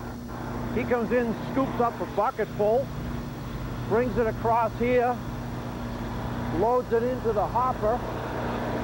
From the hopper, it goes up the conveyor belt. Here we have the aggregate coming up the conveyor belt, dropping into the mixing chamber. At the very same time, we have the liquefied asphalt emulsion being pumped over into the same chamber, blending it all together, and dropping out as a finished product. So that's it, huh? Now I see some steam coming off that. Uh, is that the heat that you put in to deliver to the job and roll out hot? Well, actually, that's the beauty of this whole process. It's a cold emulsified asphalt product. There's no heat involved here at all, and it has a considerable shelf life. You can store it for up to six months. Take it out with a loader, put it down through a paver, roll it, and you've got your asphalt paving. Great process, John. Thanks for showing it to us, and you're doing a great job cleaning up the environment, too. My pleasure.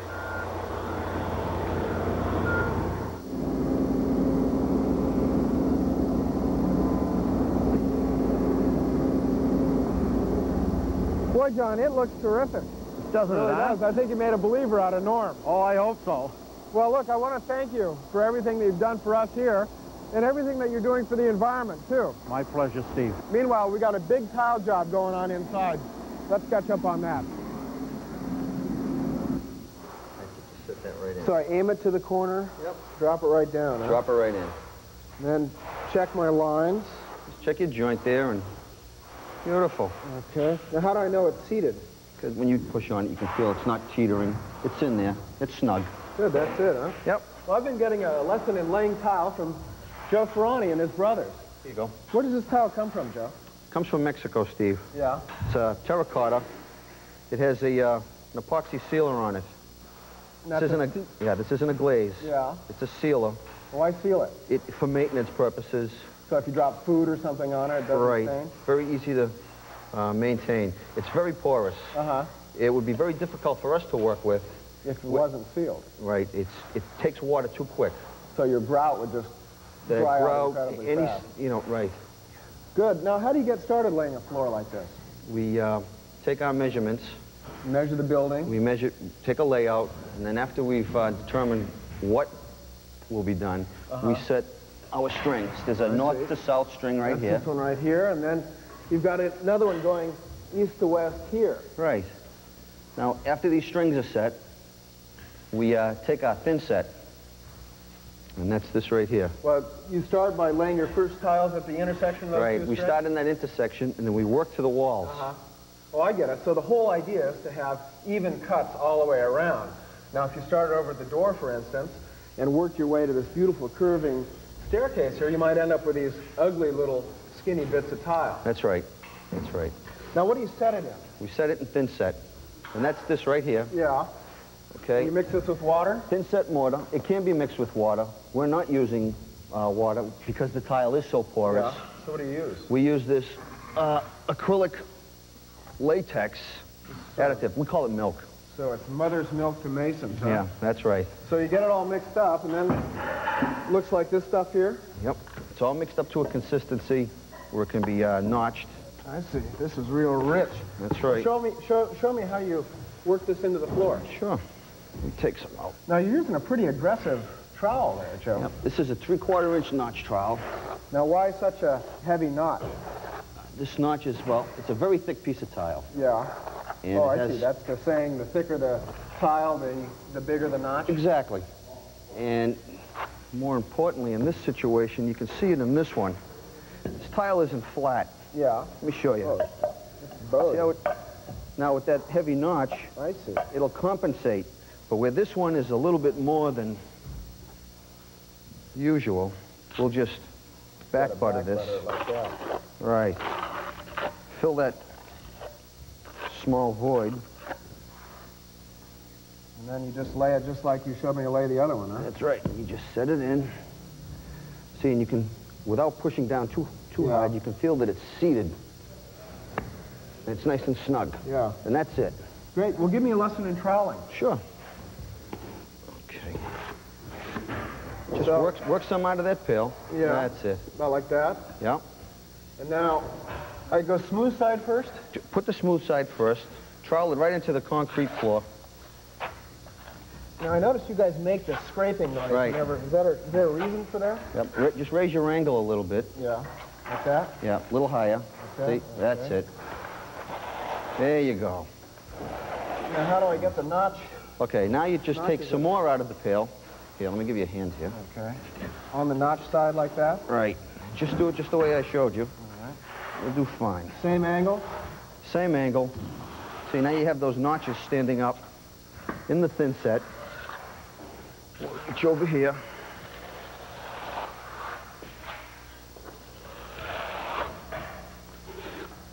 This one's reasonably flat. And same program here, huh? That's right. Just set that right in there. Aim, Drop Drop. it right in. wiggle. That's it. Yeah, you're getting a real good touch there. Hey, That's it. how's that?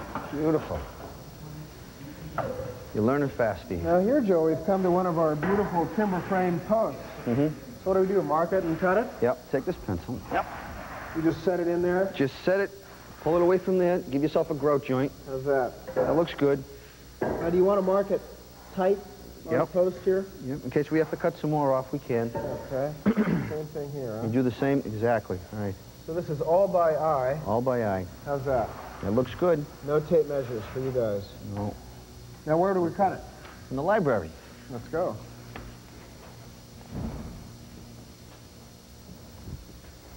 Here we go. Oh, a wet saw. Joe, I've always wanted one of these. Yeah, I'll bet you did. yeah, these are lovely. No teeth on the blade. no teeth. Diamond impregnated blade. Yeah. It's cooled by water. That, uh, there's a little waterproof pump here. Right. Pumps the water out of this sump. That's right. That's Pumps it up tube? through this line. It's just wrapped around this way here Yeah. to the back of the blade. And it's comes both sides of the blade through two spouts. And that blows, both cools the blade and the work. That's right. Keeps the blade cool, keeps the cut clean. There you go. There so you how do you get started here? Right here, I'll show you. We'll take the, uh, Got your safety glasses on. yeah, Now this is sort of like a radial arm saw, but instead of pulling the saw toward the work, you've got the table, which slides the work right into the saw. yep, exactly. This tile here will slide right through there. Well, let's crank her up and see how she goes. Okay. I'll do the shortcut. Okay. I'll just line this right up. On that pencil line. Okay, you turn this on. When you turn this on, wait for the water to drop, and then start your cut. Okay.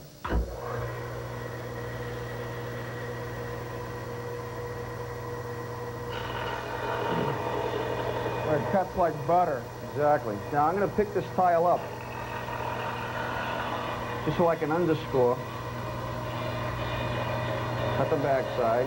There we go. Now, there's really no danger in that blade because uh, you could actually touch that. It, it can be touched. I mean, it, it's not something to, Uh-huh. to be touched, but if your hand were to touch it, it would, it's all right. Okay. Now, why don't you give it a try? All right. So we line it up. Right on that pencil line. Square it on the table. Yep. Okay. Flip it on. Wait for the water.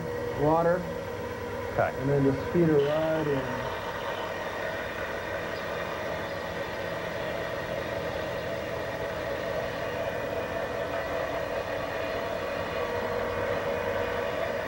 Now, I'm not going to be able to tip it up as far as you did. Okay, just pull it up. Because, uh... Back it up. There you go. A little more. I'll hit the arbor That's there. good. That's about it. Okay. No, it broke off there. Do you have a nipper or something? We can take care of that? That's right. That little piece in there, we can cut this right off. Use a pair of nippers. Thank you. And just reach in there. You See, it's- could it's- almost use a trim knife on Yeah, it. it's, so it's soft. Uh, very soft. It's like I said earlier. Let's go see if it fits. Okay. Let's see how she sits in there. Hey, how's that? That looks good there. Fine. You made a great cut there, Steve. Hey, had a good teacher. Beautiful. How many more of these do you have to put in? Oh, about another 5,280. Well, uh, I promise I'll come back and help you, but first I'm going to check in with Norm and Tommy. The mill millwork arrived today, and that's going in. Okay. I'll be See back.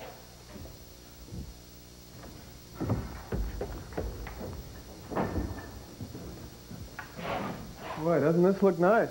Hi, Tom. Hi, Steve. Hey, Norm, you ought to see the job the Ferranis are doing on the tile downstairs. I can't wait to see it finished. Really nice. Well, you guys are trimming out. That must feel good. Yeah, it does. It Feels great. We got the we got all the doors from the millwork company. Yeah. Now, they come pre-hung, right? Right, pre-hung and pre-drilled. All ready to go. We just got to slide them in and then case them. Right. And, uh, Norm, you're working on the windows. Yeah, we're casing out the windows now. We had a couple problems.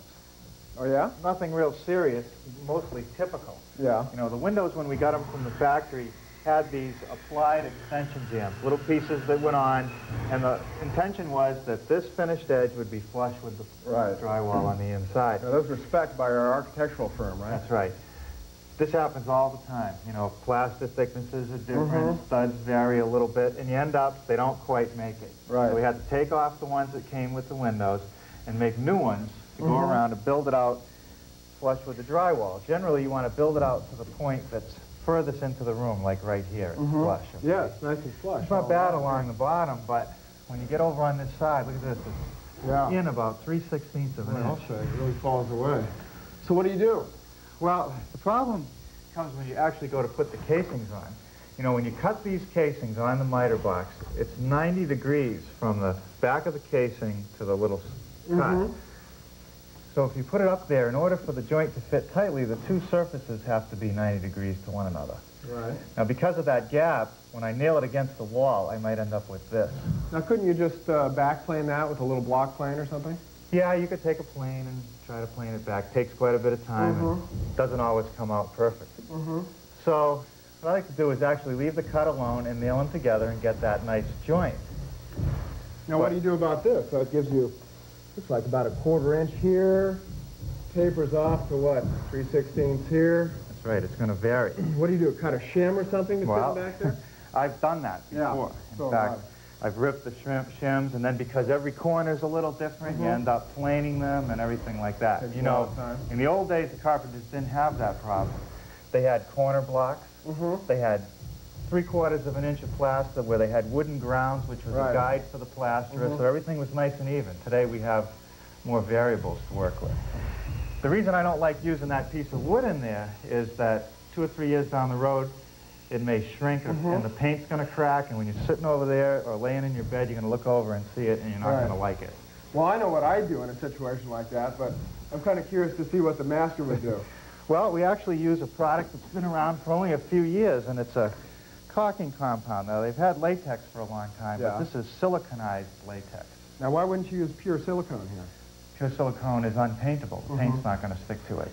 But silicone has that good property to Right. expand and contract, and latex is easy to clean up. So Mhm. they've combined both of them in one caulking. So we'll put the casing on, caulk the joint, Mhm. should stay fine. Well, I'm glad to see that Norm Abram uses the carpenter's brand, too. yeah.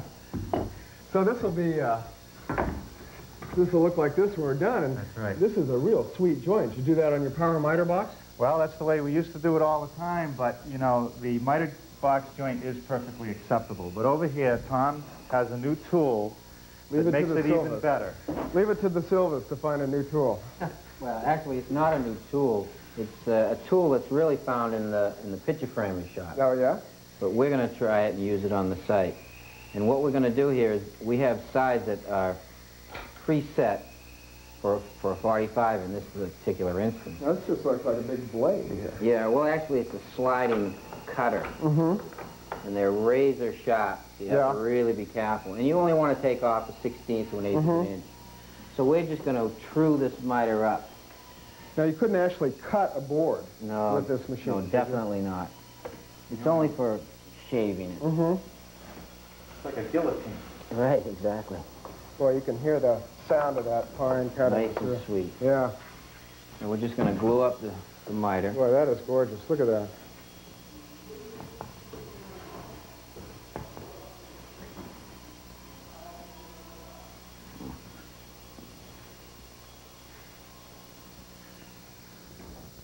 Just lay it up there and check it out.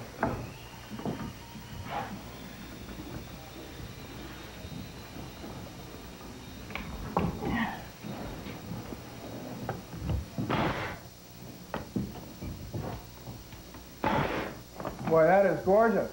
That nice? That is gorgeous. That's the way to go. Now, Norm, how's yours going along here? Well, I'm just about ready. If you could hand me the nail gun, I'm going to nail this one on. Now, you wouldn't actually use a hammer on this, would you? Oh, no, we don't use hammers anymore.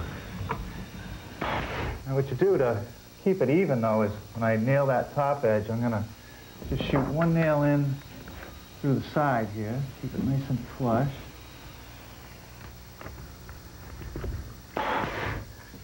Okay, we'll just let that dry.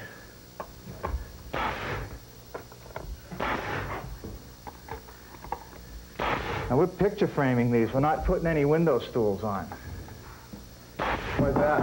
Well, you know, the windows come in so far that if I put a windowsill that's of any use, it's going to stick way out Mhm. beyond any kind of apron piece Mhm. underneath it. It might just curl. So I think the picture framing looks much nicer. Plus, I guess it gives it that barn look as Sure well. does.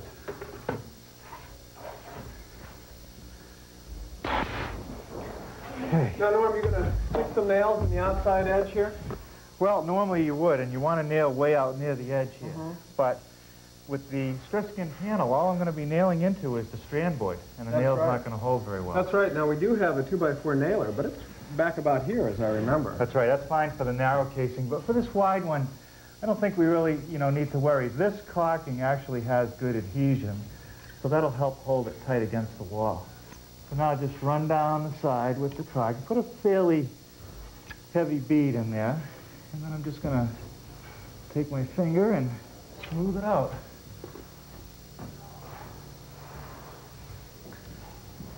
And that's it. Well, looks real nice.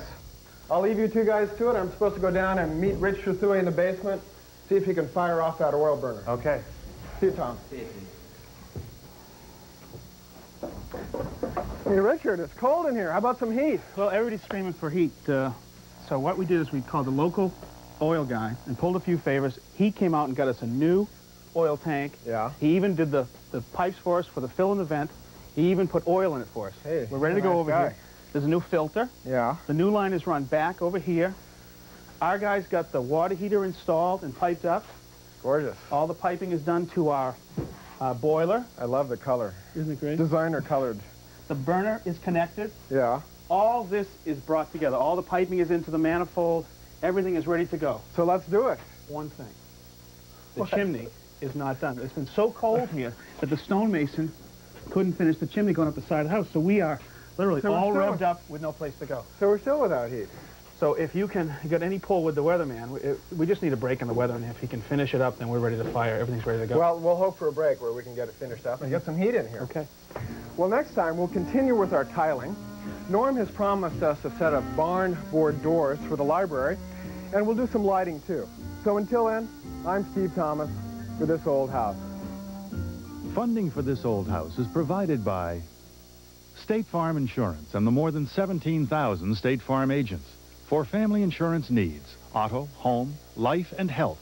Like a good neighbor, State Farm is there. exact copy of today's project that a measured drawing and a materials list is available. And you'll hear more about that before the program ends. I also want to take a moment to talk about shop safety. Be sure to read, understand, and follow all the safety rules that come with each of your power tools. Knowing how to use your tools safely greatly reduces the possibility of personal injury. And remember this, there is no more important safety rule than to wear these safety glasses. Now I'll show you how I built today's project.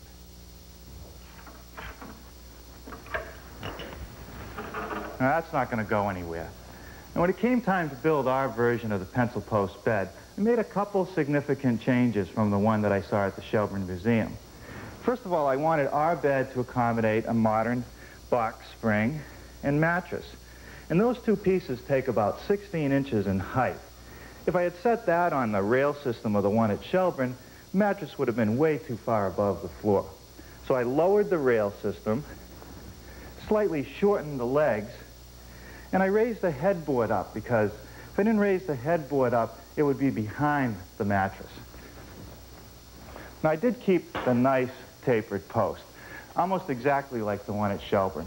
An inch and an eighth at the top, tapering down to about two and a half inches square where the rails meet it. Now, the choice of materials was a little difficult. At first, I thought I would use pine. But pine sometimes can be unstable, and I didn't want a post that would twist. So I chose poplar, a favorite among woodworkers because it mills nicely and it takes paint very well. And it'll stay stable, it won't twist. Now, the real challenge in this project is how to make this tapered post. It's tapered on four sides and then beveled on the corners, giving me a very elegant and thin post. And to do that, I made myself a jig. The jig looks a little complicated, but it's not too bad. I made it out of some scrap plywood that was sitting around the shop. And the most important feature is this slot right here. And it's made to fit over the rip fence on my table saw. Slips over it in such a way that it's snug enough that it won't move side to side, yet not so tight that I can't slide it back and forth easily. Now I've set a roller out front so as I use it, it has a place to rest and also another one back here, so as we pull it back, it has something to sit on. Now the post sits in the jig, but it's got, jig has two cleats, one at the back and one up at the front, which are about an inch further apart than the length of my post. And then I made these little hangers. There's a little cleat on it, and it sits over this cross piece. And the bottom of the hanger corresponds with the top of the table saw surface, so they're exactly in the same plane. Now, I've taken the hanger and measured up from the bottom one and a quarter inches, which is half the measurement of my post. And this will give me a pivot point, so I'll just fasten a screw to the center of the post. Okay, now I'll take the post and drop it into the jig and fasten this end to the cleat to the right of the blade path. Now I'll go down the other end and swing the post out to this layout line. The hanger should line up there.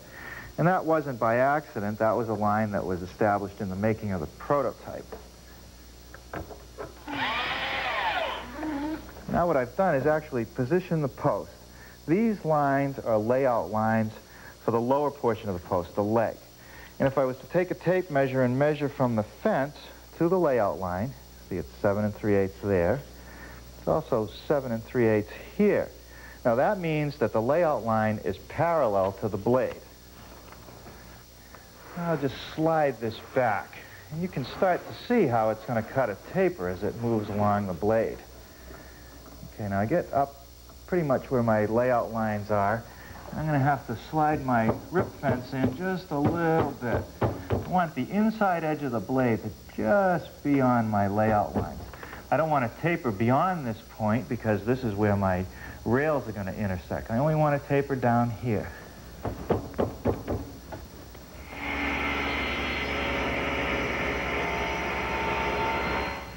Okay, now I just slide it back lift the whole jig slightly and just spin the blank. Now you really get to see the purpose of that pivot point, and I don't even need layout lines anymore. I'll just repeat the process.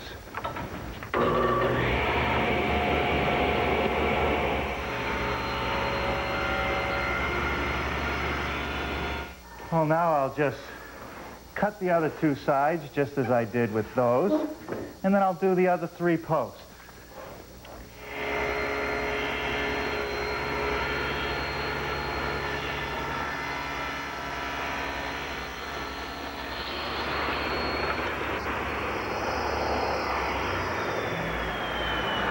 What we've just completed is the tapering of the four sides of the post. Now I want to bevel the corners.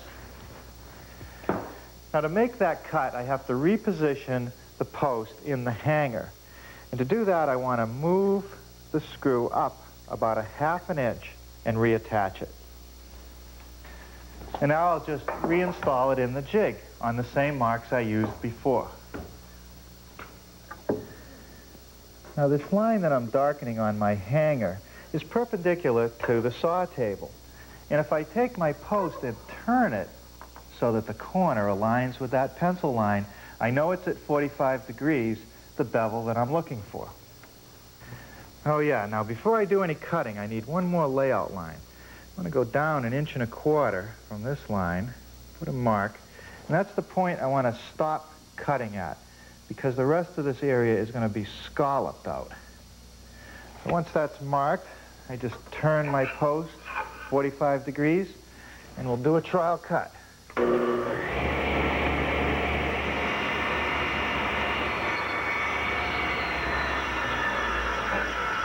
Well, now I'll do that to all the corners of all four posts.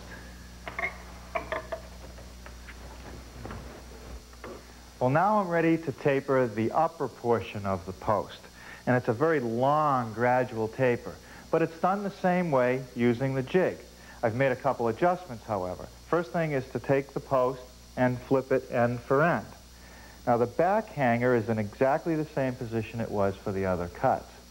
But the front hanger here has been moved about two and a quarter inches over to the right. I also had to make a fence adjustment, and I did that the same way as we did for the bottom layer. I slid the whole jig forward and sighted down by the saw blade so that I won't cut beyond this layout line. Other than that, all the steps are exactly the same.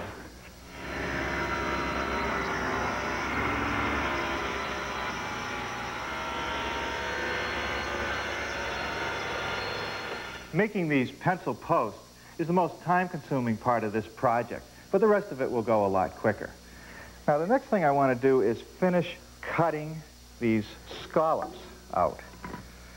And to do that, I suppose I could use my hand coping saw, but I'm going to use the bandsaw.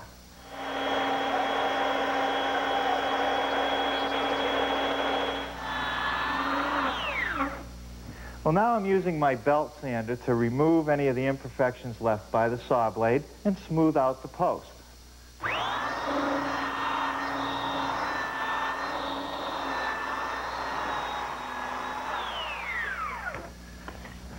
Well, now I'm going to take the post and set it in that cradle so that I can sand the beveled edges. Now, the thing that I want to be careful about is that I don't want to run the belt sander so far ahead that I might nick this corner. I'll sand as close as I can and dress the rest of this with my drum sander.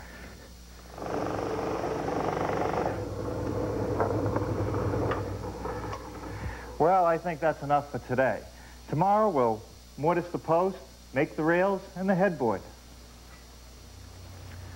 Welcome to another wet, damp morning here in New England. We can always use the rain. And anyway, it gives me an excuse to come here in the shop where it's nice and toasty and finish up my pencil post bed. I've been doing a little bit of work this morning, starting to make mortises in the post where the rails will meet. Let me show you over on the bench. First thing that I did was to lay out the location of the mortise on each post. And there's going to be two. One along this side, which could be used to connect a cross rail, and another one on the adjacent side for one of the long rails along the side of the bed. Let me show you how I did it. I used my drill press. And the first thing that I did was set it up with a 7 8 inch Forstner bit. And this is a bit that's shaped in such a way that as you cut, you end up with a perfectly flat bottom. I've also adjusted the drill press so that it has a limit. It'll only go down an inch deep in my wood.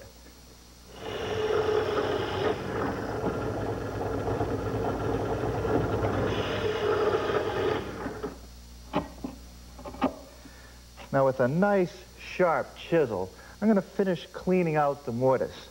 I almost don't even need a hammer with this poplar. There's really not going to be any surprises. It's nice wood to work with. Just shave down next to my line. Now that looks pretty good. Now let me show you the next part of the operation. But before we do it, I'm going to go back to the prototype. Let's take this corner apart. You know, any bed has to be able to be assembled and disassembled easily so that you can move it from room to room. And there's a lot of different systems that have been used over the years. And let me show you what I've done here. Okay. You can see there's a little bolt sticking out of the end of my rail, the side rail. And actually, it's uh, called a hanger bolt. It's lagged on one end, and it's threaded on the other end. I've lagged it right into the side rail, and that'll be permanently set in that position. And each time you assemble it, disassemble it, you just take the threaded end and slide it in and out of the rail. What you've really got here is two holes. A 3 8 hole for the bolt to come through, and a larger counter bore, an inch and an eighth, for the washer, and the nut to be recessed in so that they'll be out of sight. This just makes it very easy to take the better part and put it back together. Now, the first thing I want to do is make this counter bore, and I'll do that over at the drill press.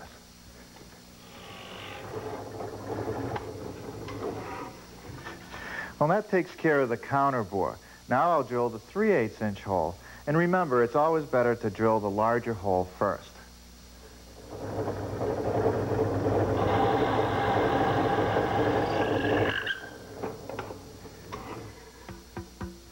And that takes care of the 3 8 inch hole. Now here at the foot of the bed, the rail is permanently attached to the post, as well as up at the headboard area. Now if you look over here on the post, you can see a little plug right there. It's actually a bung made out of poplar, which I sanded down after the glue dried, and that's just to fill a hole that was necessary for these two and a half inch bugle head screws that hold it all together. And now I'm going to drill those 3 8 inch counter bores.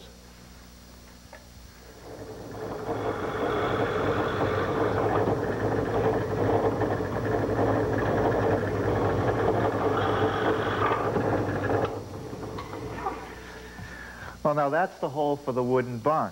Now I'll change to a smaller bit to make a pilot hole for the screw.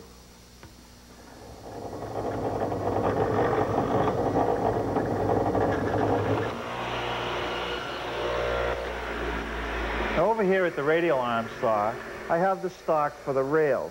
Two shorter pieces for the head and foot rails, and two longer pieces for the side rails. The wood is again poplar. It's six inches wide and an inch and a quarter thick. And what I'm doing is cutting the tenons on each end. I set the radial arm up with a stop block, and what that does is controls the length of my tenon, which I want to be exactly one inch. And then in the radial arm, I've installed this twin blade dado head cutter, and that'll be used to plow out the material. I spent a lot of time setting the height so that I end up with exactly a 7 8 inch thick tenon, so that it'll fit snugly in those mortises that I've made. Take a look at how it's done.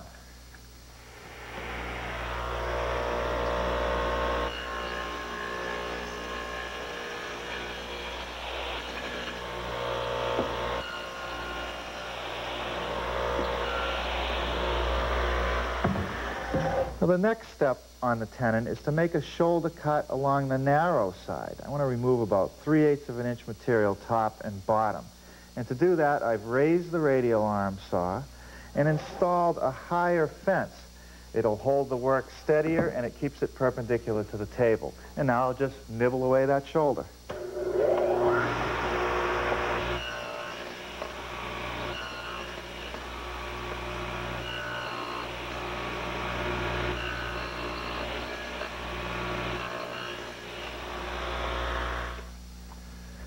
Let's see how this is going to fit. Slip it in there. Oh, just snug. That's the way I like to see it. Now, if we tilt this back, you'll notice that this tenon projects into the other mortise. And if I was to try to put the other rail in here, they would bump into one another. So I'm going to relieve that corner by just planing it off with a block plane.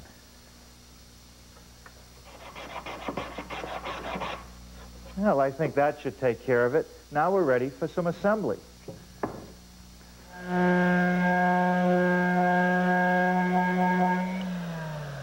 Well, now's a good time to sand off all the layout lines.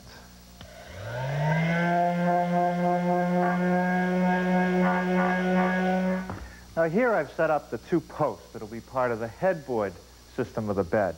And I've attached the tops together with a temporary cleat. And that'll hold them the right distance apart, which for my bed happens to be 62 and a quarter inches. Now down at the bottom here, I can now install this rail. And I'm just going to slip it together dry. No glue yet because I'll have to take it apart one more time. And I'll hold it in place with some screws in the holes that I drilled earlier.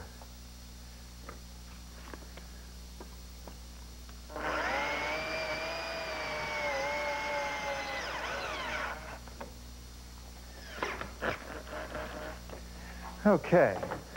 Well, you know, I've gone through all this temporary pre-assembly for only one reason, and that's to size my headboard. Because remember, we've got two tapered posts. They get wider as they get up to the top. And every post is going to vary a little bit.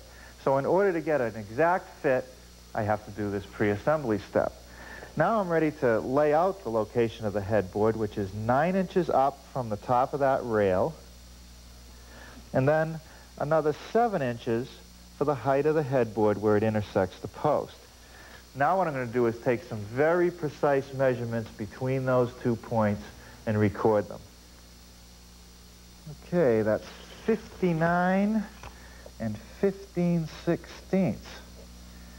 See, an eighth of an inch, and that's important. Now over here I have a couple pieces of 1 by 8 poplar that I've edge glued together. And I'll unclamp them now that the glue is dry and lay out the headboard.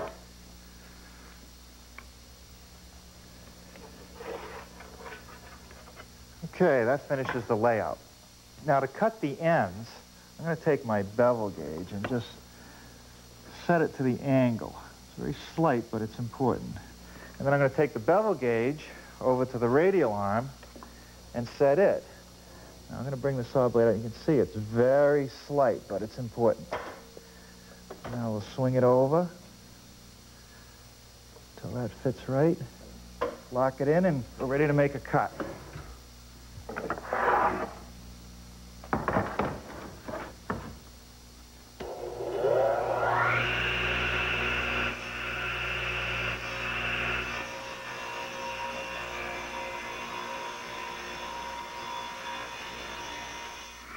Okay, with the ends cut, bring it over to my bench. Let it hang out over the edge. Clamp it in place with the bench dogs. And now I'm just going to take a circular saw and trim the angles, cutting them strong, leaving the mark.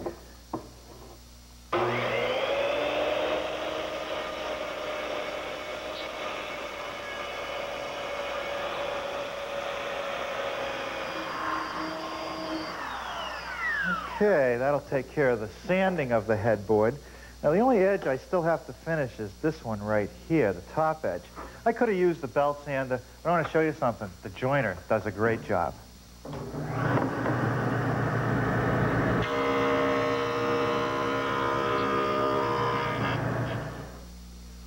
What I'm doing here is putting some marks for these little biscuits that I'm going to use to actually join the headboard to the post. They're simple, they're fast, and they're very strong.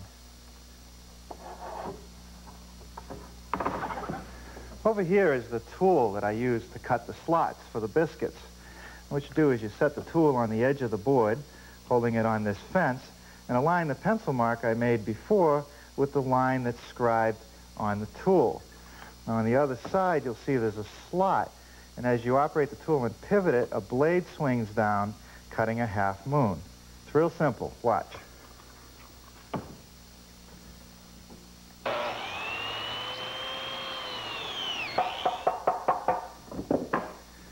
Okay, now for the corresponding slot in the post.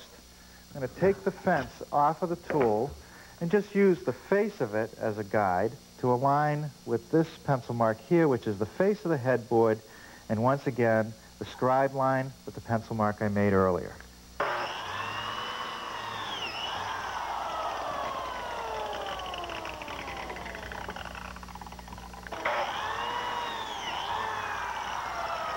Okay, now we're ready for some glue, the biscuits, and we'll clamp it all together.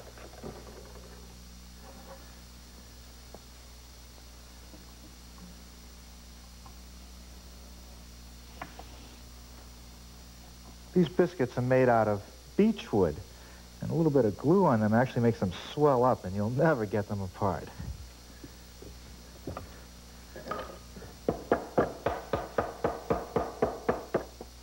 I've got to work fast now. And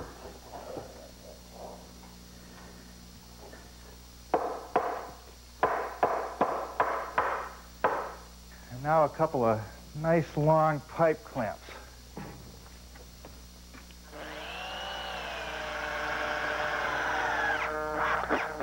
The rail joining the two posts at the foot of the bed is assembled just like it was at the head. Some glue and some screws.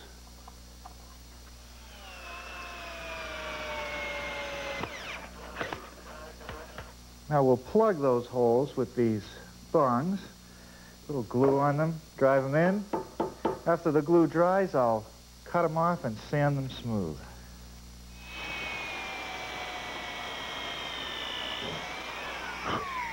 Okay, with that hole drilled, you can now take the bolt and put the lagged end in. And I've put a couple nuts on the end and tightened them against one another so that I can use my socket to just spin it into the hole.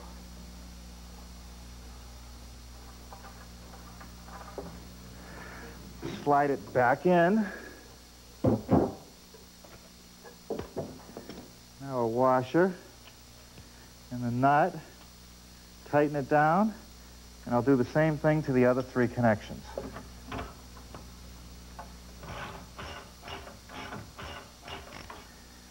Boy, we're moving right along now. One more step.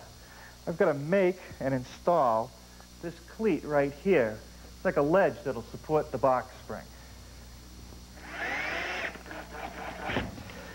Now this cleat is nothing more than a piece of one and a quarter inch by one inch thick stock that I fastened to the side rail with some glue and some screws. And that about takes care of it. Now remember, the one at the Shelburne Museum was kind of a salmon color. What color would you paint this one? Well, this is kind of a buff color. It's not as vivid as that salmon that we saw up in Vermont, but I think it's pretty nice. It should go with just about anything. Well, these covers are a nice finishing touch. Now all I need is a queen-size box spring and mattress, and I'll be ready for a good night's sleep. But not out here, at least not in this kind of weather. Next time we'll be building this chair table. It's a clever design that they've been building since colonial times. You won't want to miss it. Next time, right here on the New Yankee Workshop. The New Yankee Workshop is made possible by Square D Company. For over 85 years, a source of quality products that make electric power safer to use for businesses and homes throughout the world. Square D.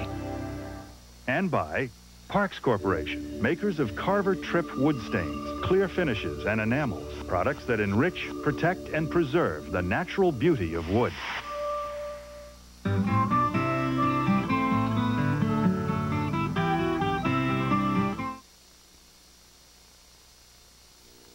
Welcome back. I hope you enjoyed the new Yankee workshop with Norm Abram.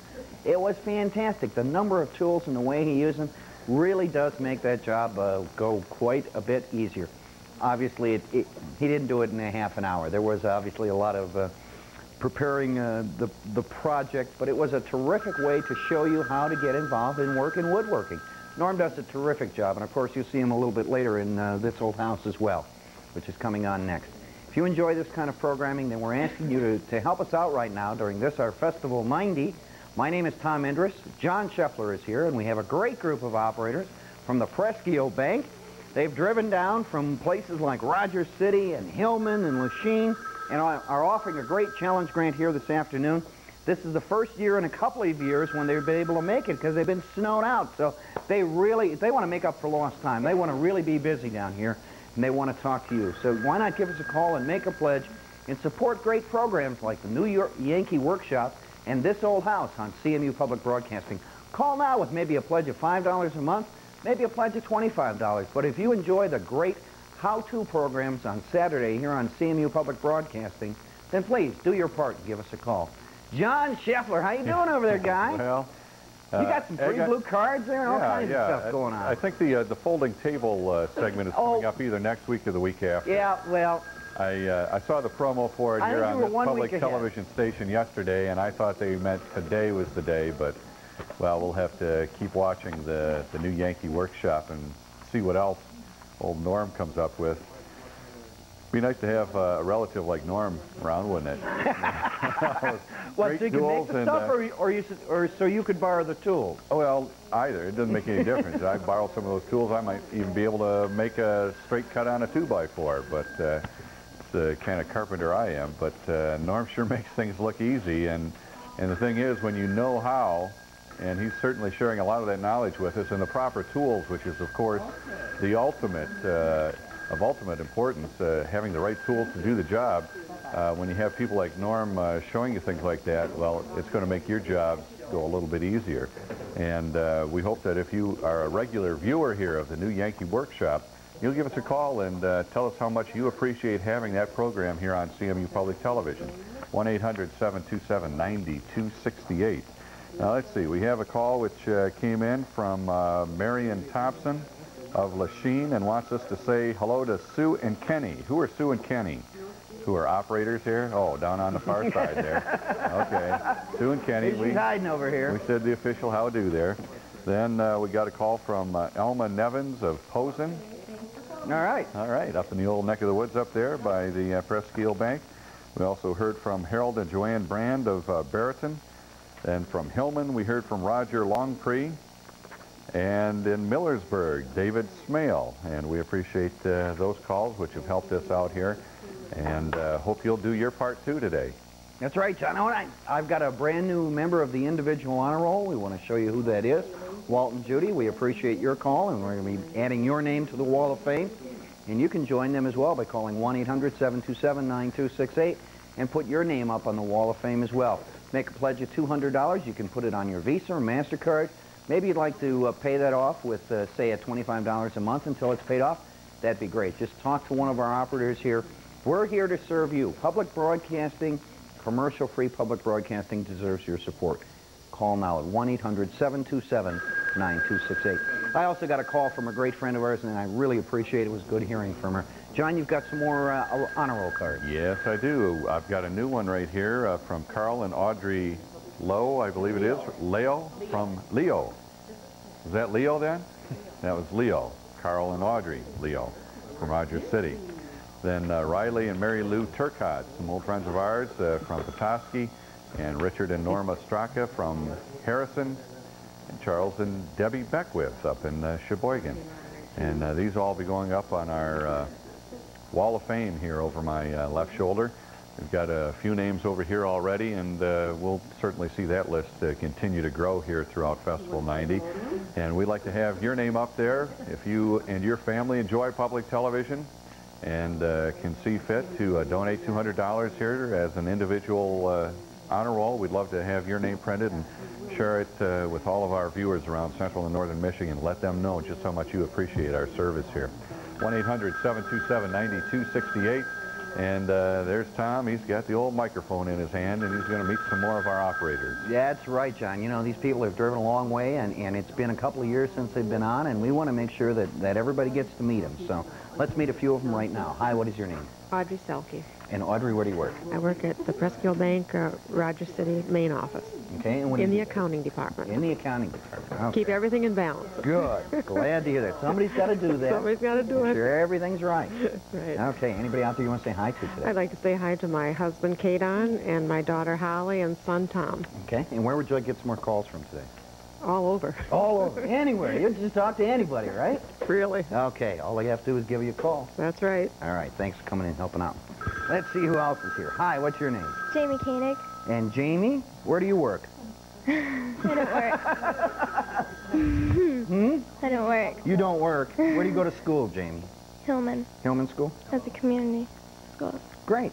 Okay. And your dad, of course, works for the bank, right? He's down on phone one over there? Mm-hmm. And before we go, we're going to say hello to uh, John and Cindy Dalkey. They're very, very good. I got the nod from the big guy here on phone one, and that's in Nessen City. All righty.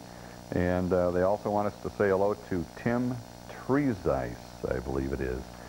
So we've taken care of that bit of business, and now the next bit of business for us here today is to go see what's happening on this old house right here on CMU Public Television.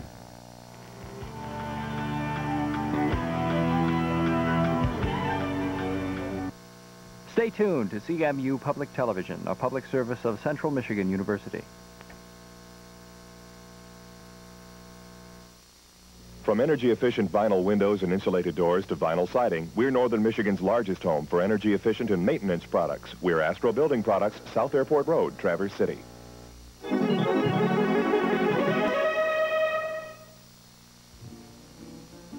But what's this? You've got a big post right in the middle of the doorway here. I mean, I know it's nice red oak and it's nicely checked, but uh, don't you run into it? This looks great. What is this material? You've used it both here on the countertop and also here in the shower stall. The structure itself is the challenge. This is an overwhelming house. It's big, all of the space, these beams, it's aggressive, it's even a little intimidating. Funding for this old house is provided by Parks Corporation, makers of Carver Tripp wood stains, clear finishes, and enamels, products that enrich, protect, and preserve the natural beauty of wood.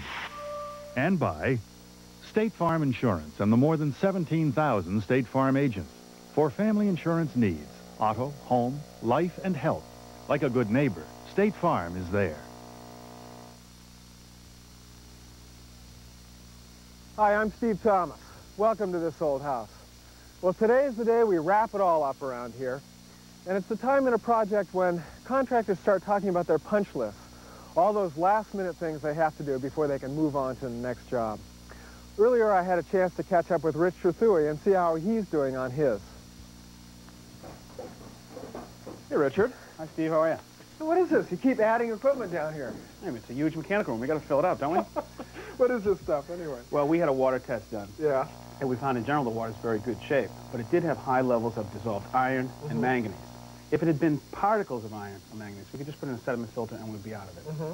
But let me show you what we've done here. This is our regular well tank that's been here all along. I recognize that. Before the tank, we put in this tank, which is going to add air to the water. What does that do? Well, it ma- what it does, it makes the iron uh, oxidize, so it becomes particles. Mm-hmm. Once there are particles in the water, we can then treat it. Okay. Over to here, this is a column inside this of this filter media, which will extract the iron particles. I see. Just like a pool filter. Right. Now, if we didn't do anything to it, it would uh, it would run for a while and then it could clog up. This Mhm. thing has got an automatic feature in it which will back flush the filter regularly to a drain. So it just pushes all the So it's low stuff maintenance. out. Yeah. Now, I see you got your boiler running. Yeah, finally, we're very glad to have it going. What's all this stuff? This looks like flexible tubing here. Well, these are the oil lines, actually. They're flexible oil lines. And to facilitate accessing inside the boiler, Mm-hmm. this door is on a hinge, and this the serviceman once a year or so could come by and check the inside of it and not have to break all Mhm. the connections. So it's a good feature. Nice. Okay. First class. So here's our, our control board. This is our manifold for the upstairs baseboard and radiators. Each room is its own zone. Uh-huh. Okay, this is our manifold for the underfloor heating system. Yeah. Now we need two separate temperatures, and that's why we have the two separate manifolds. Okay, so they run at different temperatures. Right. Now, what's this new manifold over here called snow melting? Well, the carriage house, there is intentions of taking the carriage house down and putting in a driveway or an access Mhm. road, which, which would have a steep incline. Mhm. So at that point, we can lay the same sort of tubing underneath the driveway No and run it into here. Now, won't that freeze? Well, it would, but at that point, we'll fill the entire system with, with glycol, with an Uh-huh, antifreeze with solution. antifreeze. Mhm. Great. What's this contraption here? I want to show you, we've placed sensors all around the building. At the tile, or the floor level upstairs, we're about 80 degrees. Boy, that's nice and toasty. At head level, we're about 75 degrees. Very comfortable. Now, all the way up at the peak, which is 20 some odd That's going to be hot, I bet. it's 71. So No it's just the inverse of Huh. traditional heating. Amazing. And we're heating it with, today on a mild day, about 84 degree water. Now, 84 degree water isn't normal boiler temperature 180 degrees? That would be regular base with 180. So we have just this warm blanket circulating all the time. So we have a very comfortable system that's also very efficient. Absolutely. Great. Now, how did the heating work up uh, work out on the second floor? Let me take it. We've got uh, both the baseboard and the radiators installed. Okay. Well, here's Joe Manzi giving our central vacuuming system a test drive. How's it working, Joe? It's working great. That's good. There's, there's a lot of work to be done around here. There here. sure is. You're going to be a popular man. What's this device? Well, this is a, a turbine power brush that runs off the suction of the machine itself. No kidding. Let's see this thing. And it spins, by putting it flat, Mhm. it spins fast. It works as a uh, generator. So there's a fan in here. Right, right. And then uh, with the double row of uh, brushes that we Mhm. have here, one row is softer than the other, so it not only beats, agitates, but then it sucks Mhm. up everything and Well, brings it it. down. The fan drives a belt and drives this agitator. Right. Great. And then this new design here gives us an edge cleaner. Mhm. So you can do all the operations with this unit alone rather than changing to another tool to just do the edges. That's a big time saver. You know, and I, I like this low profile because it fits right under furniture, which is terrific. Right. Gets rid of all those dust balls down there. Well, I've got a little scene to shoot with Richard here. So uh, maybe we could catch up with you later. Well, I'll go do another room. Thanks very much. Thanks, How are you going to heat this room, Rich? Well, we could have run underfloor heating up here as well. But what we found is in the bedrooms and uh, some of the remote rooms, people want to be able to turn them up and turn them down. Mhm. So what we decided to go is with this radiant style of baseboard. Now this is... This looks like a one by six. It really painted here. It it's, uh, looks just like it, and people have actually trimmed it out with quarter round and made it identical Gorgeous. to.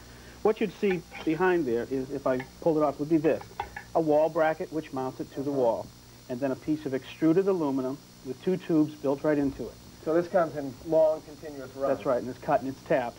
And then we would run a supply and a return tube from our manifold Mhm. to each room, connected with compression fittings. So that just screws right Mhm. on. You tighten it up. And then to trim out the final piece, we go like this and snaps right over, and that's what you see here. That's wonderful. And there's some trim pieces which soften it at the corner. That's Really wonderful stuff. Make it look. How'd you make out with the bathroom? Good. Each room will be controlled with its own thermostat Ah. as well. That's very handy. Yeah, great. So you get real comfort room to room. The bathroom is all done and uh, working. This is how we're heating the bathroom. This is a towel warmer. You can put a towel on each uh, application, but it's also So a one radiator. towel here, one towel right. here. Unlike most towel warmers, it has enough power to actually heat a bathroom. So it, it, it no more unsightly radiators or, or basement in the bathroom. And you get warm, dry towels, Right. too. Now here's our bathroom. We have, uh, the owner wanted a whirlpool uh, as he exercises regularly. And this is our shower control, tub and shower control. This is a pressure balance unit, which means you cannot get scalded in any way. You pick the temperature of the water you want to come out of it, and it'll read right here. And then with this adjustment, you decide whether the water comes out of the tub spout, out of this hand shower, or up out of this shower head. That looks like a wonderful great? unit. Great. In this bathroom and everywhere, uh, water conservation is a real issue. And uh, this is a 1.5 gallon per flush toilet. Traditional toilets are 3.5 and, and greater. So tremendous water saving. Right, about How does half. this thing work? Well, this is a little different. Uh, this uses the pressure that we get from the well system to, it stores the pressure charge in this tank and then uses that and forces the water down. So it, it's, a, it's a 1.6 toilet that actually works. It's a turbocharged toilet. Right. Great. Okay, let me just show you in one other thing that we did from the plumbing standpoint here. Our washer and dryer are up here, so we've got that. We're now in our laundry room. Laundry.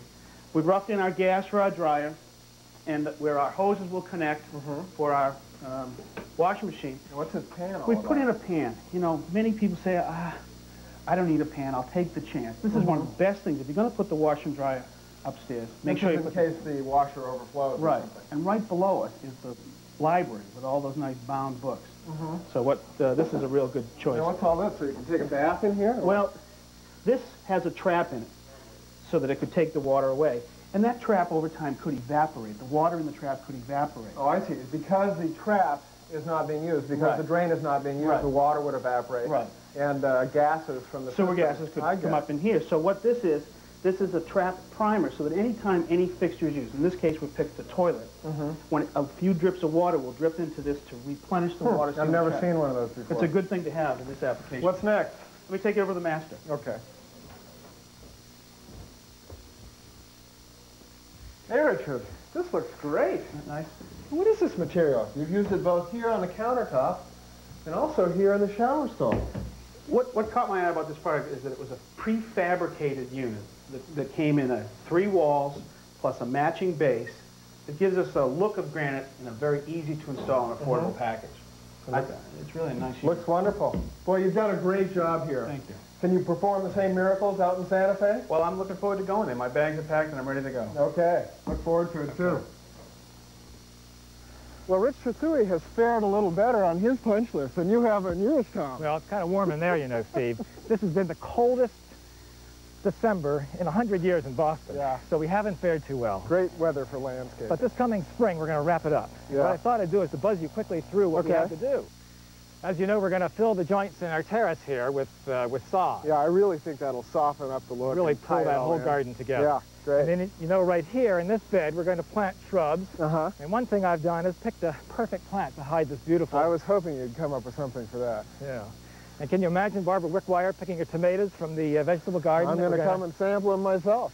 Terrific. Now, isn't a fence or something going in here? Actually, that's right. 20 feet from the uh, edge of the barn, there'll be a post and rail fence Uh-huh. that will sort of signal the edge of this garden. We're going to put roses on that. Great. And hey, look, this is new. Ah, yes. Roger uh, Hopkins snuck by this weekend, and instead of hauling away all this, this granite, built this little wall for us here. You can count on Count Rockula. Very pleasant surprise. Now, what about all those plants over there, the, the ones that you didn't have a chance to get into the ground this, this season? Well, Roger Cook has very carefully healed them all in, Steve, with mulch around the root balls, Mm-hmm. and also he sprayed them with anti-desiccant, which is intended to keep the water from evaporating from the leaves.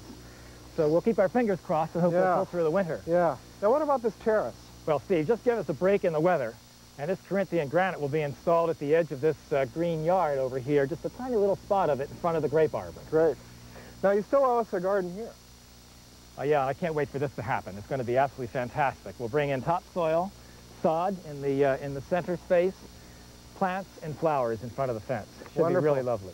Well, it's really unfair to have this be the last view. So I promise that we'll bring the show back sometime in the future and we'll see it in full bloom. That'd be terrific. By the way, I was curious to know if Tedd Benson's been by lately, now that this has been coming, uh, finishing up. here. Well, sure he has, and he's thrilled with it. But, you know, he's gotten a lot of letters from people who are very interested in post and beam, but they don't have an old barn to restore, and they're interested in building new. So he took us to a place that he built from scratch. Let's have a look. We built this house about four years ago, Steve, for a very wonderful client, and he's quite happy with it. Has about 28, 2,900 square feet, and like the Wickwire barn, it's a timber frame clad with stress skin panels. Boy, you'd never know it from the outside, Tedd. Well, let me show you the inside. Okay. One thing the homeowner did want, Steve, was a mudroom. Yeah, boy, that's essential here in New England. You're right. It's, it's a great place to have a buffer between the cold Mhm. exterior and the warm interior, and to be able to take off your coat and boots. Yeah, that's wonderful. I wish I had one. Boy. At this end of the space is the kitchen. Yeah, a kitchen, but wouldn't some people want a partition here to block off the kitchen from the dining room? Well, we didn't. Mhm. And with timber frame construction, we can keep this open. Where we normally might have walls and doors, we use instead posts and beams to define the spaces. Mm-hmm. Mm-hmm. You know, there's something about this room. Maybe it's the proportions that make you feel good to be in here. I'm glad you noticed that, Steve. This is 16 by 32, completely open, two to one, Steve. Two to one. Is that the secret? That's the secret. You know, this is a wonderful idea, too. I love to see this. Masonry mass on the walls, tile floor, simple wood spo- stove, no combustibles, Mm-hmm. and radiating heat all the way up through the house. Yeah, I bet you could heat the whole house with this. We can. Yeah. But what's this? You've got a big post right in the middle of the doorway here. I mean, I know it's nice red oak and it's nicely checked, but uh, don't you run into it? Steve, this is a part of the design. It's the structure, we have the beam and the post, and we put it here because we wanted to have a transition from the dining room to the adjacent Yeah. space. I It's our see that. doorway. I can it see just that. happens to be open. Yeah, that makes sense. You know, this room has fabulous views. You know, you really feel like you're tied to the landscape in this room. Well, they, they do have wonderful views here, Steve. And uh, if this were a sunny day, you would notice we're also facing Oh, yeah. south. And with these glass and timbers, we're gathering light and Mhm. heat that is then transferred up through the house. Yeah, with the oil at a buck fifty a gallon this winter, you want to gather all the heat you can. You're right. And with in today's construction, Uh-huh. you really have to consider siting. If you can face the house Yeah, south yeah. and take in that passive solar heat, we need to do it. Yeah, it's too bad we couldn't do that at the Wickwires. That's right. You know, we, We had were- to put the great room either on the east or the west side. We, we just couldn't do it. It would have been difficult to turn it, Yeah. Steve.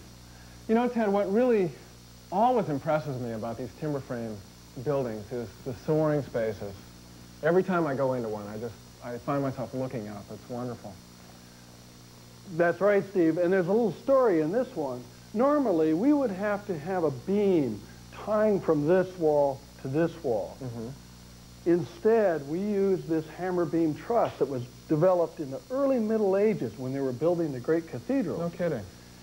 And we are now transferring the forces through the beams, and we can eliminate the hmm. tie. That's great. It's a design Yeah. element. Well, what's this? A conventional fireplace sucking all the heat out of your tight, energy-efficient house? Well, I'm, I'm not a fan of fireplaces because they are inefficient, Steve. Yeah. But I'm a fan of romance, Yeah. and that's why this is here. Yeah. Well, I guess that's why the Wickwires put it in too. I, I guess so. This is another lovely room. It's uh, same proportions as the other one. 16 by 32. All com- open. completely open, Yeah. post defining the spaces. And typically, this might have been a living room with couches and chairs. Mm-hmm. We didn't have that requirement. We have a pool table instead, and that's fun. Well, that's pretty essential for some people, I guess. I think so. You know, I'm curious to see how this theme plays out upstairs. Well, let me show you. Okay. The open plan works beautifully downstairs, but isn't it much more of a challenge upstairs where you have to enclose spaces like bathrooms and bedrooms? Well, sure it is. Uh, we still left this hallway open to the peak Yeah. for drama and for definition. Yeah. But let me show you the master bedroom. Boy, look at this. What do you think of this, Steve? Very, very dramatic. Very nice. You see what happened here, Steve, is that we had very simple design requirements and a clean slate, and we could do what we wanted with timbers and spaces. So we have this. Mm-hmm. You didn't have that option Yeah. at the Wickwire Bar. That's right, because we had to put the master bedroom on the second floor, and if you have a master bedroom on the second floor, you can't have this cathedral ceiling. Exactly. It works great here, Tedd. Well, now, how have you handled the plumbing in this building? As simply as possible. Let me show you. Here we have a bathroom. Mm-hmm. Beneath it on the first floor is another bathroom. Mhm. We have one plumbing core. I see. All of the pipes are handled right here. That's it. Simple, very simple. What else do you have on this floor? Well, right here we've got another bedroom, on the right, and uh, over here, although this could be a bedroom, they've left it open as a sitting area and an entertainment room. Yeah. And out here you've got a balcony with views onto the great space and that wonderful hammer, hammer beam. Right. Well, I'm beginning to get your religion, Tedd. You believe that a timber frame is wonderful, whether for an old barn like the Wickwires or for a new home, such as this one. You finally caught on, Steve. Listen, timber frames have been around for 2,000 years. And with good craftsmanship and with a great use of timbers and spaces, I'm sure it's going to be around for another 2,000. Well, I want to thank you for showing us this place, and thanks for the wonderful job you did on the Wickwire barn. You're sure welcome. Well, that's Tedd Benson. He does nice work. Well, one of the last jobs to be completed around here was actually one of the most complex, the stair rail. Earlier today, Tom and Norm met with the man who made it. Well, Tom, you know, I'm sure glad that this steel railing system was a subcontract. Yeah, I am too, Norm. We wouldn't want to have to mess around with this stuff with routers and planes. Sure. Mike Osceola built this for us. Maybe you can explain, Mike, how you did it. Yes, Tom. The most important thing for this type of a stairway is to get proper field dimensions. You measure it once and you measure it again to avoid mistakes. so you don't get here with a, a railing that's too long or too short, like a wooden rail you can add on. Right. Now, the raw material here that you started with looks like some kind of square stock. What it's is all it? inch and a half square tubing with a heavy wall thickness. Comes in bar length. And that's how we... Uh, So you just cut it and weld it and uh, basically, and you put it together at the shop and it comes come back to us. Exactly. Engineering makes drawings for the shop.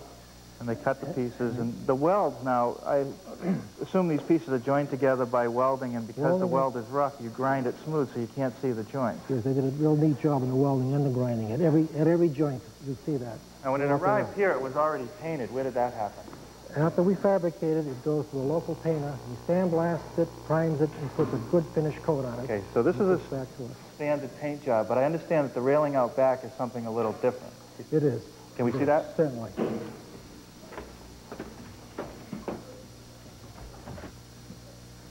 Tom, this little deck off the master bedroom is a nice touch. Yeah, isn't it, Norm? It looks great. Solid railing. It is. So what's different about this, Mike? This is a color galvanized finish. What's that mean? It means it's, it's embedded in zinc in these huge tanks. With the molten material, and they after you fabricate it, they sink it in, and it coats the inside and the outside of all this, so it'll never rust. Exactly. What about the color? So when the product is still warm, it has a polyvinyl finish sprayed onto it and make it so it will adhere real well. It'll last forever. Last That's great. Okay, guys. This is the time in the project that we like most, when we turn the home over to the interior designers. And we have with us one of the best in the business, Jean Lamont. Hi, Steve. What do you think of the setting, Jean? It's beautiful. This old house has done it again. It's a wonderful house. Well, thanks. You know, we faced a lot of challenges, and you must have faced a lot of challenges too as you did the interior design. We did. We really did. Well, what were they? The space itself is the challenge. This house is very large. The space is visually active. It's aggressive. It could almost be considered intimidating. Well, how have you solved these problems? With the selection of the pieces, everything had to be big.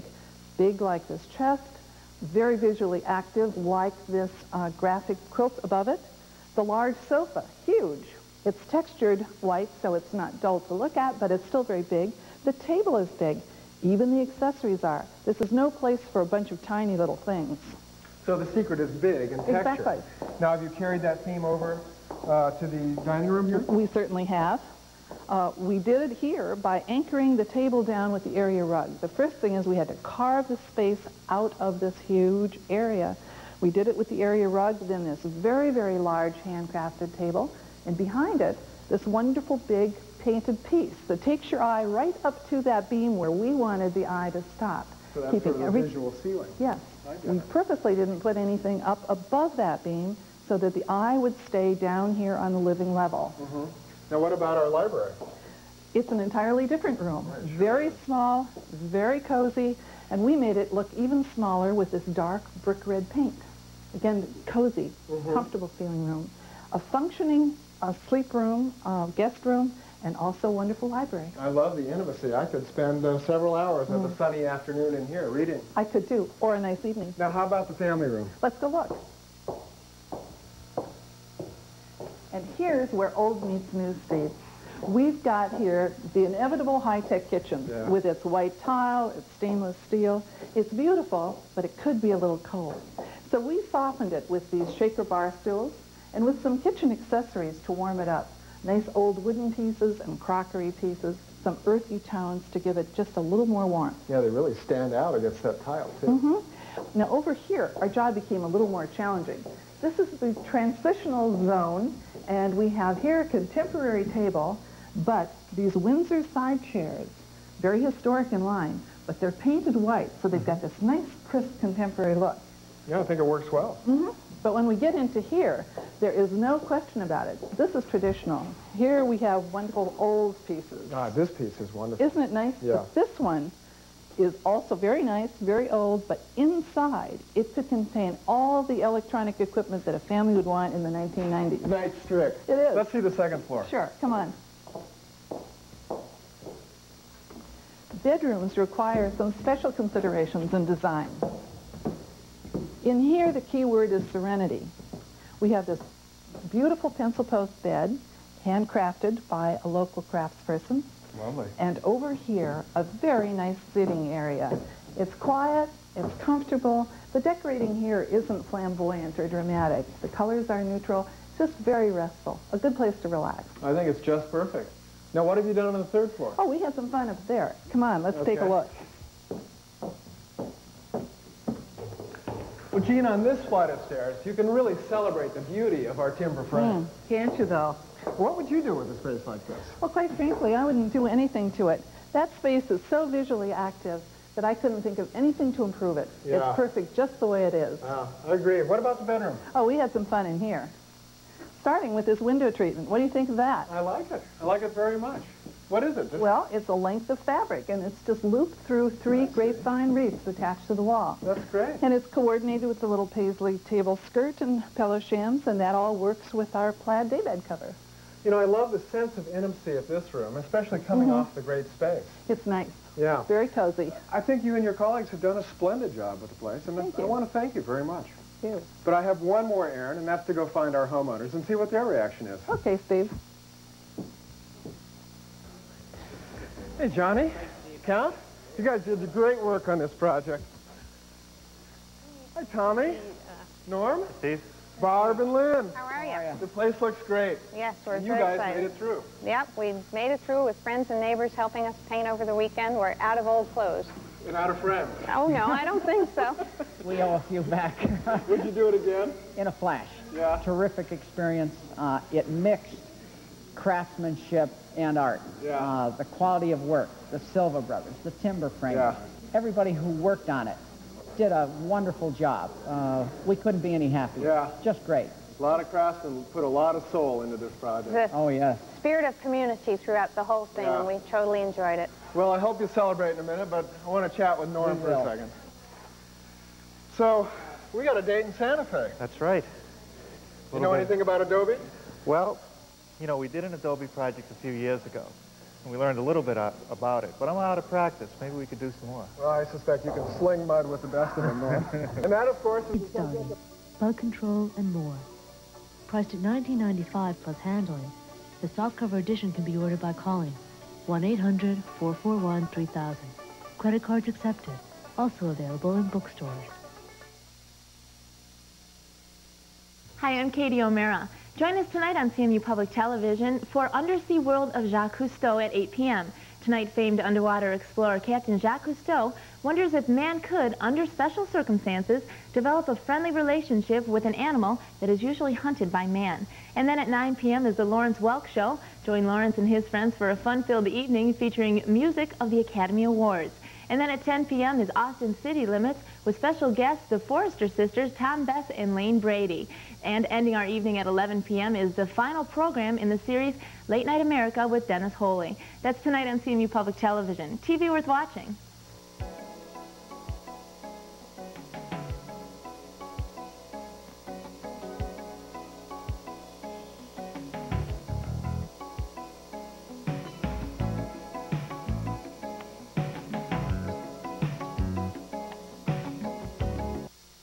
We invite you to stay tuned to CMU Public Television, a public service of Central Michigan University.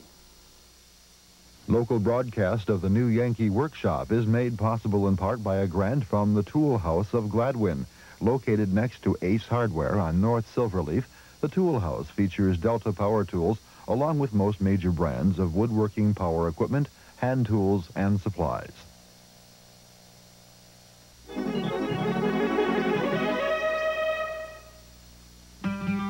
Hi, I'm Norm Abram, and this is the new Yankee Workshop, where for the next 13 weeks, we'll be building pieces of furniture like these you see around me. Now, the idea of the show is that you can build these pieces of furniture right in your own home workshop, and then enjoy them for many years. In a moment, I'd like to show you the collection. And then we'll get started on our first project right here in the new Yankee Workshop. The new Yankee Workshop features the craftsmanship of Norm Abram and is made possible by Parks Corporation, makers of Carver Tripp wood stains, clear finishes, and enamels, products that enrich, protect, and preserve the natural beauty of woods. And by Square D Company, a manufacturer of electrical and electronic products for homes, businesses, and industry worldwide. Square D, dedicated to growth, committed to quality.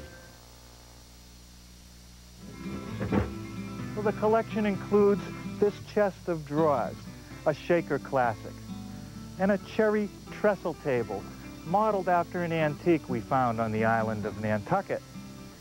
And over here, we'll build a hutch inspired by a visit to Old Sturbridge Village. Come on inside, I'll show you the rest of the collection. Well, here you see a desk made from maple. Not yet complete, but you get the general idea.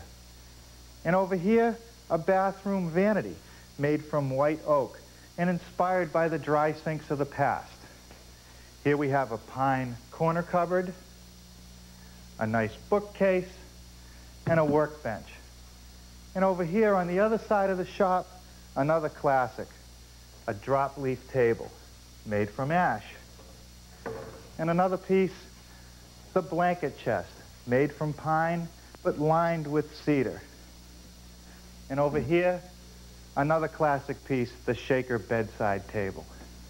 But today's project is a medicine cabinet, inspired by a couple pieces we found at the Hancock Shaker Village in western Massachusetts. Take a look. The idea of a private bath to these 19th century Shakers was virtually an unknown. They shared everything. For instance, this retiring room or bedroom was shared by four sisters.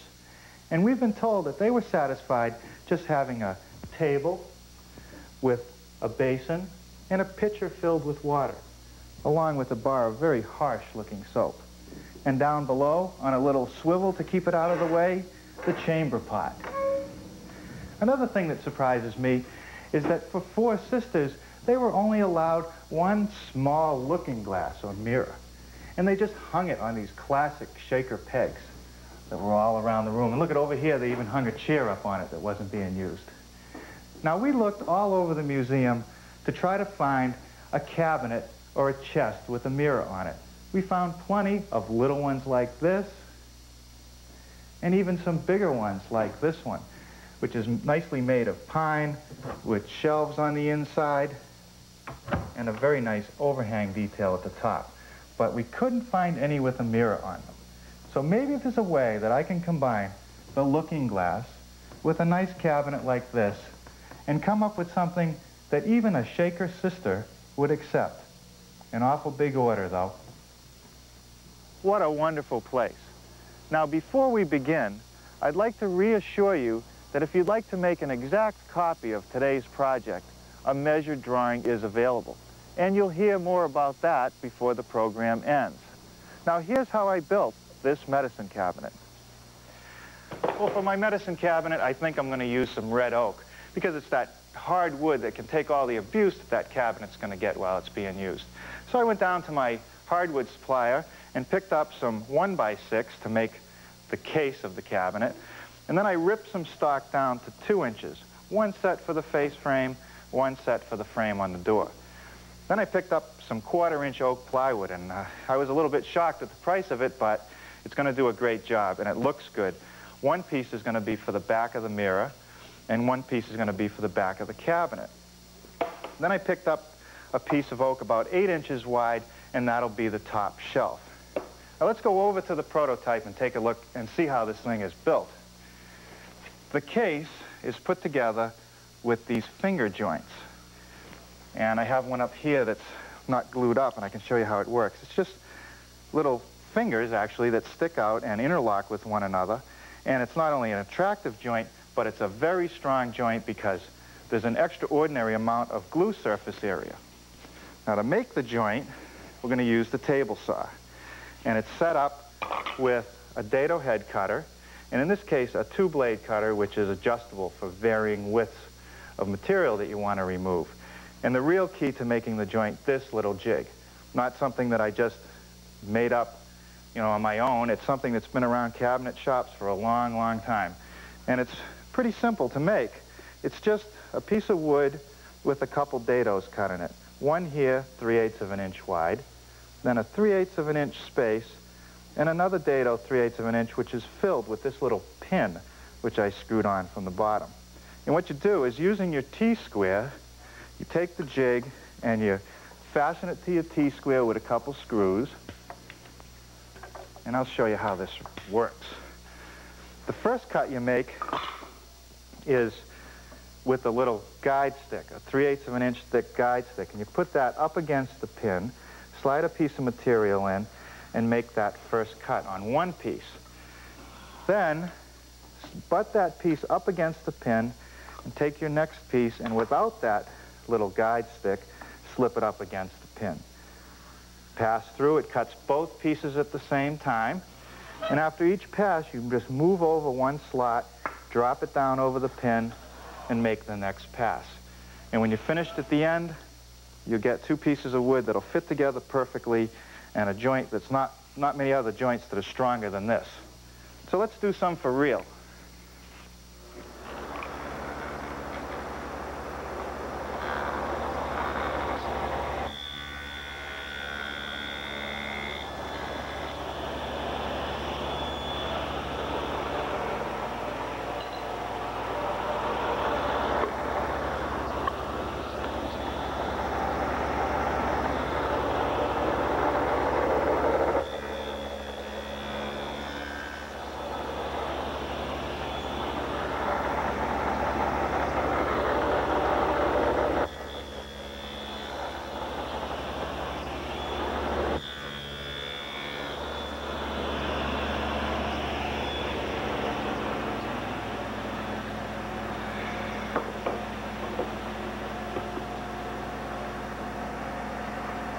Let's take a look inside our prototype medicine cabinet.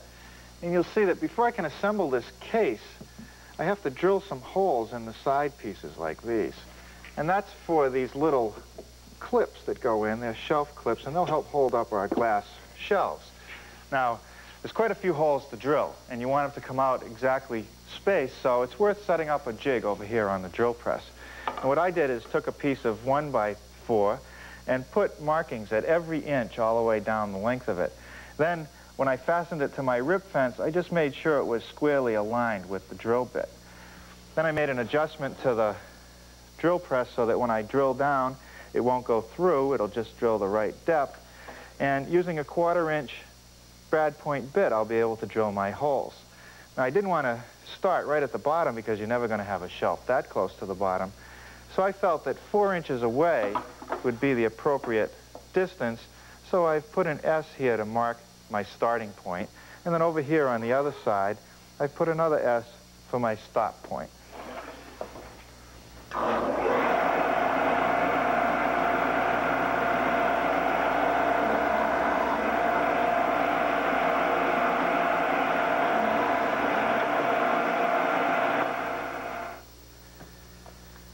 Okay, a little bit of yellow glue spread out with my brush here.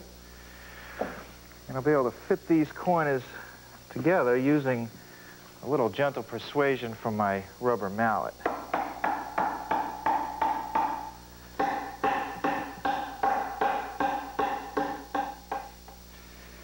Well, I think I better check that case for square before the glue sets up.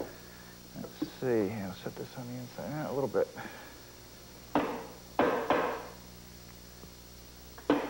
Okay. Now, I didn't forget the clamps. I think the joints are tight enough that it's going to hold itself together. But I do want to let the glue set up, so I'll let that stay there. And we'll go back over here and look at the prototype. I think we'll start working on this face frame.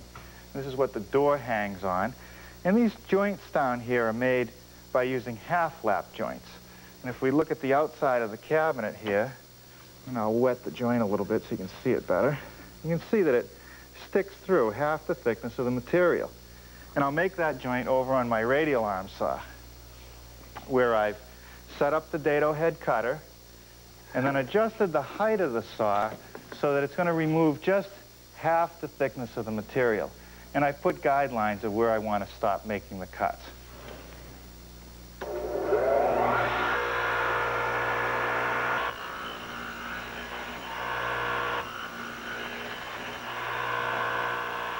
Okay, a little more yellow glue on this half lap joint. Set those together. I'm going to drill some little pilot holes, really necessary with this oak. Whenever we nail or put screws in. We drill little pilot holes. Now these screws are not going to show because they're on the back side of the face frame and they're really only here to hold the joint together while the glue sets up.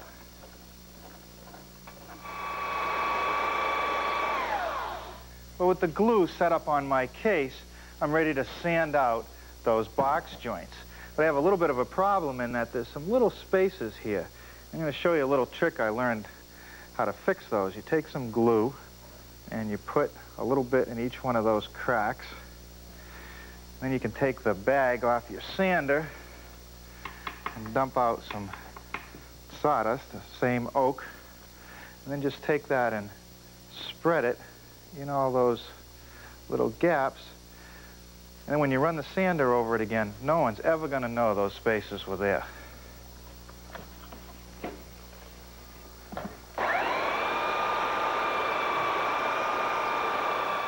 Okay, the next thing that I want to do is put a rabbet in the back of my case to accept the plywood that's going to go in here. And to do that, I use my router with a 3 8 inch rabbeting bit. And I'll just plunge in and go around. Now, the problem is, is that I have a narrow board here for the router to sit on, so I'll hold it steady and just go slowly.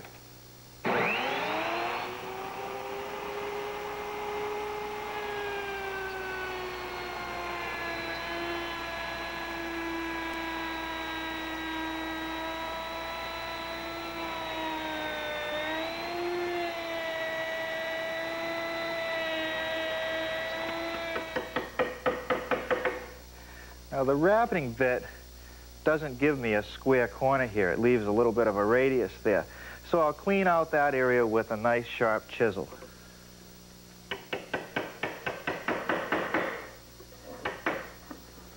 A little more yellow carpenter's glue, and I'm ready to put the back on. Of course, making sure that the oak side is facing the inside of the case.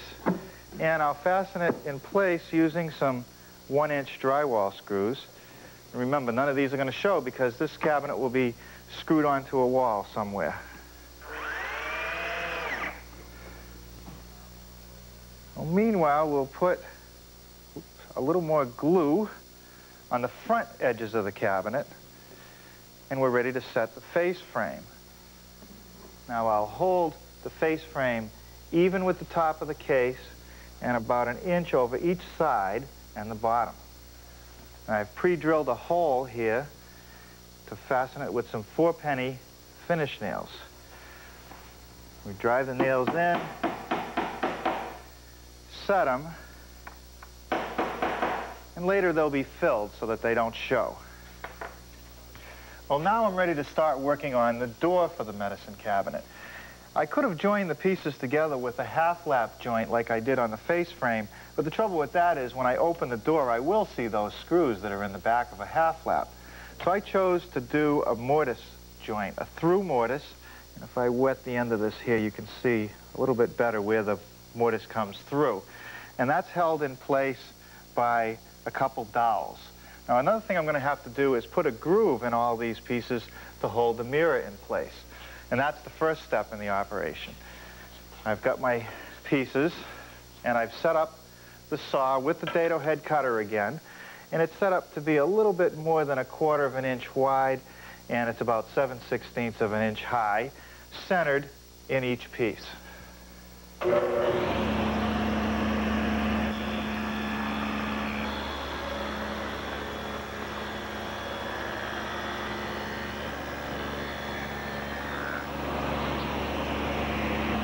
Next thing to do is put a mortise at the top and bottom of each stile.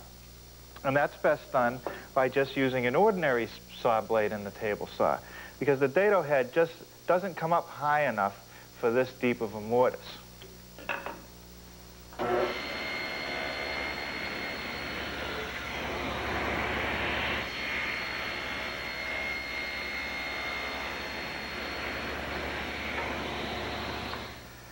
Well, next I want to make these tenons, which fit into the mortises I just did. Now, the first thing I want to do is make this shoulder cut right here. So I've set up the saw, and I've got the blade at the right height, and then I've added this gauge block. And what that does is it sets me up so that I make the cut in the correct place. Plus, this setup gives me some additional safety because whenever you use a T-square in combination with a rip fence, you always stand the chance of kickback. What this does is sets me up, and then when I get beyond it, I have clear space in here, so I won't have, I shouldn't have any problems with kickback.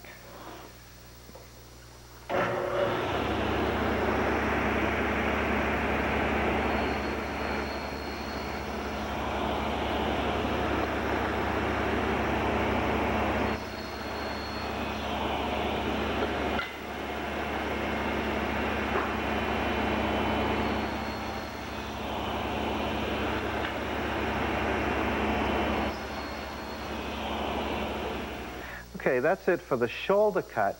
Now I need to make the cheek cut, which is along this direction right here. And I've readjusted the saw, moved the fence a little bit closer, and now we're ready to do that.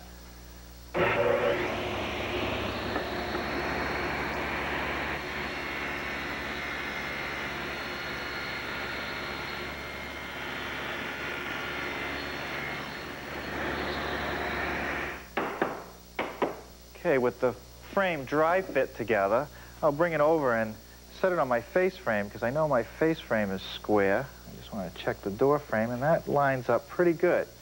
I've also marked on these corners where I want to drill the holes for the quarter-inch dowels, which will hold everything together. And I'm ready to drill those over here on the drill press where I've set up a quarter-inch brad point bit, and I've clamped the piece of wood to the table, and that's so that when the bit passes all the way through, it won't splinter out on the bottom.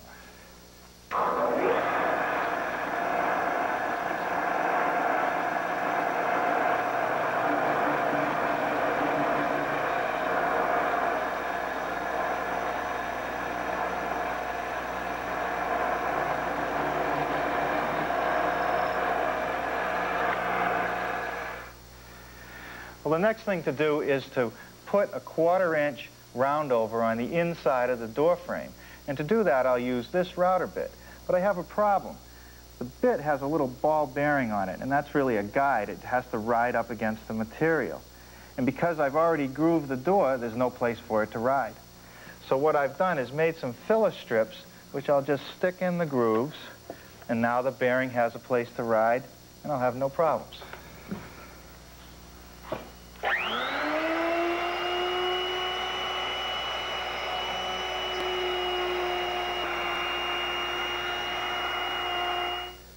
All right, now I'm just going to slide the mirror in. I've already pinned the joints down here at the bottom, and I've got some glue on the top joint, so I'll just get those set in here like this. And now I'm going to have to stand it up to drive that the rest of the way down. And boy, hammers and mirrors. I hope I don't end up with seven years bad luck. Okay. Now I can set it back down flat, take these little quarter inch dowels and just put a little bit of glue on them. And then drive those in through my pre-drilled holes. Now the best way to remove the excess hardwood dowel is just to use the belt sander.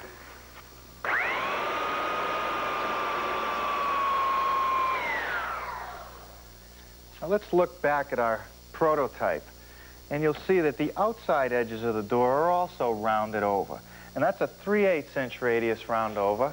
And I've set up a bit in my router, and I'm ready to run that.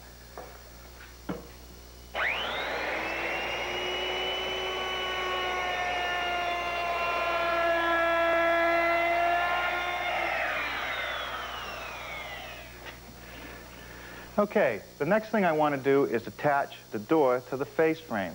And I'm going to use an inch and a half brass-plated piano hinge to do that. Now, I suppose I could just surface mount the hinge to the door in the face frame, but I don't think that looks very good. So I use a full mortise, which is much neater and very professional. Now, I suppose you could chisel that out, but it's not an easy thing to do, especially on oak. So I have a way to do that, and I'll show you. The first thing you do is you set the hinge on the back of the door and using a sharp utility knife, scribe the end points of the hinge. Then I'm going to take a router, which is set up with this half-inch mortising bit. And that cuts a very smooth surface on the bottom of the mortise. And I've set it up in my router with this guide fence, which controls the width of the cut. Now I'm going to have to cut the ends freehand following those scribe marks, but that's not too bad. I just have to be careful.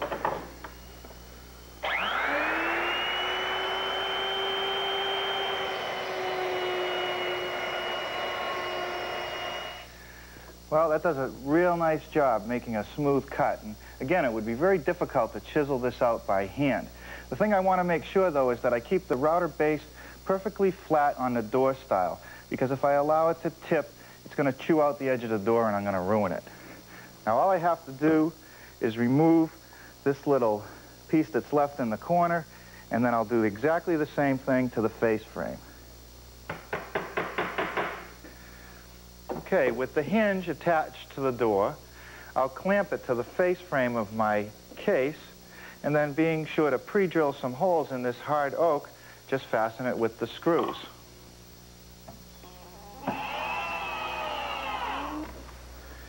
Ah, that seems to fit pretty good. Now, there's one more thing I want to do, though, to the inside of this door.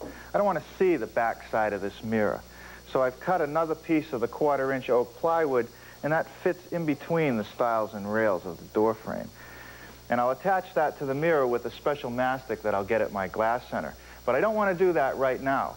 I want to coat the back side of this plywood with a sealer before I fasten it so that it won't absorb any moisture and swell up. Now the next thing I want to do is make this little shelf that goes on the top. And that's just our piece of 8-inch oak, which has had the corners rounded off and then eased. Well, the first thing I want to do is knock off these corners. And I'm just going to use a good old American quarter for a template.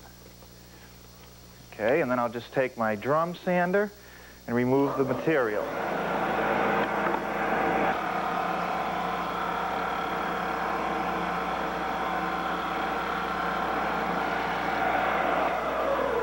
Well, now I just have to route the rest of it. Now this router is mounted underneath a router table, and I've set it up with a 3 8 inch radius roundover bit with a pilot bearing.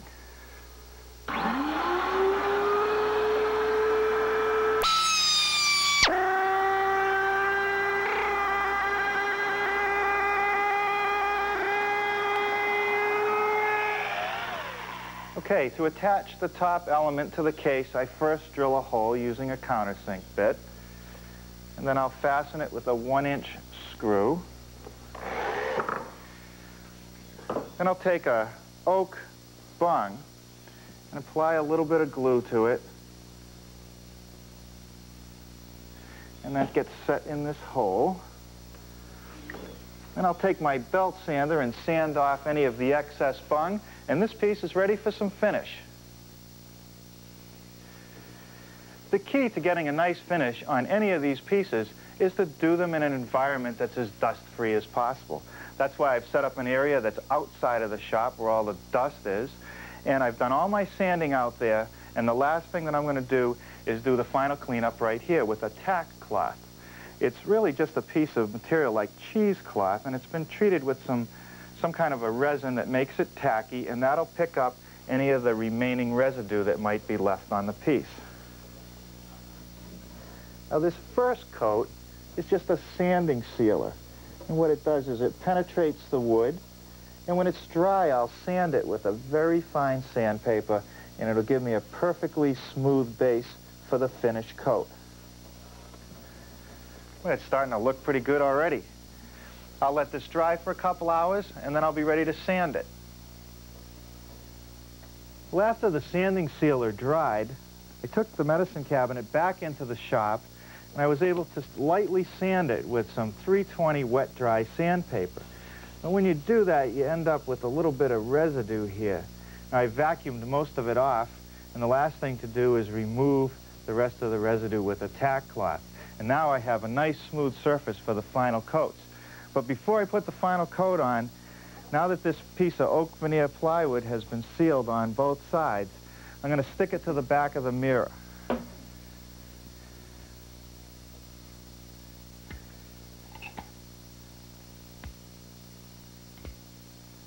This is just a mirror adhesive that I got from my glass shop.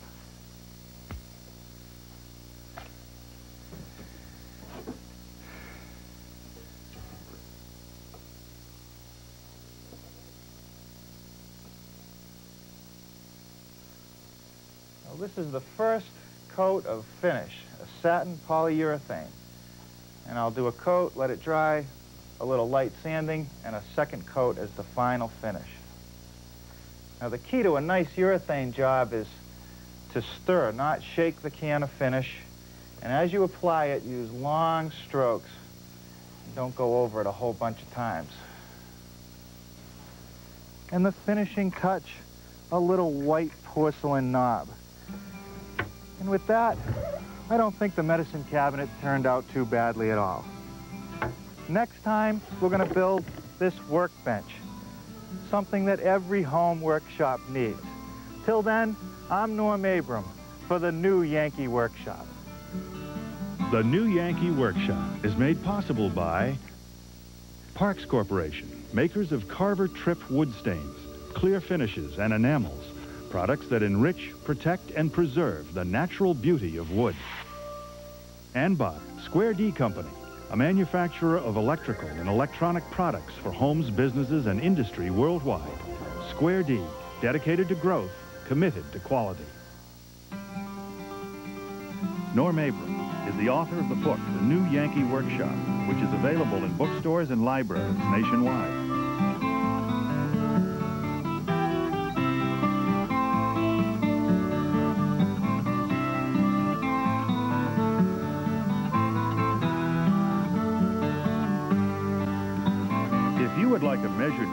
This medicine cabinet, please send $5 to New Yankee Workshop, Box E, Bedford, Mass. 01730.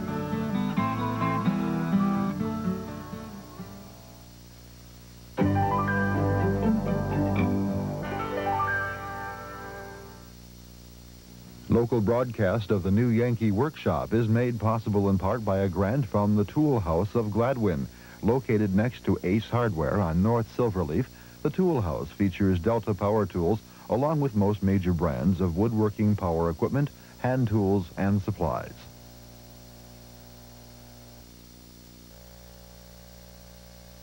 Many of today's programs are made possible in part by a grant from Long and Wetzel Company of Mount Pleasant.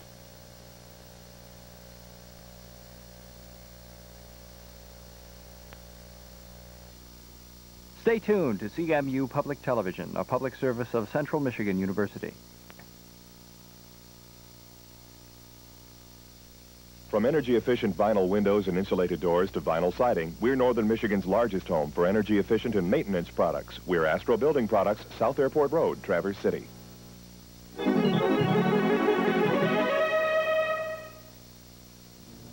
What exactly are you planning to do with this well, we're, barn? We're not doing ex any excavation on this hill at all. We're just we're staying within the footprint of the barn and merely restoring the barn. Oh, what a beautiful space. So, Jack, you build this one for 28000 too? so the structure is really worse than you thought. Much worse than we ever thought. In fact, I dragged one of the beams out here. Funding for this old house is provided by Parks Corporation, makers of Carver Tripp wood stains, clear finishes, and enamels, products that enrich, protect, and preserve the natural beauty of wood. And by State Farm Insurance and the more than 17,000 State Farm agents. For family insurance needs, auto, home, life, and health, like a good neighbor, State Farm is there. Hi, I'm Steve Thomas. Welcome to this old house. Well, you remember that last week, our master carpenter, Norm Abram, and our general contractor, Tom Silva, condemned our wonderful old barn. They said it's got to come down before we can build anything up. And they gave me the wonderful task of telling our homeowners, the Wickwires. This week, progress is well underway. It looks like the roof's off and all kinds of stuff is happening inside. Let's go find Norm. Norm. Hey, Steve. How are you? Good. Well, we're rolling, it looks like. What's Oh, going yeah. on? Well, we've got a professional demolition crew here. You can see they're knocking some of the boards off the roof, and I am glad we have pros. I Usually mean, the homeowner does this, right? That's right. Usually the homeowner does this. But this is a job that you really have to know what you're doing. This thing is coming apart very easily, and the, the frame is not very solid. So you got to know where to stand. Uh, you got to have the right equipment. And these guys have, you know, the bars and the tools, and they've got a lift over here, which is really a feature that I think makes a lot of sense. Mm-hmm. What it allows them to do, it's like a, it's a scissors platform, and they're sitting on what's left, probably the most solid part of the building, the floor. And this gets them up close to the work so that they can be standing on something solid rather than walking around on top of the roof Mhm. or whatever, you know. So they got the right tools. Now, I noticed back there we have a come-along that's chained to a, a beam here. What's, Yeah. what's going on with this? Well, they started to find that as they removed the skin of the building that it was starting to move and shake. So to hold things together, they've used some chains and come-alongs, and I think they're going to have to nail some braces on as they remove the skin to hold it together. Otherwise, the whole frame's just going to fall over. So the structure is really worse than you thought. Much worse than we ever thought. In fact, I dragged one of the beams out here. Let's flip it over. This is lovely. Try- Just pick it up first. Try to pick it up. this is like Not- half the weight that it should be. That's right. It's like styrofoam. And you can see the powder post beetle activity. I mean, it's just sawdust. Boy, this is just... And a lot of dry rot. So we're finding this throughout the barn. It is not in good shape. So we really made the right decision. Definitely, without a doubt. Now, what's happening with all this material? We've got a lot of uh, debris that we got to get rid of. That's right. Well, if you remember, there was one dumpster that's already been removed from the site, and that was the things that were stored in the Mhm. barn by the Wickwires. This is number this two? is number two, and number three is around the corner. How many more are we going to need? Well, this I'm thinking pretty expensive. Yeah? I'm thinking about three or four. So there's a fair amount of expense involved in the Mhm. removal of the debris. But we are going to save the beams. We are. What's this, Steve? Well, Some we've diapers? got uh, yeah, we've got diapers, we've got pipe wrenches, we've got probes, safety glasses. And, and who are all these people We've here? got bright colored tape. We've got men in red suits. This is a tank removal and cleaning company that has come to remove our little farm gasoline storage tank that was buried there. all these people for a little farm gas pump. Right. It's not like the old days. I bet you used to you used to do it differently before, huh? Probably, yeah, 15, 20 years ago, I suppose you would use the gas in the tank and then you'd dig it up, or maybe not dig it up at all, and then throw it out in the field somewhere. It's not going to happen here. Those days are gone. Uh, I had a conversation recently with an official from a state agency. She was very concerned that nothing that we did on our construction site wash into our wetlands. We've got a pond back Mm-hmm. there that we saw. We've got a pond across the street here, and there's another one over there. And she was really concerned that anything that we might do might have an impact. And, and where do we stand on that? We're clean on that. We're far enough away, and, and we're really not going to have an impact on so our wetlands. construction is fine. We're okay, and I was relieved to find that out. She grabbed me on the underground Oh, really? storage ca- tank. So this is going to be a big deal. It's a big deal. Let's have a look. So, Arlene, what do you think of our pond? Well, the pond looks to be pretty healthy. Um, looks like the water is fairly clear, and I hear a lot of birds and wildlife around. I even noticed you've got a good, fairly good crop of uh, freshwater shellfish here. And I noticed that there's an awful lot of water insects along the surface, and I even see some evidence that there's a pretty good fish population here. So it looks like this pond is pretty healthy and has been pretty well protected. Mm-hmm. What are the department's general concerns?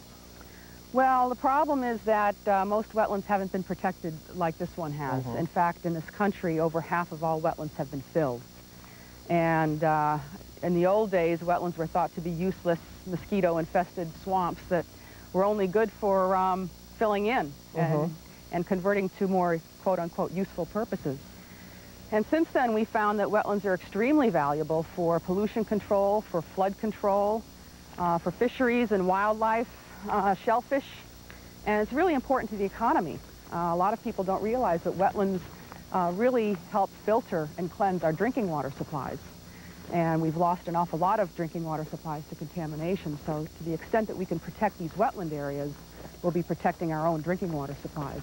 So what about our situation here? How do we stand? Well, it looks like uh, you've got a small fringe of wetlands along the boundary of this pond. In fact, it looks like there's a surveyor's flag right on the shrub, and that's, that delineates the edge of this wetland.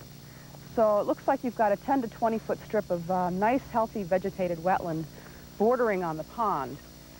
And um, as long as you're not going to be doing any work within 100 feet of this flag, I don't see that there would be any problem. What, what exactly are you planning to do with this well, we're, barn. We're not doing ex any excavation on this hill at all. We're just, we're staying within the footprint of the barn and merely restoring the barn. Uh-huh. So there, nothing's going to happen here at all. Well, what we would be concerned about is if you are going to be disturbing any of the soil, if any of this grass uh, Mhm. would be removed, any of the topsoil removed, or any construction debris stored in this area. What we'd like to see is th this entire 100-foot buffer zone between the wetland and the barn uh, be maintained in its natural state. Well, would you put up any kind of protection or? Well, the only, the only thing that uh, might be suggested is if you are going to be storing any construction debris or in any way altering the top of this slope, uh, what might be a good idea is to have a row of staked hay bales around the toe of the slope. That way, if any of this debris or sediment washes down the hill, it wouldn't make its way into the pond. But since we're not doing that, it sounds like uh, we're just, we're pretty good just as we are. Well, except for one thing. I noticed as I drove in, there was an old gas tank at the top of the hill. Now that, that hasn't been used for years. Well, do you mind if we take a look at it? Really? No? Let's go. Sure hope we can save this, Arlene, because it's one of the most picturesque elements on the site. Well, you might be able to save the pump that's on the top of the ground. The problem, though, is what's going on underneath. really? I don't, I don't think there's anything going on underneath. Well, the problem is that there's uh, probably an abandoned steel tank that's still on the ground. This old pump looks to be, uh, God, 60, 80 years old. And most of the tanks that are put in the ground are bare steel. And the problem is they corrode just the same way that this, this old pump here is Mhm. corroding. You can see it around the bottom. So why can't we just grab it with a backhoe and throw it in the dumpster and well, get it out of it's not quite that easy. You want to make sure that if there's any gasoline left in the bottom of the tank, it doesn't um, come out of the tank and into the ground where it would migrate into that pond. So you want to make sure you go to the fire department and get a permit and get a licensed contractor to properly remove this. And we wouldn't want you to, for instance, dispose of it in that dumpster there. We'd want to make sure that it was taken to the right place so it wouldn't have any potential of contaminating uh, groundwater. Well, you've made my day, Arlene. Well, we got to do things right. Yeah, I know you do. Thanks very much. Okay, let's go. Look it up. Steve, you're right. This is going to be a big deal. Yeah, I want you to meet Rick Bell. He's manager of the company. Hi, Rick. Hi, how are you Norm. doing? Welcome on board. Hi, Steve. What do we got going here? Well, we have a 500-gallon gas tank. How do you know it's 500 gallons? Well, we've uh, tape measured it from the grade down, and it appears to be a four-foot tank. Uh-huh. Standard size for that would be about 500 And gallons. And it's got gasoline in it? It has gasoline in it. This is obviously a hose. It's going to this big truck. What, Yeah. What's this all about? The, this uh, vacuum truck, uh, stainless steel, 3,000 gallon vacuum truck. So this will handle any kind of nasty stuff you put in it, right? Yes, it will. Okay. So Rick, what do we got to go in here? Well, we've removed the product from the tank and we've added some water to rinse the tank. This is the first rinse. Uh, we'll suck it out and then we'll break dry ice into small chunks and drop it down the top of the tank. What's the dry ice for? The dry ice puts a uh, CO2 blanket inside the tank in order to displace the oxygen in there so that uh, we don't have to worry about an explosion. Rick, what's what's this fellow doing here? Well, he's placarding the vehicle to indicate the gas and water that we'll be transporting this morning. The placard number 1993 is for a gasoline mixture that we'll be uh, moving this morning, and uh, if he was using some other flammable or some other combustible, he'd have a different number.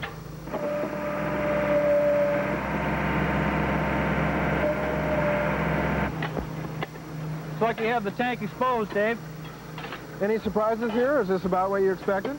Just about uh, what we anticipated. The tank looks to be intact.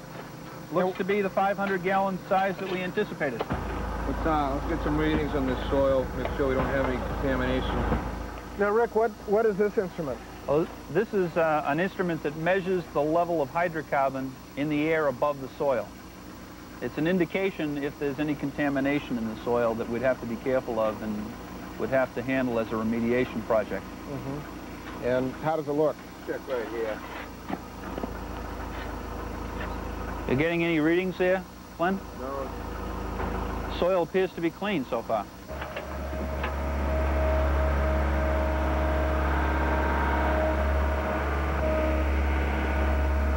Rick, it looks like the chief of the Concord Fire Department has arrived. What's his interest in our proceedings today? Well, the chief is here to issue us a permit to remove the tank.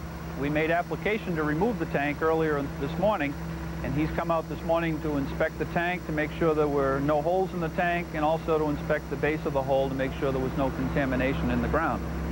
Um, and all our paperwork is in place to handle the uh, liquid being hauled off the site. Rick, it seemed to go pretty well today. Let's say a typical home, homeowner wanted to remove his oil tank. About how much would it cost him? Well, 2,000 to 2,500 would be a good budget number. If there are no problems. With no complications, exactly. Thanks a lot for sharing your crew and your expertise with us. Thank it's been you. a pleasure. Nice to meet you. Thanks, Rick. Norm, let's go check out the barn. Okay.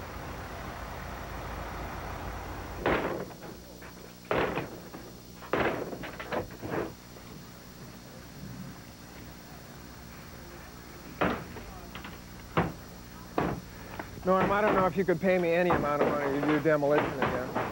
Well, you don't like the bats, the dust, the bees, the bees, the taking a dye from one of these rotten timbers up here. Needless to say, all the rusty nails that you can get tetanus from. That's right.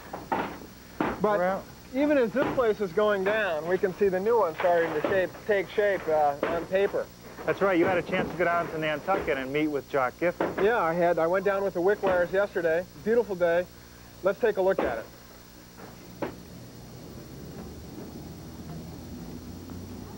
Beautiful place. Just Yeah, what do you think of it?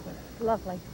It's amazing to think that somebody as rotten as Captain Ahab could have sailed from such a picturesque place as Nantucket.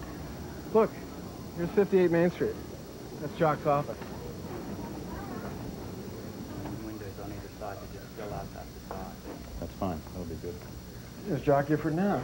Jock, I recognize you from your many appearances on this old house. Steve Thomas. Hi, Steve. Nice to meet you. Good to meet you. I brought with me Barb Wickwire. Hi, Barb. Hi, Jock. Welcome to Nantucket. Thank Barb's you. got a barn. Great. Well, let's come in and talk about it. Good. You have a good, safe trip down? Good You- trip. Good.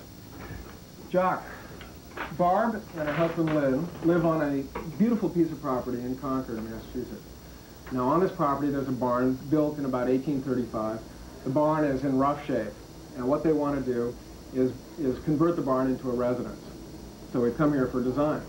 Great. Well, I've seen the photographs. It looks like a very exciting project. And uh, let's, let- you know, let's uh, talk about it. Have you ever lived in a barn before, Barbara? Not ever, no. Uh, you visited people that have lived in barns? Yes, yeah, and we, it's a romantic notion, I think we have, living in a barn and using that big space, um, keeping the outside of the barn looking like a barn and having a modern interior. Is that reasonable architecturally? Absolutely. We, you know, it's, uh, post and beam framing is very popular in the country now. Uh, we do a lot of it. Mhm. It, it is a wonderful idea, very open living. Uh, in fact, here on Nantucket, we've got a couple of examples. We did uh, two barns. One is, uh, is, is very simple. It's retained its barnness. We haven't changed it that much. The other one has been very highly finished, and I'd love to show you both of them, and uh, that would be a good place to start, I think. I think we should go take a look right now. Great. Let's go. Well, Jock, is this what they call a million dollar view? No, I think it probably is. This is Polpis Harbor, which is a, uh, a relatively shallow little harbor that, that opens up into Nantucket Harbor. So it's a couple of miles out of town. But this is what I want you to see. This is the, this is the barn that was being taken apart uh, by my neighbor in Pennsylvania. That uh, I stepped in and offered to take it off his hands for him. And we took it down and uh, had, the, had some new siding milled at a sawmill there. Loaded it all up on a truck and brought it up here and reassembled it. How long ago was that? That was uh, 1970, 19 years ago. Just Steve. out of curiosity, Jock, how much uh, was this project to build in 1970? I think the whole thing, including the appliances, the, you know, the, the everything, lighting, wiring, plumbing, was $28,000, Steve. $28,000. Incredible. Well, let's go inside. On your right, we have the kitchen. It's a uh, wonderful, open, simple, utilitarian kitchen. As you can see, everything is right here, and it opens right up onto the, the great room. Well, this is a great room, Jock. Magnificent. These must be the chestnut uh, posts and beams that you were talking about. Yep, all the way from Pennsylvania. They look like they're hewn with a broad axe, and then the rafters look like they're mill sawn up there. What, what would that have been that way in the original structure? No, the, the rafters would probably be, uh, uh, they, are, they are new and different. The old barn had uh, small caliper trees just flattened on one side for the Mhm. rafters, but we couldn't Mhm. get those. But the walls are just the way the old barn would have been, which is just uh, vertical, rough sawn, or Hmm. very, uh, very simple. Has a nice rustic quality to it, I think. What about these lovely recessed windows, Jock? Great idea. Yeah, they- we did that for two reasons, Barbara. The first reason is just to get the glazing off the outside surface of the, of the building to, to maintain the barn quality, the look of the barn from the outside. Now, the second reason is that on all of these openings that are recessed, we've got an exterior door so that we can uh, get in and out without, you know, being out of the rain, keeping the doors out of the weather. I like this idea. Do you think we might be able to incorporate it in our barn? I don't see why not. We should look at it. Chuck, what's the function of these catwalks that I see running around the building here? Well, the, the master bedroom is at this end, and the children's bedrooms are at that end, and the catwalk uh, connects them, uh, adds, a, adds a little drama. And I think that the parents uh, feel a little relieved to have that kind of connection with the, the children and, and still be separate. So we Mhm. sort of got the best of both, I think. Mm-hmm. Served by these two sets of stairs here. What about the sailcloth? Well, the sailcloth, I think, is a very good solution to the to uh, how to to do the the, the balusters, the, the railings, to make that uh, walkway safe for children.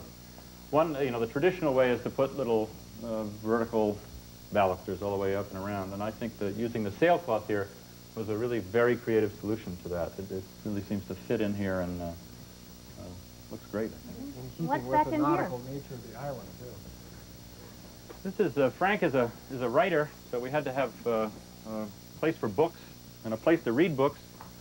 This is on those uh, cold and gray days that we get here from time to time, a place to curl up with a, a good book in front of a fire. Moby So- Dick. Moby Dick, for sure. yeah. Nice to have cozy spaces when you have great spaces like this, too. Now, Jock, the floors are, are rough sawn oak as well? Absolutely, yeah, the same. Uh, I think they're just very reminiscent of what, have, what would have been in the barn Mhm. originally. They uh, unfinished, untreated, and uh, just uh, Real solid deck, too. Yeah. I like the size of the boards. Yeah, I think it's worked worked well. It's great. Jock, So- how do you heat a place like this? Oh, I'm glad you asked, Barbara. That's a tough one. Um, this house, of course, was built as a summer house. Uh, it wasn't meant to be heated and uh, and isn't heated. Uh, it's difficult to heat a high space like this. I think what we should do is go look at the other barn I mentioned because we did address the heating issue there. It is heated and it is insulated, and you can do it. Great, let's run over and have a look. Great.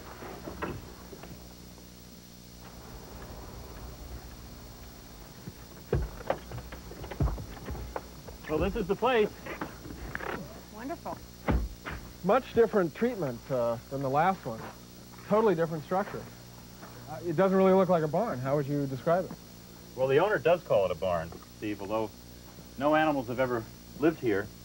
But it's a, it's a new building. It's a very good example, I think, of the uh, timber frame buildings. I think an unusual feature is the, uh, the stones on the outside, the Mhm. stone facade. Kind of reminds me of the cobbles outside your office on Main Street. Yeah, exactly. Let's go in. Oh, what a beautiful space. So, Jock, did you build this one for 28000 too? Well, this probably costs a little more than that, uh, Steve. But anyway. I like it. It's, it's beautiful. There's a foyer here with stairs down to two bedrooms underneath, uh, and four steps up here to the, uh, the main room here, which is, in fact, a guest house and a summer house, guest house. Um, but it is fully winterized, fully heated, and uh, we got a working fireplace here. Uh, we've got some, some of those stones that you saw on the outside of the building, and that's, I think, quite handsome. Uh, it's got a fabulous view of the Nantucket Harbor down there. Beautiful. And uh, O- a only gorgeous only deck. million dollar views for Jock. That's right. Uh, gorgeous deck. You know, a lot of a lot of light, a lot of windows. It's really a beautiful room, I think. I noticed, you know, you got all these windows here, but I also noticed a bunch of artificial lights here, these tracks. Well, I'm glad you mentioned that. The at night, you know, when you don't have the natural light coming in, the lighting is very important in a big open space like this. It's uh, difficult to do well, I think, and we've uh, spent a lot of time here on it.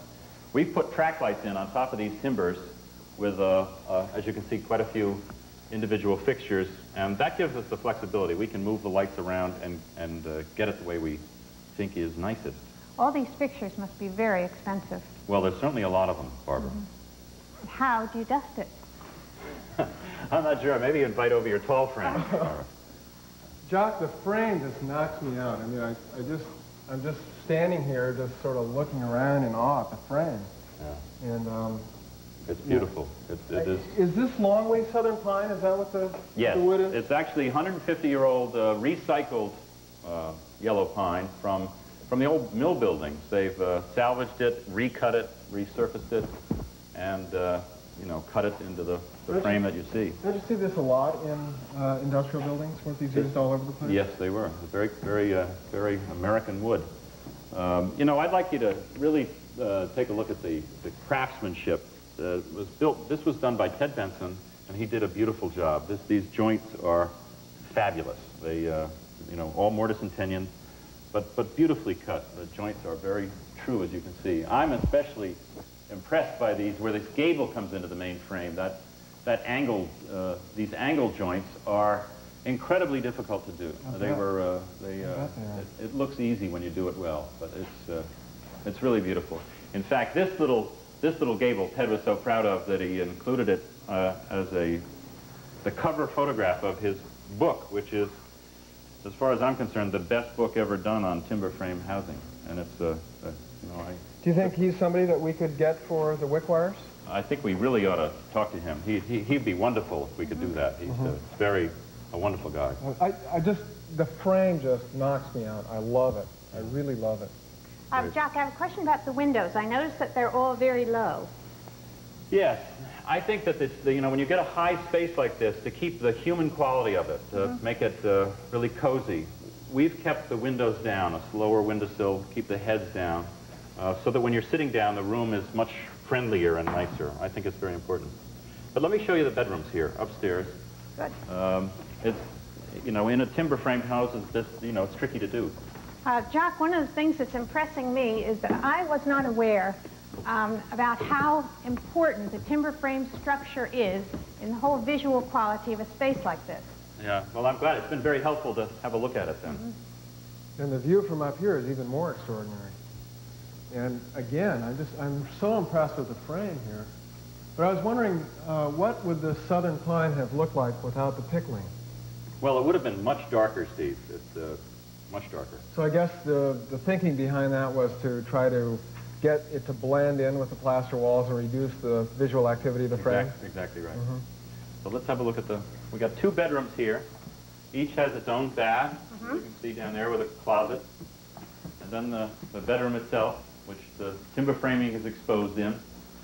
I guess you should, you should note that the, you know, windows, putting a window uh, in a timber frame is, is limited. You can't put a window anywhere, obviously not where the, where the frames are. Well, I like the use of the timber frame as a headboard. Very impressive. And I really like the cedar decking here, which just soars up and really opens this room up. Yeah, I think with it, without the, you know, raising the ceiling makes a, what would have been a small room a lot bigger, a lot more spacious, and I think that's in keeping with a sort of timber frame idea. Mhm. So- and off here we have a little, little balcony. Oh, yeah, nice. Yeah, it's, it's uh, Oh, This is, this is one of your signatures, isn't it, Jock? I seem to recall several of these on this old house project. well, it might be true. I, I do favor balconies off bedrooms, but It gives you a, it seems very luxurious. yeah, yeah, I think it's fun to, fun to do. The floors are, again, southern pine, Jock? Yes, more yellow pine, uh, treated much the way the posts are, Mhm. pickled. Um, they've been also, you know, uh, bunged down, screwed and bungs. You can see the little bungs there. Mhm. And then finished with a coat of polyurethane. I'm very impressed with Tedd Benson's work. Do you think he might be interested in our little project in Concord? Well, Tedd is a, uh, you know, a good friend of the show, and I'm sure we can twist his arm and get him involved. It would be a good idea. That'd be great. Well, we got work to do. Your husband comes in this afternoon.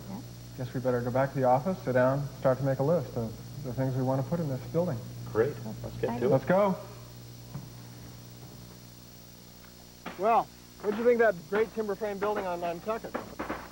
That was a beautiful project, and you know, Tedd Benson is no stranger to this old house. Several years ago, he was on the show teaching novices how to timber frame up in Brunswick, Maine. Well, I saw it. It was great. And next time, Tedd's going to be with us himself. We're going to have a crane on the side, as I understand it. And he's going to personally supervise dismantling our timber frame to see how much we can actually use. Yeah, well, I wouldn't hold your breath too long. I don't know how many timbers he's going to really be able to get out of that barn. You're finally starting to convince even me, Norm. anyway, next week we're going to have a look at the plan. We're going to see how much of this barn we can actually reuse. Until then, I'm Steve Thomas. And I'm Norm Abram. For this old house.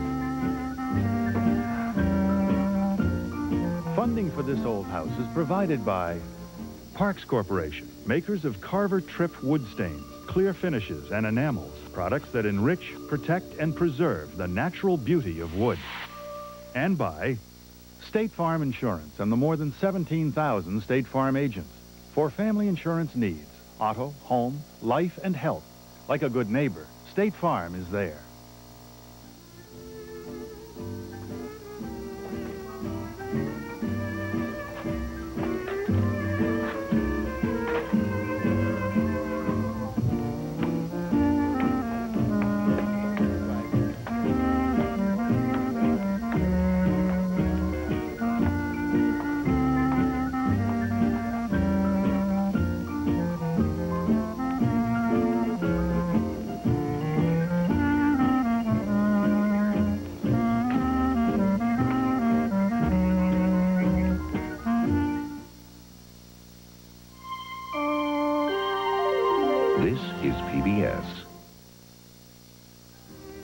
Original companion volume to This Old House, written by Bob Vila with Jane Davison, is a comprehensive guide for homeowners who want practical advice on how to understand, plan, and manage a home rehabilitation project, using both professional help and their own time and effort.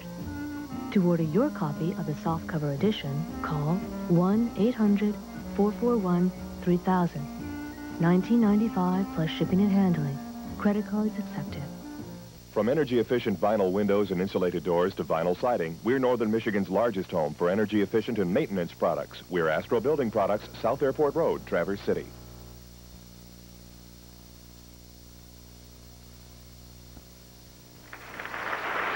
In 1980,